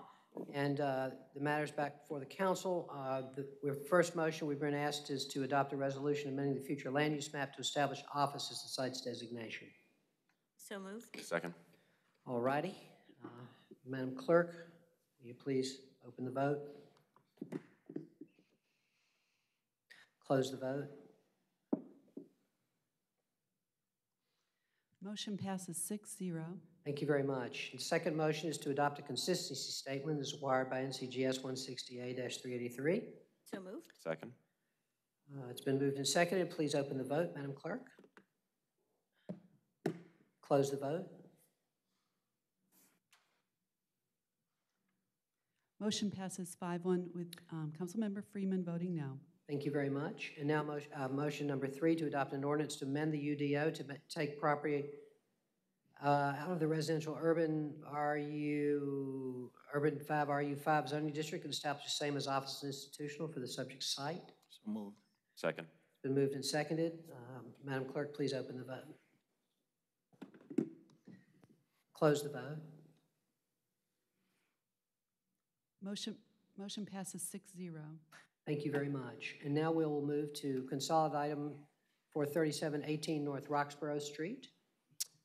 Um, And uh, let me just say to our friends, our our friends from the Masonic Lodges, we appreciate your being here. We wish you the best in whatever new home that you end up with. Yep. Uh, We'll now move to consolidated dated item for 3718 North Roxboro Street, and we will hear from staff. Hello, Jamie. Good evening, Mayor and council members. Jamie Sunyak with the Planning Department. A request for future land use map amendment and zoning map change has been received from Withers Ravenel for a 1.28 acre parcel located at 3718 North Roxboro Street. The Flum Amendment, future land use map amendment, would change the current designation of office to commercial. The applicant requests to change the zoning of the subject site from office and institutional to commercial neighborhood with a development plan. Key commitments on the development plan associated with this request include a maximum building size of 20,000 square feet, prohibiting indoor and outdoor recreation uses, and prohibiting retail uses whose primarily sell alcoholic beverages. Their additional commitments are screening for any drive-through lanes, uses with drive-through lanes, limiting the hours of operation of restaurants, and constructing a bus pull-out and shelter on the east side of North Roxboro Street adjacent to the site. The Planning Commission considered this request at their February 13th, 2018 meeting and re- recommended approval of the request by a vote of 14 to 0. Staff determines that these requests are consistent with the comprehensive plan and applicable policies and ordinances. Action on this item will require three separate motions and votes, one for the FLUM Amendment, one for the consistency statement, and one for the zoning ordinance. I will be happy to answer any questions you have. Thank you very much. You have heard the report from staff. I'm now going to declare this public hearing open. First, are there any questions for staff by members of the council? Again, uh, oh, sorry. No, you, please, go ahead. The, in, uh, the planning commission comments, I guess again, are we dealing with the same area? It says the planning commission finds that the ordinance request is not consistent with the adopted comprehensive plan. However, should the plan amendment be approved? It's not? The staff finds that it's not consistent with the comprehensive plan because the FLUM isn't consistent with the zoning. Once the FLUM, which, once the future land use map is amended, then it would be consistent. Got you, okay, I got you. It's late. Sorry. Thank you. That is actually, that, inf- that, that language has been confusing to me since the day I got here. Oh, Uh, I don't feel as bad then. No, I wouldn't. Question. Uh, okay. I'm glad I um, could help. But, but, but I, but I, but it's, it's necessary and I appreciate it. Okay. Uh, Any other questions by members of the council at this point? Uh, If not, we have two speakers signed up uh, to speak uh, on this, on item 24. Uh, We have Joshua Rinky, I'm sorry, I can't read your handwriting, and David F. Brown. Um, Joshua Rinky is a proponent. Is Mr. Brown also a proponent? You are. Okay. Uh, Please come forward, and um, I will give you six minutes, and I hope you don't take it all. All right, Mr. Mayor, members of the council, if we appreciate that. We'll try to take less than a minute. Uh, Joshua Ranky, a registered professional engineer in the state of North Carolina uh, from Ramey Kemp and Associates, worked on the traffic impact analysis for this, um, scoped it with the city and DOT, uh, reviewed by the city and DOT. It was determined that no uh, roadway improvements were necessary to mitigate the traffic impacts of this, of this development. Thank you. And I'm willing to answer any questions you have. I hope you got paid by the hour tonight. Okay. Good evening, Mr. Mayor, members of the council. My name is David Brown. I'm the Director of Planning at Withers Ravenel. I'm actually here on behalf of my colleague Don Mizell, who is at another hearing tonight. Uh, Just as Josh just stated, we're here to answer any questions. I think staff gave you an excellent summary. Uh, We'll try to be brief. You've had a long evening. Thank you very much. All right, is there anyone else that would like to be heard on this item? Yes, sir. Please come forward, state your name and address. My name's Andrew George. Uh, oh, I forgot my address. 209 East Rockaway Street, sorry. Just down the street from the proposed development. Uh, I just want to make a couple comments that I walk my dog past this development every day. Um, It's currently an abandoned lot that is wooded, that is covered in trash most of the time. Um, While I also have um, an understanding for the, the homelessness in Durham, it is also occupied by homeless inhabitants as well on a number of occasions, um, and just generally support active investment in this property area. That being said, I also wanted to um, thank the, the council for their dealing with the prior um, discussions tonight. I know you guys have had a long night. Um, and I just pre, pre, appreciate your thoughtful um, feedback and the way that you've handled a lot of the issues that have come before you today, as well as these. So, Thank you. Sir, before you leave, would you, would you please go to the clerk's desk and fill out one of those yellow cards, just so we'll have a record of you speaking? Thank you. Is there anyone else that would like to be heard on this matter? Is there anyone else that would like to be heard on this matter? All righty. Um, Any, any questions by council for the applicant? Just one. Councilmember Freeman? So I noted that the BPAC was requesting a pad for the bus stop. Did you guys make a determination that that was not feasible, or you just skipped it? How did that, I'm sorry? I'm going to defer to staff for just one moment.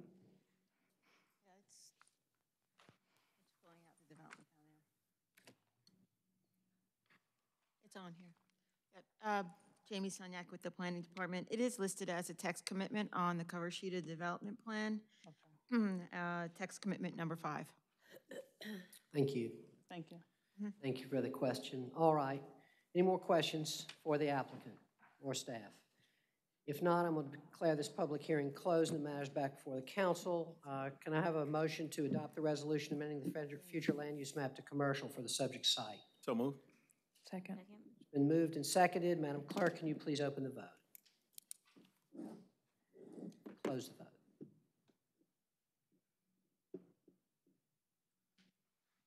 Motion passes six zero. Thank you. We need a a motion now to adopt a consistency statement.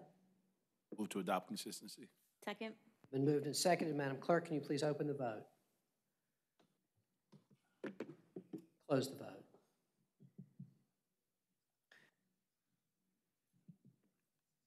Motion passes six zero. Thank you very much, Madam Clerk.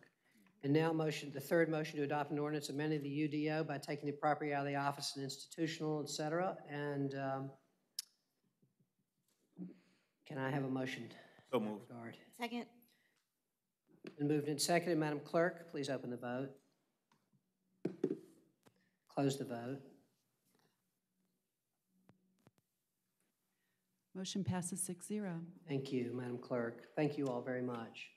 Uh, And now we'll move to item 25, consolidated annexation item for 3404 Page Road, and we will hear from staff. Good evening, Jamie Sunyak again with the Planning Department. This is 3404 Page Road. The request for a utility extension agreement, voluntary annexation, plan amendment, and zoning map change have been received from Stewart Inc. for one parcel totaling 32.87 acres. The subject site is located at 3404 Page Road. This annexation petition seeks to bring in the parcel into the existing city limits. The subject site is presently zoned rural residential, and the applicant requests a zoning designation of planned development residential 5.788 with a maximum of 190 townhouse units. The parcel is currently designated as industrial, and the applicant has requested an amendment to the low-medium density residential category, that's four to eight dwelling units per acre, which would be consistent with the zoning change. Approval of the annexation petition, plan amendment, and zoning would be effective, would become effective on June 30th, 2018. Key commitments on the development plan associated with this request include a 20-foot buffer along the southern and western property lines, additional asphalt for a bicycle lane, sidewalks, um, and Page Road widening to a three-lane cross-section between Mac Papers driveway and Logistics Way. Um, And there is also additional building offset uh, to buildings with four units or more, and a stream crossing shown on the development plan. The project will be served by county sewer. The Public Works and Water Management Departments have determined that the existing water mains have the capacity for the proposed development. The Budget and Management Services Department um, have determined that the proposed annexation will become positive, revenue positive immediately following the annexation. Additional information on that can be found in the staff report. The Durham Planning Commission, at their January 12, 2018 meeting, recommended approval of the proposed future land use map designation and the planned development residential zoning um, by a vote of 10 to 0. Staff determines that this request, um, that these requests are consistent with the comprehensive plan. Should the FLUM be amended, four motions are requested for this application. The first is required by law to approve the utility extension agreement and the voluntary annexation petition. The second is requested uh, to adopt the, the resolution amending the land use map designation. And the third is to adopt a consistency statement. Did I say this twice? Let me repeat myself again. The fourth, mo- there's four motions required. The first is the utility extension, uh, voluntary annexation petition. The second is for the FLUM. The third is for the consistency statement, and the fourth is for the zoning. Thank you very much. I'll be happy to answer questions that you have. I only see three, Four's not listed on I only see three motions uh, on ours, so when we get to that, you'll have to help us out, Okay, okay? I will. Thank you. All right, uh, thank you very much for that report. Um, You all have heard the staff report, and now I'm going to declare this public hearing open. And I'm going to first ask uh, council members if you have any questions for staff. Quick question. Uh, Do you know the price point of the townhouses? I do not. The applicant is here and can answer that. Okay, all right, I'll wait. Okay. Um, And then, uh, any other questions for staff? I'll ask staff a question. Do you have any concerns about giving up our limited supply, some of our limited supply of land designated for industrial use on the future land use map? In this location, I would say that the change from industrial to, to residential makes sense, um, based on the adjacent, based on the development that's occurring in that area. If you look at the aerial that was provided in the staff report, as well as um, there was a supplemental aerial that was provided to you um, by Planning Director earlier today. You can see the trends of development in that area. Um, There are a number of uh, planned development residential applications that are, that have been built and that are under construction. So I, I feel that in this location, um, given the proximity and, and the way that the adjacent properties have been built with an anticipation of connection, if you look at Anthropology Drive, there uh, is an anticipated connection to the property to the north, um, and it makes sense to have that residential as, as opposed to an industrial use. I think there would be a lot um, more outcry in terms of uh, incompatibility. So um, for this particular site, I do think it makes sense. I think that Director Young has a comment as well. Uh, As ever, Ms. Sunyak gave an excellent answer, but I did want to just briefly elaborate on that. Back in 2012, Planning Department, working with the uh, Durham Chamber and a number of other partners, uh, conducted um, an industrial land study. And we are going to, uh, through our proposed work program for the coming fiscal year, we're going to update that. Right. And uh, we'll look very carefully at the issue I think you're indicating here, which is we do have um, a risk of running out of quality industrial land over the next 30 years. But I certainly do agree with Ms. Sunyak that this specific site, because of the large preponderance of residential development nearby, Thank you. uh, is, is suitable for residential, not industrial. Okay, you guys are good. Just a quick question. Mhm, Councilmember Freeman. So I just want to make sure if, well, I just want to ask the question, are we looking at Page Road and I guess recognizing that you're changing a lot, or changing, we're changing a lot of the industrial land to residential? How are we going to pretty much address the traffic or ad- address, what is the time frame that we're looking at in addressing that Page Road overflow, I guess you'd say? Um, Councilmember Freeman, I'll, I'll let Mr. Judge from Transportation talk about the transport, traffic issue. I did want to just clarify my earlier comments that we did look carefully at the industrial land study, and none of the property on this portion of Page Road, there was some property in the very southern portion of Page Road qualified as prime industrial or high-quality industrial land. But in terms of the traffic impacts, I'll turn it over to Mr. Judge. Thank you. Uh, Yes, Bill Judge, Transportation.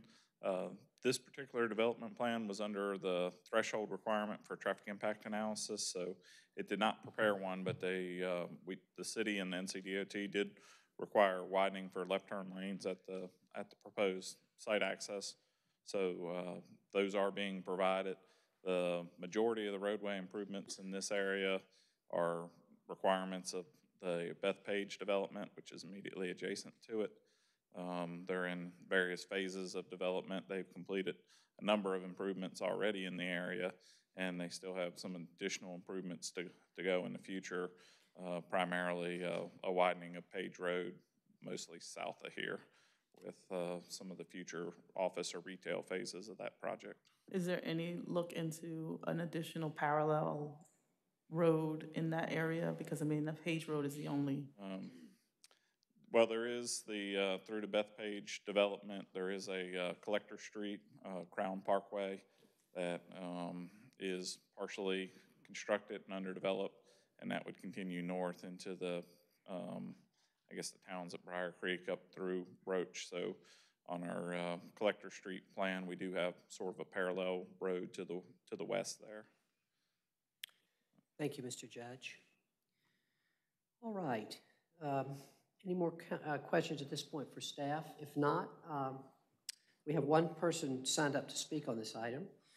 Mr. Shunk, I believe it is you. And um,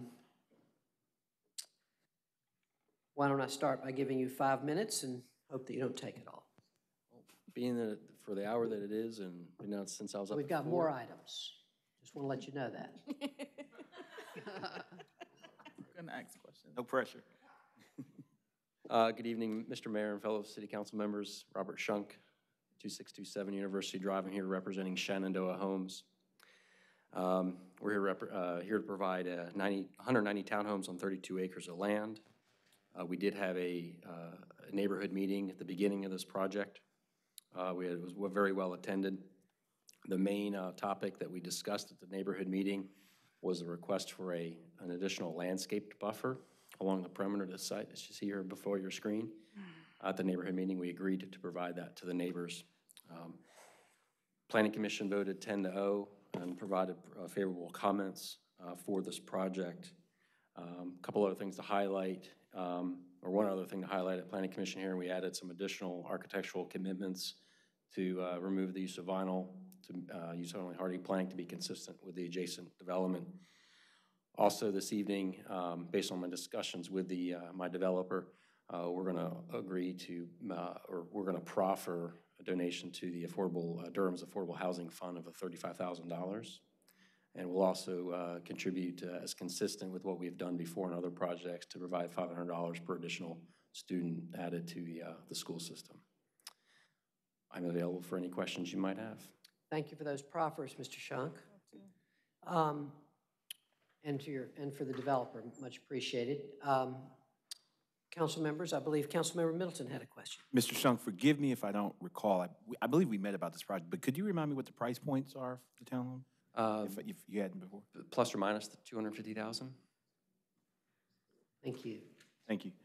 Can I just add uh, two Councilmember Freeman? questions? So I just wanted to ask how you got to the thirty-five thousand We had provided that sum of money in past projects.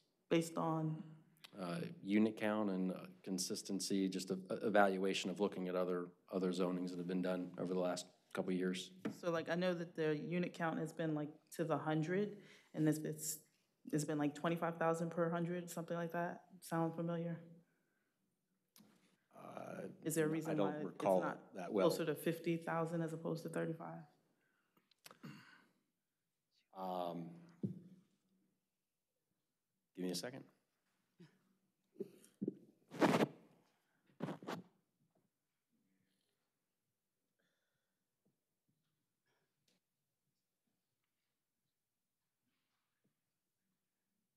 Jeff Palmer with Shenandoah Homes.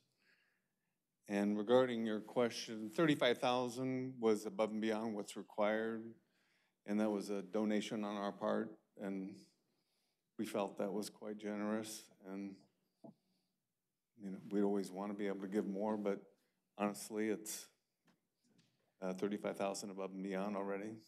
And how many, how many of these units are gonna be affordable to people at sixty percent lower?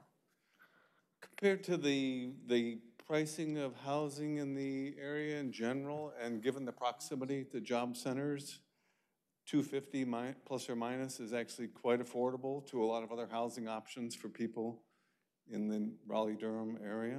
And so um, it's, it's actually in the more affordable range of new housing.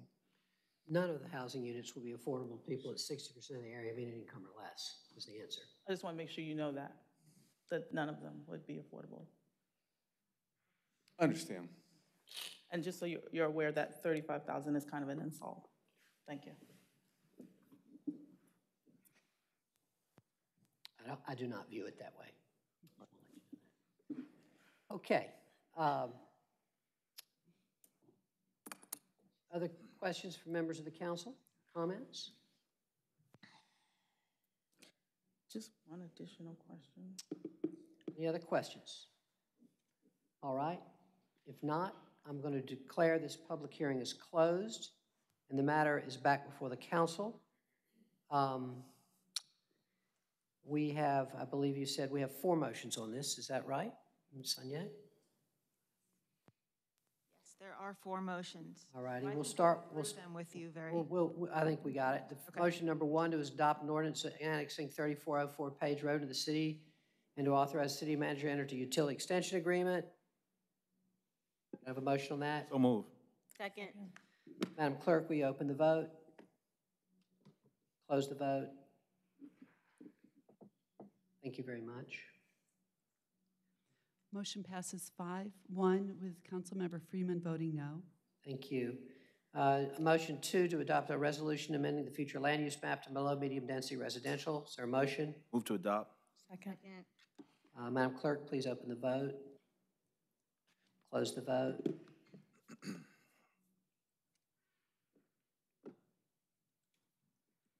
Motion passes five, one, with Councilmember Freeman voting no.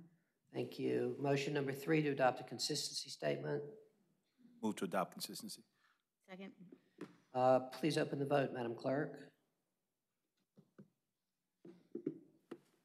Close the vote. Motion passes 5-1 with Councilmember Freeman voting no. All righty. And the fourth motion, Ms. Sunyak?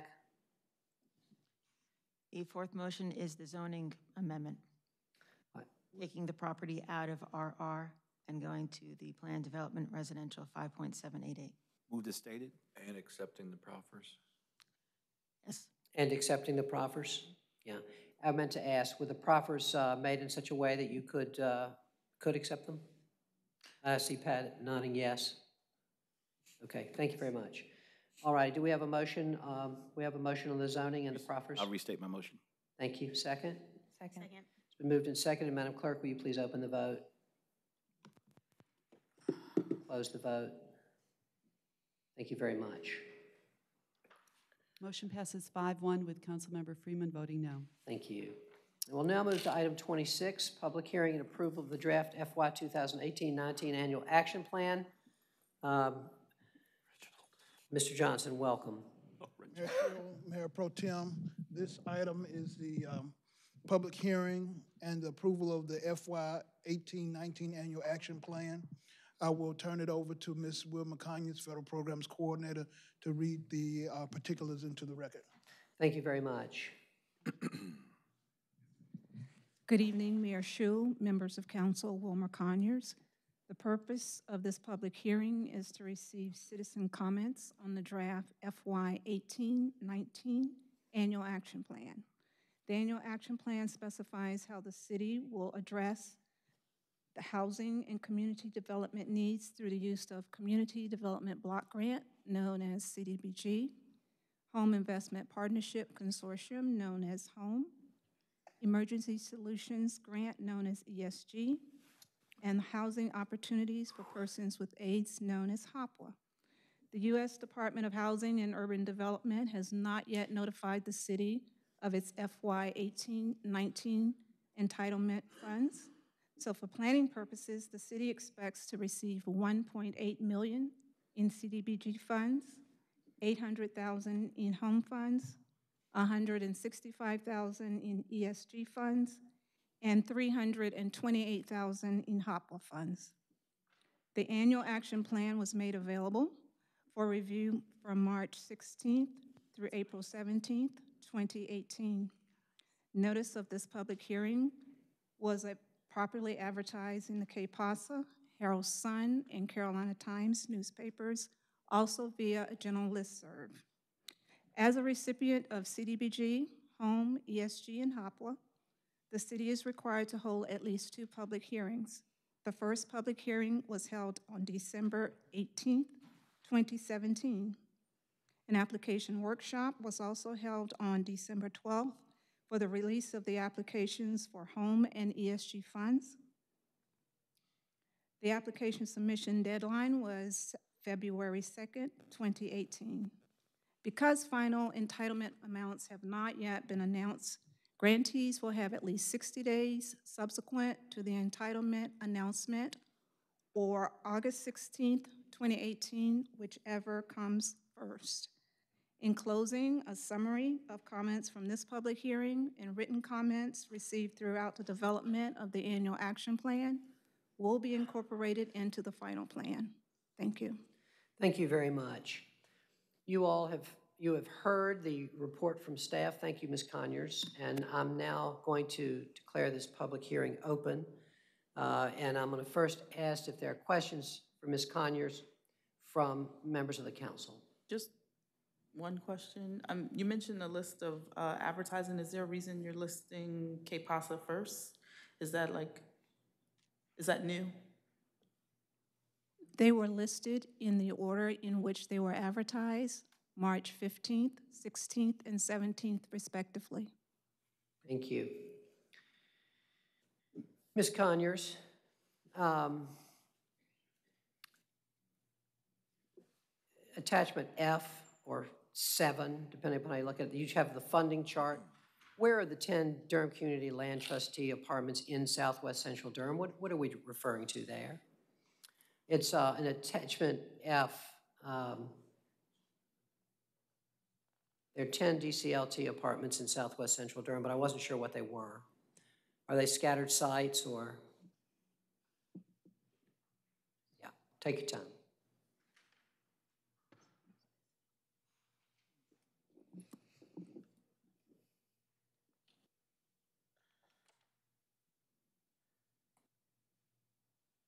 We are uncertain at this time whether Okay. they're a scattered site or Let within me a know. cluster. We Just can- send me an email. Staff will follow up with Yeah, you. not, not, Thank you. that's not, not urgent, thank you. Um, About 1.4 million in CDBG money went for site prep and loan repayment in Southside. And I think about 570,000 of that was in Section 108 loan repayment. And I'm wondering, about how many more years do you know that we have to have for that Section 108 loan repayment? The Section 108 loan is for 20 years, and if my memory serves me correctly, I believe we're in our third year. Okay. Thank you. Not the answer I was hoping for, but I, I knew it was not a good answer, but I didn't know it was quite that bad. Thank you. Um, All right. Uh, Of the 1.4 million uh, in CDBG money for the South Side, about $805,000 per page 26 of the report is for site prep. Is this for Beaman Place? Mr. Mayor, uh, yes, that is for Beeman Place. Are we going forward on that plan for single-family homes then, Reginald? So our plan is to issue another uh, RFP that we hope to go out uh, probably the next 45 to 60 days. Uh, As you know, there are some challenges with that site, but we do have a commitment to the community that we will uh, complete that uh, project. We are exploring some other options based upon the results of the RFP that res- that came back uh, earlier this year. Great. Thank you very much. Um, So let me just say, again, are we committed to single-family homes there? Are we, are we putting, is it going to be some flexibility in the RFP or? There are, is going to be some flexibility, but it will not be multi-family. Okay. Thank you. Um, Also, about $367,000 in home dollars is listing for housing rehab with the recipient listed as uh, Department of Community Development. How are these, how do we use those housing rehab funds? Do we have a subcontractor on that, or is that? This is on uh, the funding chart as well. Again, Wilmer Conyers. Um, They will be bidded out, and based on the city's, the department's policy, we can spend up to $50,000 per unit, and with that said, we anticipate completing approximately seven units. Okay, so that's different than, than the uh, $300,000 in Habitat Home Repair Funds, which is out of the, uh, out of the dedicated funding source, is that right? That is correct. Thanks. On page 20 of the report, number four, there's $13.8 million in CDBG funds spent in Southside. Do you see where I'm, I'm looking at that in uh, page 20 of the report, item four?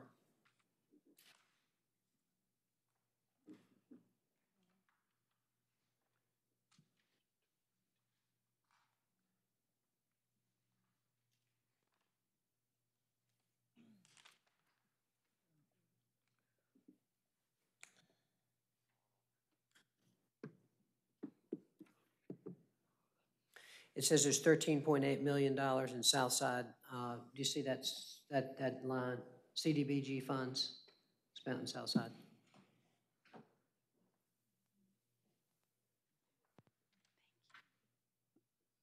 That appears to be a typo. Okay. Because I was going to ask you over what period of time that was, so, all right. Do you have an idea what the real number might be? Because I thought that was either multi-year or a typo. Anyway, you just let me know. You should be glad I read this thing this carefully, Reginald. I'm, gonna t- I'm better than the federal government. Okay.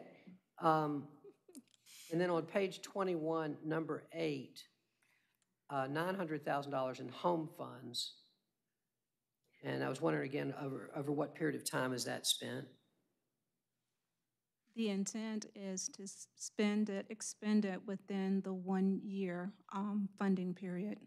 Okay, And that would be a combination of 800,000 in home funds and 100,000 in program program income. funds, right.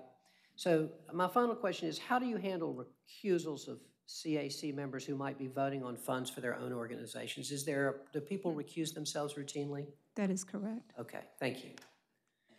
All right, those were my questions. Other council members, other questions? Just one. Councilmember Freeman? Uh, So specifically to um, Mayor Schewel's point, with the 367,000 uh, that is going to be bidded out, is there a- any room for conversation about how that low priority of economic development can be included in that? Would you elaborate just, uh, Councilmember? So just recognizing that if there's an opportunity to do some apprenticeship or some type of work program along with OEWD, like, is there room to do that in this time, like in the time frame? I realize it's probably short. That's something that we can have conversations with OEWD uh, about. We've been having some conversations with them on other matters, so we would include that. Okay, thank you. Thank you, council member. Okay, uh, we have four member, four people signed up to speak on this, but I don't believe any of them are here. Is that correct, Laverne? Thank you. We, they left us some written comments, which uh, I will make available with the clerk. Great. All right, uh, is there anyone else who would like to speak on this item?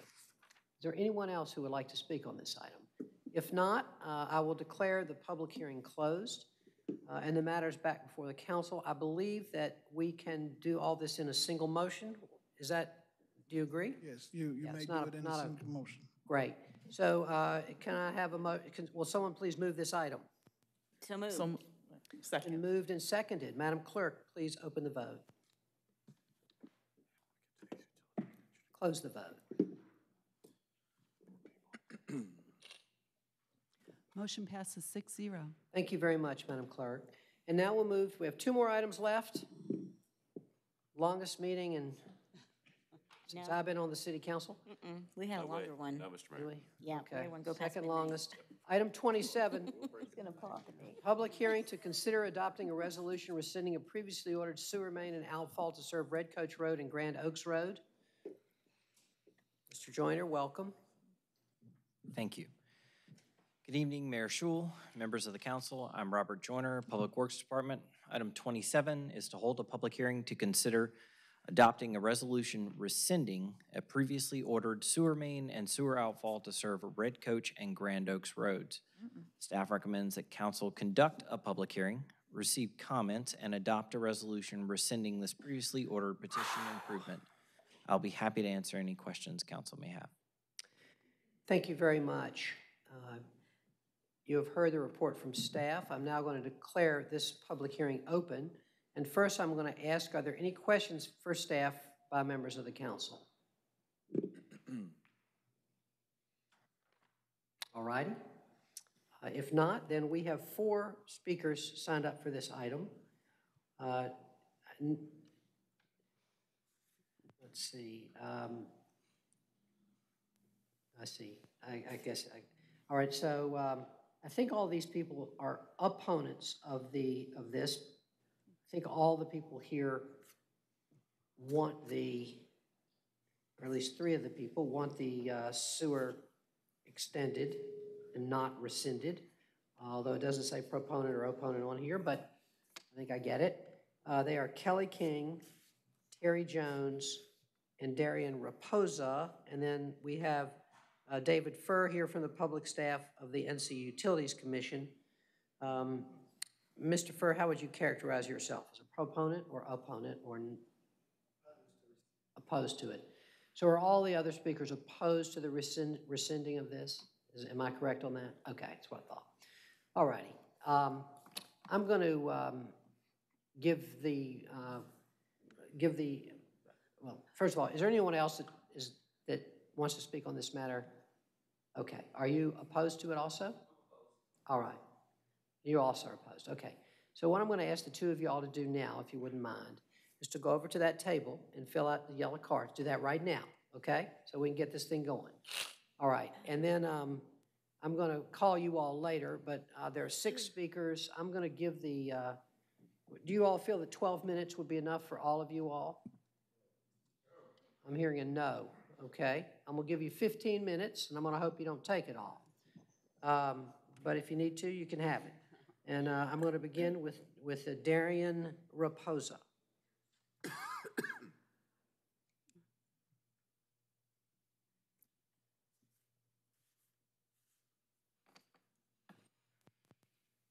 I was unaware that um, PowerPoint was available. I made handouts. Is it permissible for me to pass them out? You would hand them to the clerk, that would be great. Thank you.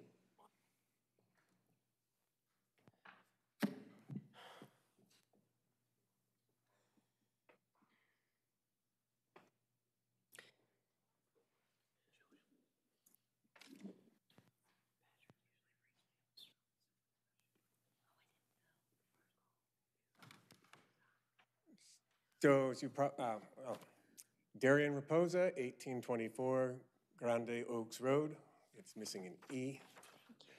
Um, I, as you saw from my card, I put opposed question mark. Um, I have a fourth version. Uh, we- we're presented with three options in the letter. I have a, a fourth version, which I think would save um, either the residents or the city or both of us a couple million dollars.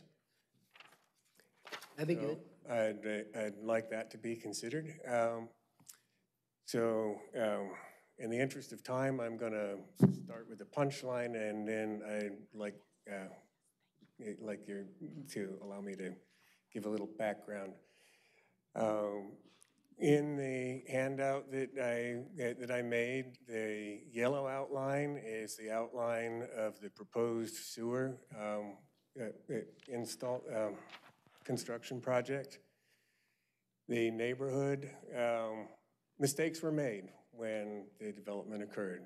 Um, The neighborhood has a combination of some properties that have um, septic systems, and most of us have a septic tank with a grinder pump in it, and the um, effluent is daisy-chained up the hill, after which there's a gravity fall, and it goes into the package plant.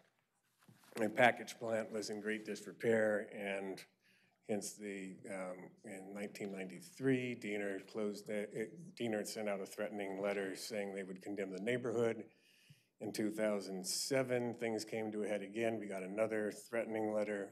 I hadn't, I wasn't there in 93. And 2007, there was another threatening letter. We had to take action right away, or the neighborhood was in danger of being condemned. I had professional things going on, so I haven't given you the benefit of my uh, insights prior to this evening. Um, The, oh, there we go. Go ahead, Mr. Okay. So, um, to, uh, in a nutshell, the, this is proposed, the proposal is to put in a standard sewer system that, where every house would, uh, link up to the sewer system, and there's, uh, two drainage outfalls, a brand-new sewer system, the way neighborhoods should be built, no question about it. Um, However, uh, look, uh, faced with the possibility, as the letter uh, says, of a trebling of the cost, my estimates were 17,000. Treble that is over 51,000 in assessments if it were option three. I think that's just absurd. Um, I um, wanted to propose that uh, there, there really doesn't seem to be any reason in my mind why the existing daisy-chained, granted less than ideal system needs to be replaced at all. There's a package plant um, right at the beginning of my short pink line. That's where all the effluent currently uh, gets just fine. It has been um, since we first, uh, since the neighborhood was first notified in 93. Um, The, uh, um, it, it all, it all it successfully gets to the package plant, and the new neighborhood with no colored lines on it uh, has been, has since been built. So I can't understand why in the world we would spend, um, if I understood the letter correctly, $3 million putting in the sewer system with the yellow lines when all the effluent already makes it to the package plant, that little pink square, and the, all, all, it seems to me that the only thing necessary is to connect, to connect from the package plant to the um, sewer system that's already in the line within city limits. Mr. Raposa, thank you very much. I, I hear you, we've got this, and eventually we'll ask staff about it. I'm a little bit worried about the time here, so how would you feel about giving up now and let us hear from some other folks? I, I'd just like to conclude by saying, um,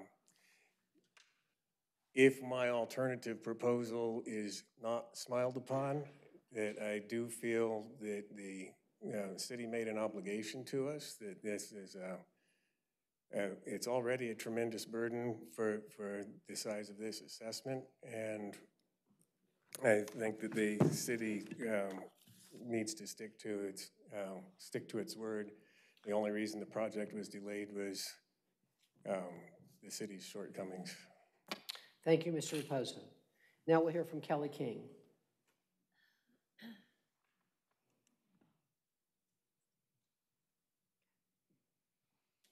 My name's Kelly King, fifty-six eleven Red Coach Road. I've spoke on, to this count, to the council several times on this. Of course, the, the things that's happened this afternoon's kind of changed my thoughts. So I will have to put in my neighbor's part about the pressurized line. We did look at that in two thousand and seven. City of Durham does not let you take a pressurized line in their system. They want a four-inch gravity-fed line that they will take over. So all that's been done. Don't even need to look at that. It was rejected in two thousand seven. I was there. Uh, I've gone over the nuts and bolts and the whys and what fors and option two and three, why they're, it's not gonna work. Option two leaves a lot of things open. It's depending on us getting a permit to put in a sewer system. Option two could drag on three, four more years. It's only been almost eleven now. That one could drag on three or four more. Option three is just totally unreasonable. And the main reason I'm here for, now that I've explained in previous meetings why option two won't work, why option three won't work, and everything else, the real reason that I'm here, the reason, real reason I came here to start with, I want my sewer line. My sewer line, the one city council in 2007 promised me, my sewer line, the one that they we came up here, we talked to them, we got people's names. It was voted on, an agreement was signed, and the document says, and I quote the document, this shall commence as soon as possible. It was all signed. Don't think this is free. This whole neighborhood signed an agreement. We're going to pay part of it. My part to get my sewer line in, my road frontage is twenty thousand dollars. So I'm not saying, coming up here and saying, hey, city council, why don't y'all give me a free ride? It's gonna cost me twenty thousand dollars at least when y'all put this line in. All I want is what was promised to me. There's been a lot of statements made here in the activities before the meeting about the city of Durham. These guys that were up here in 2007, they were duly elected officials. They came up here and voted and made a decision on what the city of Durham was going to do based on the majority of Durham voting him in office. They voted to do this agreement. You, you want to call it agreement? I'm from Durham. I didn't move here from Chapel Hill. I didn't move here from Hillsborough. I didn't come here to inspect, expecting anything. I was born in Durham in 1953. We call it a promise in Durham. So now what staff wants you to do is renege on the 2007 City Council's promise to these people, to me. Why do they want you to renege on it? To cover up the fact that they failed to do their job. They waited 10 years kicking this to the side, putting in sidewalks, looking at a railroad station, trying to find a bus depot, while my sewage is running in the creek, the Eno River. What'd they do? Well, we're sorry. It's an excuse. It's not a reason. There's no reason why this has not been done. There's no reason why this promise hasn't been kept. Some people call agreement. I call it a promise. Some people would call it a contract. I don't see what choice you got except to finish the job that your predecessors, duly elected officials, promised to me. Kelly King, they promised me in 2007. And I'm not going to be happy till their promise is kept. Thank you.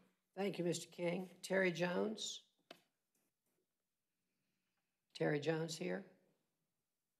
Okay. Elizabeth Plyler?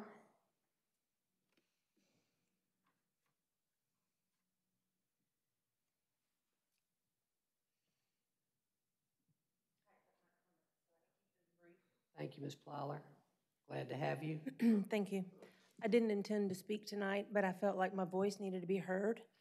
I wanted to take a moment to speak on the behalf of the residents that are new to this neighborhood that had no idea that this was happening until we received letters from the city. Some of the residents were told during their purchasing process about the sewer situation. I was not one of those residents. I know it's always buyer beware when you buy a house. For my situation and my next door neighbor's situation, we had no idea this was even an issue until we got letters from the city. So thank you for bringing that to our attention. Please support option one and follow through on a commitment this council made you many years ago. I feel we do not have the skill or the expertise to do any of what is noted in the other options. Sorry, I lost my place. From what I understand by my neighbors, we came to the city as a final course of action years ago. Please do not turn your back on us now. It would put us at an incredible disadvantage and cause, excuse me, let me rephrase. It would put us at an incredibly difficult situation that was caused by matters beyond our control. Thank you. Thank you very much, Ms. Plyler. Freeman Walker, the third.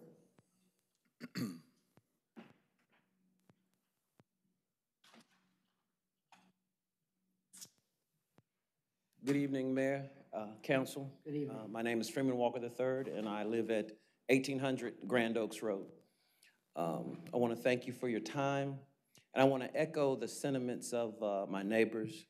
Uh, And even though we don't have cookouts and neighborhood fish fries and get-together, but they're proud Durhamites that are proud of their neighborhood. They work together. We wave at each other. We don't always get in each other's backyard, but we're on the same page with this. Um, when I bought my house in 2000, my daughter was an infant. Uh, she is now a junior in college, doing quite well, I might add. But we're talking about the span of uh, 19 years. And this same issue has been going on. And um, the city did make a promise in 2007, signed agreement, said it was going to be done. And for whatever reason, and I understand how the city works, and there's a lot, lot on your plate, just got pushed away. But now it's time to uh, make, make good on that promise. And uh, that's all our, our uh, neighbors are asking, that you be fair and equitable to uh, the folks on Red Coach and Grand Oaks. And I know you will. I believe you will. I've seen it in, uh, in action tonight. So um, I ask that uh, you guys rescind this order and uh, make good on that promise of 2007. Thank you. Thank you, Mr. Walker. Uh, David Furr. Welcome, Mr. Furr. We're glad to have you back. Thank you for having me back. Um, David Furr with Public Staff Water and Sewer Division at the North Carolina Utilities Commission. Um, The North County Utilities Commission assigned its first emergency operator to this system uh, 25 years ago. We're now on our fifth emergency operator.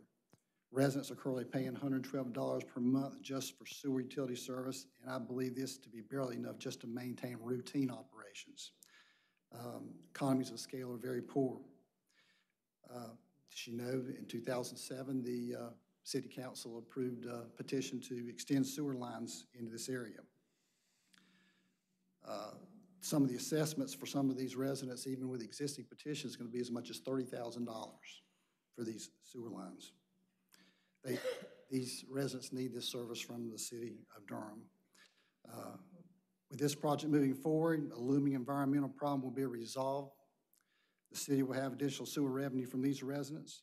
The project also extends the collection system across Bivens Road and installs an additional manhole that can facilitate future expansion of the city's sewer system. Residents in the area will have good, dependable City of Durham sewer utility service. If this project doesn't happen, HOA will have to be formed to operate this, put in a new treatment plant. Um, These residents do not have the financial, managerial, or technical capacity to operate a system of this nature. Uh, The cost will still be the same or higher just to maintain normal operations, again, because of poor economies of scale. Uh, And the city of Durham will continue to have an unnecessary do- sewer discharge right beside the city of Durham. I request council to follow through with the commitment its predecessors made to these residents over 10 years ago and extend the city's sewer lines under the current approved petition. Thank you very much. Thank you, Mr. Furr.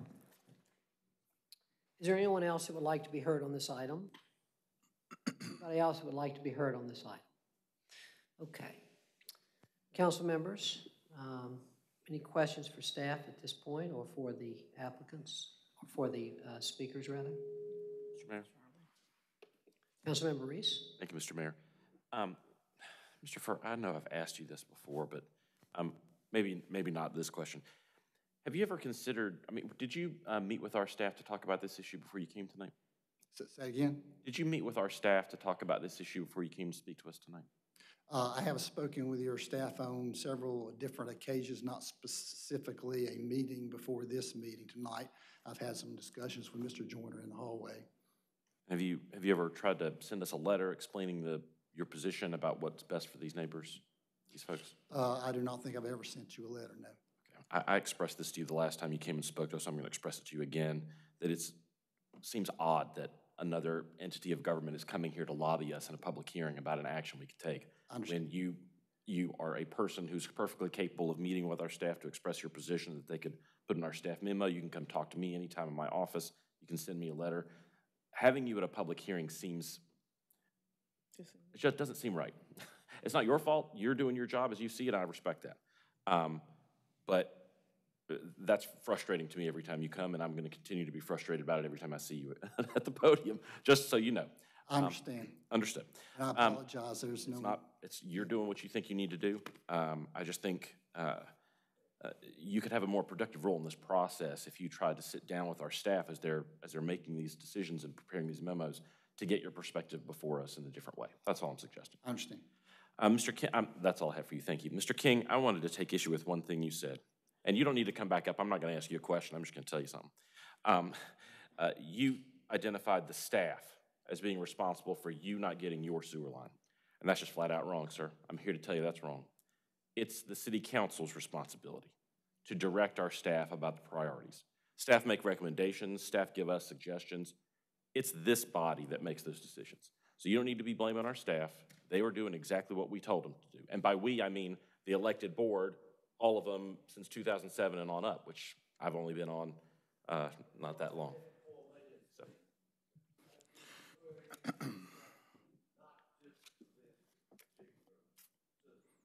Go ahead, Councilmember Reece.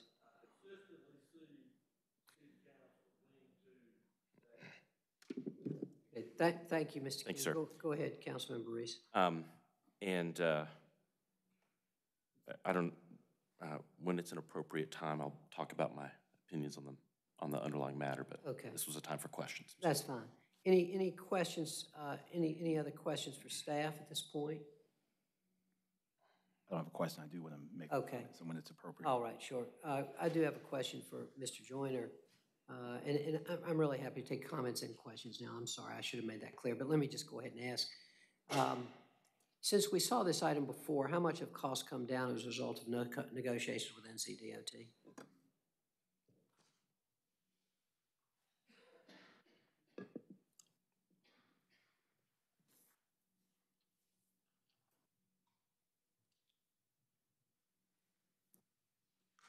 Bear with me just a moment. The cost on this item uh, would be roughly $200,000 less after the negotiation. So uh, the current estimate was about 600, is roughly 610,000, Uh-huh. and before it was around 800,000. Okay. And then, um, could you comment on the uh, the gentleman, Mr. Raposa's, uh, the, the- his, his idea that he presented?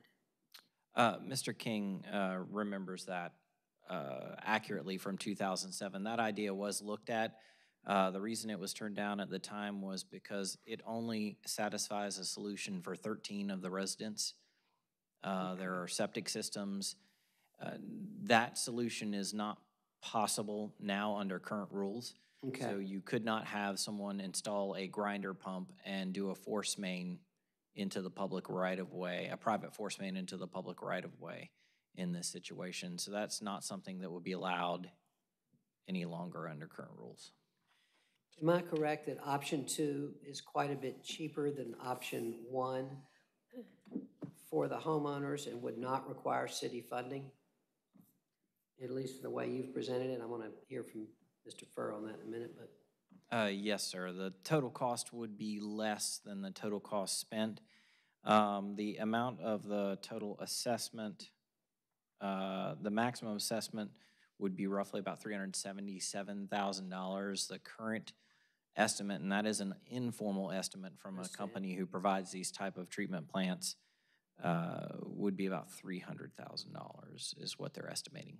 you may not be able to answer this question, but um, Mr. Furr characterized the ability of the homeowners to uh,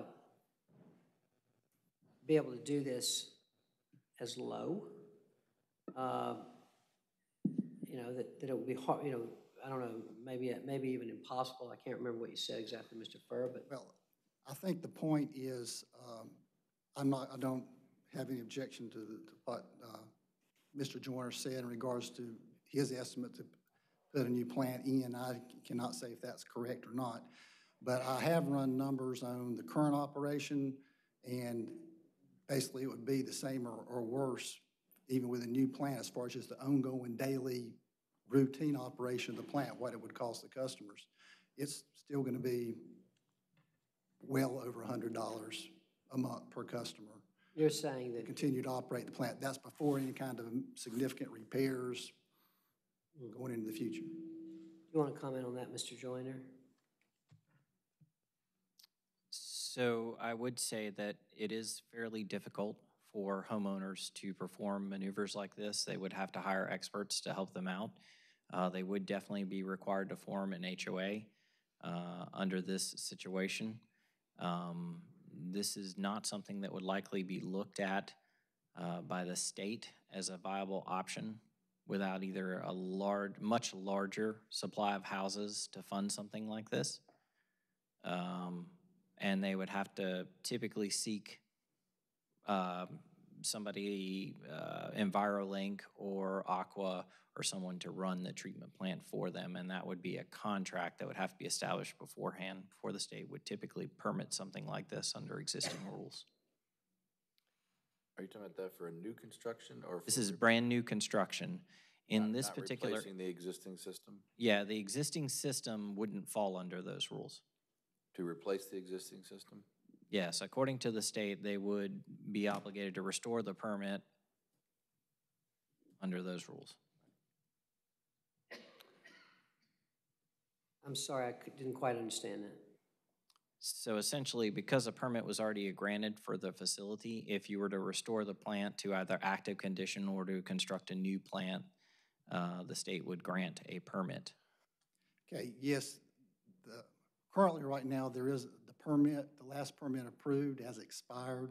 The plant is still operating under the old permit, still meeting those effluent requirements. There's currently an emergency operator, the actual emergency operator is Old North State Water Company LLC. It has an affiliate called EnviroLink, which does contract operations, and in essence, they're acting as the emergency operator at this time. Um, Now, when I run my numbers in regards to what it's costing now and versus what it'll cost in the future, The assumption is that an EnviroLink would continue to serve as a contract operator. Clearly, none of these people have a certified operator that can perform the services of an operator responsible charge for the sewer plant. Um, The nature of the plant, um, I don't know that the plant, a replacement for this plant would actually be the exact same thing because some of the requirements have increased over the years. Might require some additional tertiary filters on the backside. Uh, I don't, I can't speak to what additional costs that might be for the contract operator. Um, But I have assumed that all the other costs, power, chemicals, effluent, lab testing, permit fees, all the things that go into just the normal cost of operating the plant. And it is no better with the new plant than it would be with the existing plant. Do you agree with that, Robert? Yes, sir. Other council members, questions? Questions or comments? I do have a comment, Mr. Mayor. Uh, We'll, we'll, we'll start out with Councilmember Middleton, and then we'll go with Councilmember Reece. Thank you, uh, Mr. Mayor. I'll be brief. I, uh, I remember sitting and listening to this issue discussed at a work session right before I was um, sworn in, new council was sworn in, and there seemed to be a bit of a punting of the issue. Um, And I sat there that day, I remember thinking, "Mm, we're going to have to deal with this. Um, I'm, I'm really struggling with this because I remember sitting, listening to this discussion, and the, the phrase, the continuity of institutional integrity kept coming to me. Um, that is, although I wasn't on council when they made this decision, the, the, there seems, at least to me, to be an issue of, of the integrity of the council as an, a universal body or a continual body. Um, I appreciate the, the remarks in the memo that say that our other construction priorities, whatever the language is, um, prevented this job from being done, but I, I find the fact that our predecessors um, at that time who controlled the imprimatur of our city um, and the levers of power of our city committed us to something. I, I find that compelling. My, uh, my friends, my legal legal friends, I think you guys have some a phrase, a Latin phrase called stare decisis, which means let the decision stand. Um, and absent some really compelling or something that shocks our conscience, you know, that, that that's just so against our values, um, comes up. I, you know, I, I, I think when when when um, the city says it's going to do something, I think it should do it. And uh, I find um, the comments from the residents very compelling. Um, as a steward of the city's um, coffers, I'm always looking at what it costs, and I'm always mindful of being a good steward uh, over the city's um, coffers. But I- I, just find this compelling. I find the, the, the, the residents' concerns and, and the fact that uh, previous council committed this city to it uh, compelling. Um, I find it as compelling as residents who want mulch in the park taken up in East Durham, um, who would just find it compelling. I find it compelling. Um, so I'm, I'm inclined to, to honor, not to rescind our order, but to um, move ahead with what the city said it was going to do, 2007. Thank you, Mr. Mayor. Thank you very much, Council Member. Council Member Reece? Thank you, Mr. Mayor. Uh, It won't be any surprise to you or the Mayor Pro Tem, uh, because you were on the council when last we discussed these types of issues. I think all of our colleagues were at that work session and heard of this conversation, but uh, I agree with Councilmember Middleton about our obligations here. Um, And I do support uh, option one that the city's presented to us. First of all, I want to thank all of the uh, folks who live in this part of this, of the county who have stayed five hours uh, to have their case heard. Appreciate your um, willingness to stick it out and your trust in us that we would get to it and give you a fair hearing.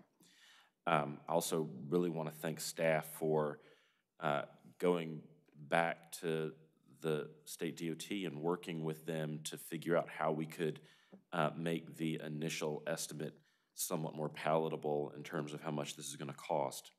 Um, I, uh, I, I took issue, Mr. King, with your suggestion that the staff was responsible because we are responsible, ultimately.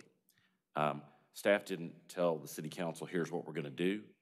They said, here's what we think ought to happen, here are your options. The city council said, let's do it.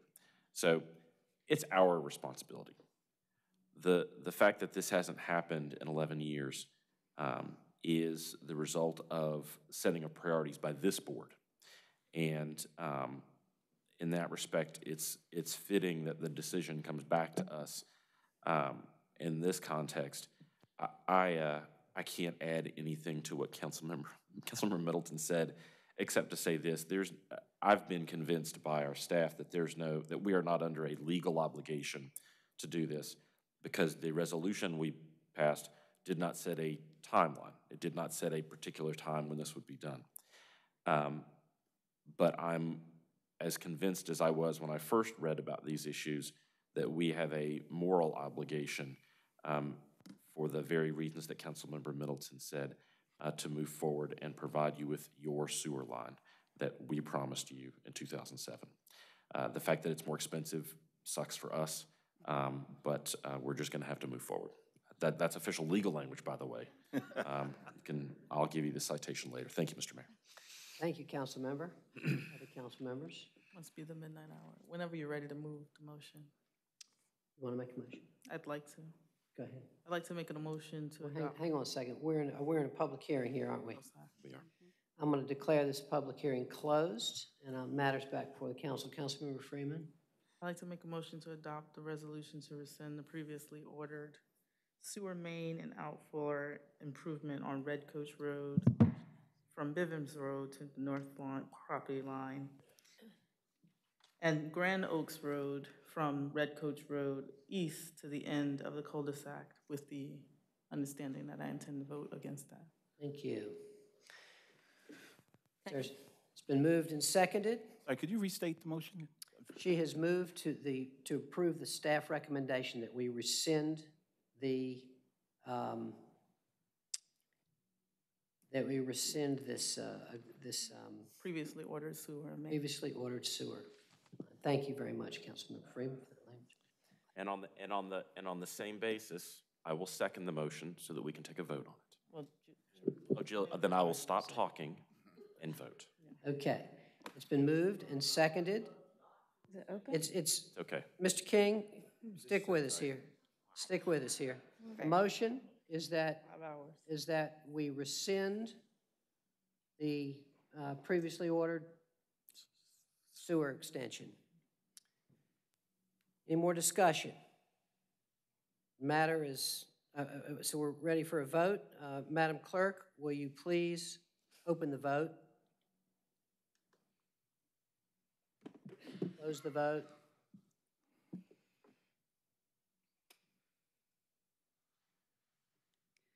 The motion to rescind fails by a vote of two in favor and four against, with council members Schewel and, Mayor Schewel and Mayor Pro Tem Johnson voting in favor.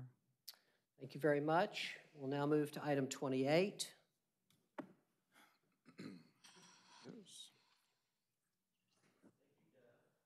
Um, Get your sewer. Sorry. Yes. Item probably 28, Mr. Joyner.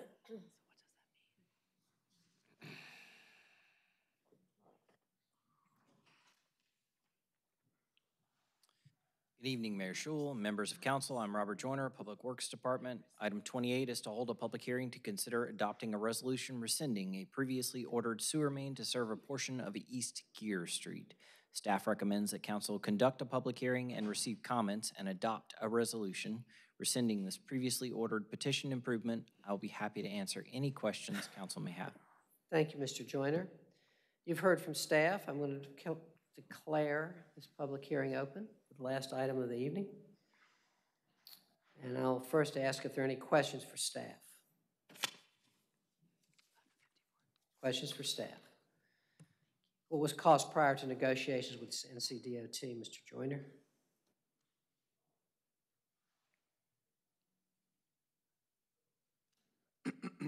With me just a minute.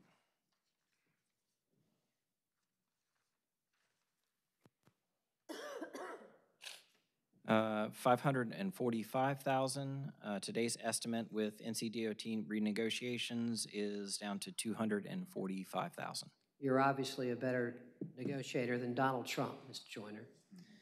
Um, Good work, as we say. Um,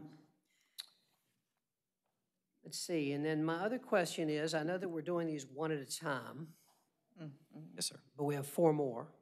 Yes, sir, that's correct. And can you give me some sense of the relative cost of those? I mean, are they at this sort of size, or there, is there any, is there any giant one lying out there? So um,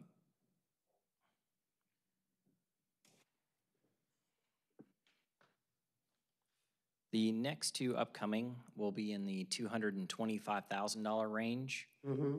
Uh, Those estimates are almost identical uh, because of the roadway that they lie on. Uh-huh. So there's virtually, there's no change in, in those estimates after the negotiation with NCDOT because of safety concerns and their proximity to a very busy uh, NCDOT roadway. And the- Uh, the two then- following that? And the two following that are in the $700,000 and $400,000 range, and those are waterline projects. And those will be the last two. Okay.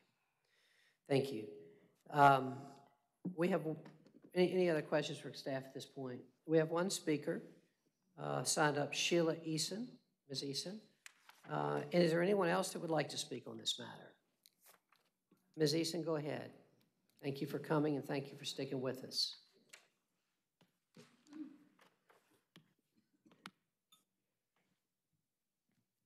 Good evening, Mayor Schewel and members of the City Council. Thank you for bearing with us and, and letting us have an opportunity to speak. Um, my name is Sheila Eason. I live at 3325 Summerlin Road, Durham, which intersects with East Greer Street in the affected area. My husband and I, um, about two years ago, purchased some lots on East Greer Street that are undeveloped property. And one of the considerations at that time when we uh, negotiated the price was that city sewer was scheduled to go out there. At that time, we had not received any information, any notification that there was any reason that it would not happen eventually. Um, and so that is one of our concerns is that we do have this undeveloped property that we would like to be able to um, know that sewer is going to happen. Um, the, the other thing has already been stated that I was going to say, and that is just to ask you to please keep the promise that was made. Um, and I don't think I need to elaborate on that anymore. But as um, Councilman Middleton and Councilman Reece said, and I really appreciate what they said, um, I realize that you all were not the people on the, the council at that time. Um, but I would ask that you keep that promise that was made to the residents of that neighborhood at that time. Um, and that's, that's it. Thank you for listening. Thank you, Ms. Eason. Yes, sir. All right. Uh, Is there anyone else that would like to speak on this item? Uh, Ms. Eason, I- I see you're being coached to say one more thing too. I'm, I'm sorry. My okay. son is here as well, and he owns property in, on East Greer Street in the affected area, other than the property that my husband and I own. He owns some property there as well. Thank you So very much. He was a. Can, can I just ask? I signed the petition. Oh, yes. Yes. All right, thank you. He, he owned his property before we bought our lots. So Okay. he signed the petition, whereas we did not. Mhm. We would have, but we, we didn't own it at that time. Thank you. All right. Um, Council members, any questions or comments?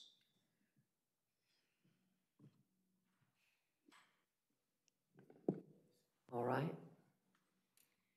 I'm going to declare this public hearing closed and the matters back before the council. Um, This is, the recommendation is that we rescind the previously ordered sewer main. Do I hear a motion to that effect? Move, Second. It's Been moved and seconded that we rescind the previously ordered sewer main. Um, Okay, any more, any more discussion? Madam Clerk, would you please open the vote? Close the vote.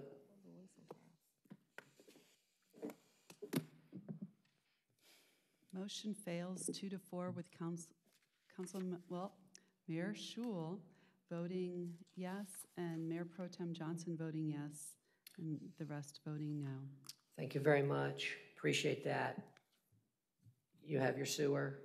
Um, All right, thank you. Um, Mr. Joyner, thank you. With no more items to come before this meeting, we are adjourned 1207. Oh, my God.